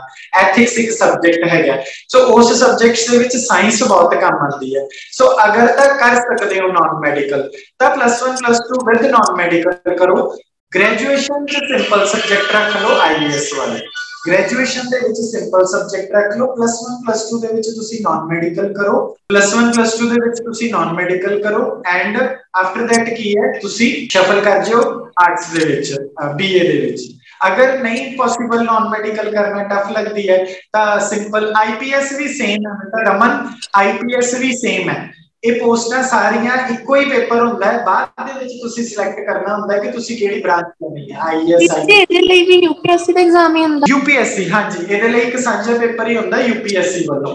ਤੋਂ ਉਸੇ 4000 ਪੋਸਟਾਂ ਹਰ ਸਾਲ ਨਿਕਲਦੀਆਂ ਨੇ ਔਰ 4000 ਪੋਸਟਾਂ ਦੇ ਲਈ ਸਿੰਗਲ ਪੇਪਰ ਹੁੰਦਾ ਬਾਅਦ ਚ ਡਿਸਾਈਡ ਹੁੰਦਾ ਕਿ ਤੁਸੀਂ ਬ੍ਰਾਂਚ ਕਿਹੜੀ ਚ ਜਾਣਾ ਚਾਹੁੰਦੇ ਹੋ। ਹਾਂਜੀ ਬੇਟਾ। ਜੋ ਆਰਮੀ ਐਂਡ ਪੁਲਿਸ ਫੋਰਸ ਹੈ ਉਹਦੇ ਵਿੱਚ ਕਿਹੜੇ ਕਿਹੜੇ ਮਤਲਬ ਐਸੀਆਂ ਫੋਰਸ ਨੇ ਜਿਹਦੇ ਵਾਸਤੇ ਐਗਜ਼ਾਮ ਜਿਹੜੇ ਹੁੰਦੇ ਆ ਉਹਨਾਂ ਦੇ ਵਿੱਚ ਸਾਇੰਸ ਇਨਕਲੂਡਡ ਹੁੰਦੀ ਹੈ? ਬਿਕਾਜ਼ ਸਰ ਸਾਨੂੰ ਨਾ ਸਾਇੰਸ ਬਹੁਤ ਟਫ ਲੱਗਦੀ ਹੈ। ਉਹ ਥੋੜਾ ਲਰਨਿੰਗ ਔਰ ਕਰਨਾ ਟਿਪੀਕਲ ਲੱਗਦਾ ਹੈ। Okay very good question very good question so ਬਹੁਤ ਸਾਰੇ ਬੱਚੇ ਜਿਨ੍ਹਾਂ ਨੇ ਪਹਿਲਾ ਕੁਐਸਚਨ ਪੁੱਛਿਆ ਕਿ ਮੈਥ ਰੱਖ ਲੈਣਾ ਚਾਹੀਦਾ ਕਿ ਨਹੀਂ ਰੱਖਣਾ ਚਾਹੀਦਾ ਸੋ ਸਭ ਤੋਂ ਬੜਾ ਇਹ ਹੈ ਕਿ ਜਿਹੜੀ ਆਰਮੀ ਹੈ ਥਲ ਸੈਨਾ ਆਰਮੀ ਉਹਦੇ ਵਿੱਚ ਕੋਈ ਵੀ ਸਟਰੀਮ ਦਾ ਇਸ਼ੂ ਨਹੀਂ ਹੁੰਦਾ ਤੁਸੀਂ ਆਰਟਸ ਵਾਲੇ ਹੋ ਤੇ ਤੁਸੀਂ ਆਰਮੀ ਨੂੰ ਜੁਆਇਨ ਕਰ ਸਕਦੇ ਹੋ ਲੈਫਟੀਨੈਂਟ ਪੋਸਟ ਵਜੋਂ ਜਿਹੜੀ ਥਲ ਸੈਨਾ ਹੈ ਮੈਂ ਸਿਪਾਹੀ ਦੀ ਨਹੀਂ ਗੱਲ ਕਰ ਰਿਹਾ ਸਿਪਾਹੀ ਦਾ ਤਾਂ ਰੌਲਾ ਹੀ ਕੋਈ ਨਹੀਂ ਸਿਪਾਹੀ ਤਾਂ ਦੌੜਦਾ ਤੇ ਉਹਦੇ ਬਿਹਾਫ ਤੇ ਉਹਦੀ ਭਰਤੀ ਹੁੰਦੀ ਹੈ। ਮੈਂ ਆਫੀਸਰ ਰੈਂਕ ਦੀ ਗੱਲ ਕਰ ਰਿਹਾ ਲੈਫਟੀਨੈਂਟ ਇੱਕ ਲੈਫਟੀਨੈਂਟ ਦੇ ਲਈ ਜ਼ਰੂਰੀ ਹੈ, ਜੇ ਉਹਨੇ ਆਰਮੀ ਚ ਰਹਿਣਾ ਉਹਨੂੰ ਕੋਈ ਸਟਰੀਮ ਦਾ ਪ੍ਰੋਬਲਮ ਨਹੀਂ ਹੈ non medical medical arts commerce ਅਗਰ ਉਹਨੇ ਨੇਵੀ ਐਂਡ 에ਅਰ ਫੋਰਸ ਚ ਜਾਣਾ ਹੈ, ਉਹਦੇ ਵਿੱਚ ਕੀ ਹੈ, ਦੋ ਸਬਜੈਕਟ ਮੈਂਡੇਟਰੀ ਹੋ ਜਾਂਦੇ ਨੇ, ਇੱਕ ਫਿਜ਼ਿਕਸ ਤੇ ਇੱਕ ਮੈਥਸ ਦੋ ਸਬਜੈਕਟ ਮੈਂਡੇਟਰੀ ਹੋ ਜਾਂਦੇ ਨੇ, ਇੱਕ ਫਿਜ਼ਿਕਸ ਤੇ ਇੱਕ ਮੈਥਸ ਤੋਂ ਉਹਦੇ ਵਾਸਤੇ ਹੁੰਦਾ ਕਿ ਤੁਹਾਨੂੰ ਨਾਨ ਮੈਡੀਕਲ ਹੀ ਕਰਨੀ ਚਾਹੀਦੀ ਹੈ। ਨਾਨ ਮੈਡੀਕਲ ਜੇ ਤੁਸੀਂ ਥਲ ਸੈਨਾ ਤੋਂ ਇਲਾਵਾ 에ਅਰ ਫੋਰਸ ਜਾਂ ਨੇਵੀ ਚ ਜਾਣਾ ਚਾਹੁੰਦੇ ਹੋ, ਸੋ ਉਹਦੇ ਵਾਸਤੇ ਨਾਨ ਮੈਡੀਕਲ ਅਦਰਵਾਈਜ਼ ਜੇ ਤੁਸੀਂ ਆਰਟਸ ਥਰੂ ਜਾਂਦੇ ਹੋ, ਤਾਂ ਫਿਰ ਤੁਹਾਡੇ ਵਾਸਤੇ ਆਰਮੀ ਹੀ ਆਪਸ਼ਨ ਬਚਦੀ ਹੈ, ਥਲ ਸੈਨਾ ਹੀ ਬਚਦੀ ਹੈ। ਫਿਰ ਵਾਯੂ ਸੈਨਾ ਤੇ ਸਮੁੰਦਰੀ ਸੈਨਾ ਜਲ ਸੈਨਾ ਚ ਤੁਸੀਂ ਨਹੀਂ ਜਾ ਸਕਦੇ। ਵੈਰੀ ਗੁੱਡ 10th ਕਰ ਰਹੇ ਬੱਚੇ ਮਹਾਰਾਜਾ ਰਣਜੀਤ ਸਿੰਘ ਦਾ ਪੇਪਰ ਦੇ ਸਕਦੇ ਨੇ ਅਗੇਨ ਅਗੇਨ ਰਿਪੀਟ ਕਰ ਲਿਆ 10th ਕਰ ਰਹੇ ਤੇ ਪਲੱਸ 1 ਕਰ ਰਹੇ ਬੱਚੇ ਮਹਾਰਾਜਾ ਰਣਜੀਤ ਸਿੰਘ ਦਾ ਪੇਪਰ ਦੇ ਸਕਦੇ। ਹਾਂਜੀ ਬੇਟਾ। ਸਰ ਜੋ ਤੁਸੀਂ ਹੁਣੇ ਦੱਸਿਆ ਕਿ ਥਲ ਸੈਨਾ ਮਤਲਬ ਜੋ ਹੈ ਉਹਦੇ ਵਾਸਤੇ ਆਰਟਸ ਮੈਂਡੇਟਰੀ ਹੁੰਦੀ ਹੈ। ਮਤਲਬ ਆਰਟਸ ਕਰ ਲਾਂਗੇ ਤਾਂ ਉਹਦੇ ਲਈ ਜੌਬ ਮਿਲ ਜਾਏਗੀ ਮੈਂਡੇਟਰੀ ਨਹੀਂ ਬੱਚੇ। ਥਲ ਸੈਨਾ ਚ ਕੋਈ ਵੀ ਸਟਰੀਮ ਵਾਲਾ ਜਾ ਸਕਦਾ ਹੈ। ਨੇਵੀ ਤੇ air force non medical mandatory sir but ਅਗਰ ਅਸੀਂ ਜਾਵਾਂਗੇ ਤਾਂ ਉਹਦੇ ਵਾਸਤੇ ਸਰ ਜੋ ਆਫੀਸਰਸ ਦੀ ਪੋਸਟ ਮਤਲਬ ਹਾਇਰ ਪੋਸਟ ਵਾਸਤੇ ਹੋ ਸਕਦਾ ਹੈ ਕਿ ਅਸੀਂ ਹਾਇਰ ਪੋਸਟ ਤੇ ਵੀ ਪਹੁੰਚ ਸਕਦੇ ਆ ਉਹ ਇਹ ਵੀ ਕੁਐਸਚਨ ਅੱਛਾ ਹੈ ਇੱਕ ਤਾਂ ਬੱਚੇ ਸਮਝਣਾ ਹੈ ਜਿਹੜਾ ਕਮਿਸ਼ਨ ਰੈਂਕ ਹੁੰਦਾ ਹੈ ਜਿਵੇਂ ਮੈਂ ਫਰੈਸ਼ਰ ਆ ਤਾਂ ਮੈਂ ਫਰੈਸ਼ਰ ਆ ਤੇ ਮੈਂ ਐਨਡੀਏ ਦਾ ਪੇਪਰ ਦਿੱਤਾ ਤੇ ਮੈਂ ਕਲੀਅਰ ਕੀਤਾ ਤੋ ਆਫੀਸਰ ਰੈਂਕ ਦੇ ਵਿੱਚ ਪੋਸਟ ਹੀ ਸਟਾਰਟਿੰਗ ਲੈਫਟੀਨੈਂਟ ਮਿਲਦੀ ਹੈ ਉਸ ਤੋਂ ਜਿਹੜੀ ਹਾਇਰ ਪੋਸਟਾਂ ਨੇ ਲੈਫਟੀਨੈਂਟ ਤੋਂ ਉੱਤੇ ਕਰਨਲ ਆਉਂਦੇ ਨੇ ਮੇਜਰ ਆਉਂਦੇ ਨੇ ਬ੍ਰਿਗੇਡੀਅਰਸ ਆਉਂਦੇ ਨੇ ਜਰਨਲਸ ਆਉਂਦੇ ਨੇ। ਜਰਨਲ ਹੁਣ ਤਿੰਨੇ ਵਿੰਗਸ ਦਾ ਹੈੱਡ ਹੁੰਦਾ ਹੈ, ਹੈਨਾ? ਤੋ ਜਰਨਲ ਤੱਕ ਵੀ ਤੁਸੀਂ ਪਹੁੰਚ ਸਕਦੇ ਹੋ, ਲੇਕਿਨ ਉਹ ਮਿਲਦੇ ਹੀ ਕਾ ਨੇ, ਜਦੋਂ ਤੱਕ ਮੈਂ ਆਰਮੀ ਦੇ ਵਿੱਚ ਐਕਸਪੀਰੀਅੰਸ ਨਹੀਂ ਲੈ ਲੈਂਦਾ। ਲੈਫਟੀਨੈਂਟ ਤੋਂ ਕਰਨਲ ਬਣਨ ਦੇ ਲਈ ਵੀ ਮੈਨੂੰ ਆਰਮੀ ਦੇ 7 ਸਾਲ ਦਾ ਐਕਸਪੀਰੀਅੰਸ ਚਾਹੀਦਾ ਹੁੰਦਾ ਤੋਂ ਮੇਰਾ ਸਟਾਰਟ ਭਾਵੇਂ ਮੈਂ ਗ੍ਰੈਜੂਏਸ਼ਨ ਤੋਂ ਬਾਅਦ ਜਾਵਾਂ ਭਾਵੇਂ ਮੈਂ 10th ਤੋਂ ਬਾਅਦ ਜਾਵਾਂ, ਭਾਵੇਂ ਮੈਂ ਪਲੱਸ 2 ਤੋਂ ਬਾਅਦ ਜਾਵਾਂ ਸਟਾਰਟ ਮੇਰਾ ਲੈਫਟੀਨੈਂਟ ਤੋਂ ਹੀ ਹੋਏਗਾ। ਉਸ ਤੋਂ ਬਾਅਦ ਜਿੰਨੀ ਦੇਰ ਐਕਸਪੀਰੀਅੰਸ ਹੁੰਦਾ ਜਾਏਗਾ ਹੋਰ ਹੋਰ, ਤੇ ਫਿਰ ਮੈਨੂੰ ਹਾਇਰ ਪੋਸਟਾਂ ਆਰਮੀ ਦੇ ਐਕਸਪੀਰੀਅੰਸ ਤੋਂ ਬਗੈਰ ਉਹ ਪੋਸਟਾਂ ਨਹੀਂ ਮਿਲ ਸਕਦੀਆਂ। ਮੈਂ ਪਹਿਲਾਂ ਲੈਫਟੀਨੈਂਟ ਲੱਗਾਂਗਾ ਜਾਂ ਮੈਨੂੰ ਲਾਇਆ ਹੀ ਲੈਫਟੀਨੈਂਟ ਜਾਏਗਾ, ਉਸ ਤੋਂ ਬਾਅਦ ਮੇਰਾ ਐਕਸਪੀਰੀਅੰਸ ਵੱਧਦਾ ਜਾਏਗਾ ਔਰ ਮੈਨੂੰ ਹਾਇਰ ਰੈਂਕਸ ਤੇ ਪੋਸਟਾਂ ਮਿਲਦੀਆਂ ਜਾਣਗੀਆਂ। ਉੱਥੇ ਠੀਕ ਹੈ, ਮੈਂ ਤੁਹਾਨੂੰ ਦੱਸਿਆ ਕਿ 에ਅਰ ਫੋਰਸ ਤੇ ਨੇਵੀ ਦੇ ਵਿੱਚ ਪ੍ਰੋਬਲਮ ਹੁੰਦੀ ਹੈ। ਉੱਥੇ ਤਾਂ ਨਾਨ ਮੈਡੀਕਲ ਰਿਕੁਆਇਰਡ ਹੈ। ਆਰਟਸ ਦੇ ਵਿੱਚ ਕੋਈ ਸਟਰੀਮ ਇਸ਼ੂ ਨਹੀਂ ਹੈ ਤੁਸੀਂ ਆਰਟਸ ਵਿੱਚ ਵੀ ਕਰ ਸਕਦੇ ਠੀਕ ਹੈ ਬੇਟਾ ਨਹੀਂ ਵੀ ਮੇਰੀ ਸਾਰੀ ਬੱਚਿਆਂ ਦੀ ਕੁਐਰੀਜ਼ ਕੰਪਲੀਟ ਹੋ ਗਈਆਂ ਨੇ ਫਿਰ ਵੀ ਮੈਂ ਇੱਕ ਬੇਨਤੀ ਕਰਾਂਗੀ ਅਗਰ ਆਪ ਜੀ ਆਪਣਾ ਨੰਬਰ ਚੈਟ ਬਾਕਸ ਦੇ ਵਿੱਚ ਡ੍ਰੌਪ ਕਰ ਦਿਓ ਤਾਂ ਕਿ ਅਗਰ ਕਿਸੇ ਦਾ ਕੋਈ ਹੋਰ ਕੁਐਸਚਨ ਹੋਵੇ ਜਾਂ ਅਗਰ ਉਹ ਜੁਆਇਨ ਕਰਨਾ ਚਾਹੁੰਦੇ ਨੇ ਟ੍ਰੇਨਿੰਗ ਦੇ ਲਈ ਤਾਂ ਆਪ ਜੀ ਨੂੰ ਕੰਟੈਕਟ ਕਰ ਸਕਣ ਹਾਂਜੀ ਮੈਂ ਚੈਟ ਬਾਕਸ ਤੇ ਵੀ ਇੱਕ ਸਟੂਡੈਂਟ ਸਾਡਾ ਬੈਠਾ ਹੋਇਆ ਇੱਥੇ, ਉਹ ਕਰ ਰਿਹਾ ਹੁਣੇ। ਵੈਸੇ ਮੈਂ ਨੰਬਰ ਮੈਂਸ਼ਨ ਵੀ ਕਰ ਦੇਣਾ ਸਕਰੀਨ ਦੇ ਉੱਤੇ 83607 61609 ਇੱਕ ਨੰਬਰ ਇਹ ਹੈ, ਇਹਦੇ ਤੇ WhatsApp ਚੱਲ ਰਿਹਾ ਹੈ, ਕੋਈ ਵੀ ਬੱਚਾ ਅਗਰ ਮੈਂ ਫੋਨ ਪਿਕ ਨਹੀਂ ਕਰ ਪਾਉਂਦਾ ਸਮ ਟਾਈਮ ਕਲਾਸਿਸ ਹੁੰਦੀਆਂ ਨੇ ਫੋਨ ਪਿਕ ਨਹੀਂ ਕਰ ਪਾਉਂਦਾ, ਤਾਂ ਤੁਸੀਂ ਇਸ ਨੰਬਰ ਤੇ ਮੈਨੂੰ WhatsApp ਤੇ ਮੈਸੇਜ ਕਰੋ। ਮੈਂ ਤੁਹਾਨੂੰ ਨਾਲ ਦੀ ਨਾਲ ਡਿਟੇਲਸ ਭੇਜ ਦਿਆਂਗਾ, ਜਿਵੇਂ ਫ੍ਰੀ ਹੁੰਦਾ। ਇੱਕ ਹੋਰ ਨੰਬਰ ਮੇਰਾ WhatsApp ਤੇ ਚੱਲ ਰਿਹਾ ਹੈ 9779125855 ਤੋ ਇਹ ਦੋਨੇ ਨੰਬਰਸ ਅਵੇਲੇਬਲ ਨੇ ਕੰਟੈਕਟ ਦੇ ਲਈ, ਤੁਸੀਂ ਸਾਨੂੰ ਜਦੋਂ ਮਰਜ਼ੀ ਕੁਝ ਆਈਪੀਐਸ ਆਰਟਸ ਵਾਲੇ ਕਰ ਸਕਦੇ ਨੇ ਬੱਚੇ, ਉਹਦੇ ਵਿੱਚ ਕੋਈ ਪ੍ਰੋਬਲਮ ਨਹੀਂ। ਤੁਸੀਂ ਸਾਨੂੰ ਇਹਨਾਂ ਦੋਨੇ ਨੰਬਰਸ ਤੇ ਕੰਟੈਕਟ ਕਰ ਸਕਦੇ ਹੋ। ਸੋ ਹਾਂਜੀ। ਲక్ష్ਮੀ ਨੇ ਹੁਣੇ ਨੰਬਰ ਵੀ ਸੇਵ ਕੀਤਾ 9779125855 ਚੈਟ ਬਾਕਸ ਦੇ ਵਿੱਚ ਤੋਂ ਤੁਸੀਂ ਇਹਨਾਂ ਦੋਨੇ ਨੰਬਰਸ ਤੇ ਬੱਚਿਓ ਅਪਰੋਚ ਕਰ ਸਕਦੇ ਹੋ। ਆਈਪੀਐਸ ਆਫਿਸਰ ਜੌਬ ਕਮਰਸ ਨਾਲ ਕਰ ਸਕਦੇ। ਹਾਂਜੀ ਬੇਟਾ ਤੁਸੀਂ ਕਮਰਸ ਨਾਲ ਵੀ ਕਰ ਸਕਦੇ ਹੋ। ਆਈਪੀਐਸ ਚ ਕੋਈ ਸਟਰੀਮ ਦਾ ਰੌਲਾ ਹੀ ਨਹੀਂ ਹੈ। ਆਈਪੀਐਸ ਤੋਂ ਸਿਰਫ ਇਹ ਮੰਗਦੇ ਨੇ ਵੀ ਤੁਸੀਂ ਗ੍ਰੈਜੂਏਸ਼ਨ ਕੀਤੀ ਹੋਵੇ ਦੈਟਸ ਹੋਰ ਕੋਈ ਸਟਰੀਮ ਇਸ਼ੂਜ਼ ਨਹੀਂ ਹੈ। ਠੀਕ ਹੈ? ਸੋ ਆਈਐਸ ਆਈਪੀਐਸ ਤੁਸੀਂ ਬੀਟੈਕ ਕੀਤੀ ਹੈ ਤੁਸੀਂ ਇੰਜੀਨੀਅਰਿੰਗ ਕੀਤੀ ਹੈ ਤੁਸੀਂ ਡਾਕਟਰੀ ਕੀਤੀ ਹੈ ਤੁਸੀਂ ਕੋਈ ਵੀ ਸਟਰੀਮ ਕੀਤਾ ਆਈਐਸ ਆਈਪੀਐਸ ਲਈ ਕੋਈ ਪ੍ਰੋਬਲਮ ਨਹੀਂ ਹੈ। ਤੁਸੀਂ ਪੇਪਰ ਦੇ ਸਕਦੇ ਹੋ। ਠੀਕ ਹੈ ਬੇਟਾ? ਜੀ ਸਰ, ਬਹੁਤ ਧੰਨਵਾਦ ਤੁਹਾਡਾ ਔਰ ਸਾਰੇ ਸਟੂਡੈਂਟਸ ਨੂੰ ਬੇਨਤੀ ਹੈ ਕਿ ਜੋ ਇਨਫੋਰਮੇਸ਼ਨ ਤੁਹਾਨੂੰ ਮਿਲੀ ਹੈ, ਫਿਰ ਵੀ ਤੁਹਾਡੇ ਮਨ 'ਚ ਕੋਈ ਡਾਊਟ ਹੋਵੇ ਤਾਂ ਸਰ ਨੇ ਆਪਣੇ ਨੰਬਰਸ ਦਿੱਤੇ ਨੇ। ਤੁਸੀਂ ਇਹਨਾਂ ਨਾਲ ਕੰਟੈਕਟ ਕਰ ਸਕਦੇ ਹੋ ਜਿਸ ਤਰ੍ਹਾਂ ਸਰ ਨੇ ਕਿਹਾ ਕਿ ਕਮਿਊਨੀਕੇਸ਼ਨ ਸਕਿੱਲਸ ਦੇ ਨਾਲ ਸਪੋਕਨ ਇੰਗਲਿਸ਼ ਤੇ ਉਸ ਤੋਂ ਇਲਾਵਾ ਜਿਹੜੇ ਕੰਪੀਟੀਟਿਵ ਐਗਜ਼ਾਮਸ ਉਹਦੀ ਤਿਆਰੀ ਕਰਾਉਂਦੇ ਨੇ। ਅਗਰ ਕਿਸੇ ਨੂੰ ਕਿਸੇ ਵੀ ਤਰ੍ਹਾਂ ਦੀ ਸਪੋਰਟ ਦੀ ਲੋੜ ਹੋਵੇ ਤਾਂ ਸਰ ਨੂੰ ਕੰਟੈਕਟ ਕਰ ਸਕਦੇ ਨੇ। ਸੋ ਅਗਰ ਕਿਸੇ ਨੂੰ ਕੋਈ ਹੈਲਪ ਦੀ ਲੋੜ ਵੀ ਹੋਵੇ ਕਿ ਅਗਰ ਉਹ ਨਹੀਂ ਅਫੋਰਡ ਕਰ ਸਕਦਾ ਨਾ ਕੋਈ ਇਦਾਂ ਦਾ ਕੋਰਸ ਹੁੰਦਾ, ਤਾਂ ਉਹਦੇ ਲਈ ਵੀ ਸਰ ਹਮੇਸ਼ਾ ਰੈਡੀ ਹੁੰਦੇ ਨੇ ਐਜੂਕੇਟ ਪੰਜਾਬ ਪ੍ਰੋਜੈਕਟ ਹਮੇਸ਼ਾ ਇਸ ਕੰਮਾਂ ਲਈ ਐਜੂਕੇਸ਼ਨ ਦੇ ਲਈ, ਅੱਗੇ ਵਧਣ ਦੇ ਲਈ ਸਪੋਰਟ ਕਰ ਰਿਹਾ। ਸੋ ਜਿਹੜੇ ਵੀ ਸਟੂਡੈਂਟਸ ਹੋਣ, ਤੁਸੀਂ ਆਪ ਵੀ ਔਰ ਇਹ ਸਾਰੀ ਇਨਫੋਰਮੇਸ਼ਨ ਤੁਸੀਂ ਅੱਗੇ ਵੀ ਸ਼ੇਅਰ ਕਰੋ ਸਾਰਿਆਂ ਦੇ ਨਾਲ। ਔਰ ਇਹ ਜਿਹੜੀ ਵੀਡੀਓ ਅੱਜ ਤੁਸੀਂ ਦੇਖੀ ਹੈ ਜ਼ੂਮ ਤੇ ਜੋ ਸੈਸ਼ਨ ਹੋਇਆ, ਇਹਦਾ YouTube ਦੇ ਉੱਤੇ ਜਲਦੀ ਹੀ ਅਸੀਂ ਇਹਨੂੰ ਅਪਲੋਡ ਕਰ ਦਾਂਗੇ।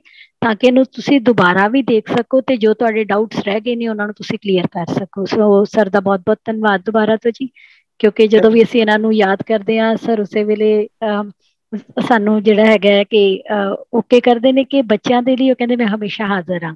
ਸੋ ਬਹੁਤ ਧੰਨਵਾਦ ਸਰ ਤੁਹਾਡਾ। ਸੋ ਆਸ ਕਰਾਂਗੇ ਅੱਗੋਂ ਵੀ ਇਸੇ ਤਰ੍ਹਾਂ ਆਪ ਜੀ ਬੱਚਿਆਂ ਨੂੰ ਗਾਈਡ ਕਰਦੇ ਰਹੋਗੇ ਤੇ ਇਸੇ ਤਰ੍ਹਾਂ ਸਪੋਰਟ ਕਰਦੇ ਰਹੋਗੇ। Thank you sir thank you so much so ਅੱਜ ਦੇ ਸੈਸ਼ਨ ਦੀ ਇੱਥੇ ਸਮਾਪਤੀ ਹੈ। ਇਨਫੋਰਮੇਸ਼ਨ ਸੀ ਜਿਹੜਾ ਅੱਜ ਦਾ ਸੈਸ਼ਨ ਹੈ ਇਹ ਵੀ ਲਾਈਵ ਸੀ YouTube ਸਾਡੇ ਆਪਣੇ ਚੈਨਲ ਤੇ ਵੀ। ਉੱਥੋਂ ਵੀ ਕਰ ਸਕਦੇ ਨੇ ਜੇ ਫ੍ਰੀਕੁਐਂਟ ਦੇਖਣਾ ਹੈਗਾ। ਬਾਕੀ ਨੇ ਮਲਟੀਵਰਸਿਟੀ ਦੇ ਚੈਨਲ ਤੇ ਤਾਂ ਅੱਜ ਜਿਵੇਂ ਹੀ ਤੁਸੀਂ ਕਰੋਗੇ। ਇਹ ਅਨਹਦ ਤੇ ਵੀ ਲਾਈਵ ਹੈਗਾ ਸੀ। ਉਹਨੇ ਕਲਾਸ ਚੱਲ ਰਹੀ ਸੀ ਲਾਈਵ ਵੀ। ਉਹਦੇ ਤੇ ਵੀ ਇਹ ਦੇਖ ਸਕਦੇ ਨੇ। ਇਸ ਸਰ ਇੱਕ ਵਾਰੀ YouTube ਚੈਨਲ ਦਾ ਲਿੰਕ ਵੀ ਤੁਸੀਂ ਪਾ ਦਿਓ ਚੈਟ ਦੇ ਵਿੱਚ ਤਾਂ ਕਿ ਜਿਨ੍ਹਾਂ ਨੇ ਨਹੀਂ ਸਬਸਕ੍ਰਾਈਬ ਕੀਤਾ ਉਹ ਕਰ ਸਕਣ। ਹਾਂਜੀ ਮੈਂ ਮੈਂ ਇਸੇ ਵੀਡੀਓ YouTube ਤੇ ਚੱਲ ਰਹੀ ਹੈ। ਜੀ ਜੀ। YouTube ਦਾ ਆ ਗਿਆ ਚੈਨਲ ਦਾ ਲਿੰਕ ਆ ਗਿਆ। ਸੋ ਸਾਰੇ ਸਟੂਡੈਂਟਸ ਨੂੰ ਬੇਨਤੀ ਹੈ ਜ਼ਰੂਰ ਇਹਨੂੰ ਵੱਧ ਤੋਂ ਵੱਧ ਸ਼ੇਅਰ ਵੀ ਕਰੀਏ।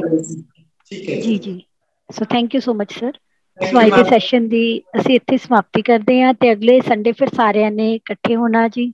ਵਾਹਿਗੁਰੂ ਜੀ ਕਾ ਖਾਲਸਾ ਵਾਹਿਗੁਰੂ ਜੀ ਕੀ ਫਤਿਹ।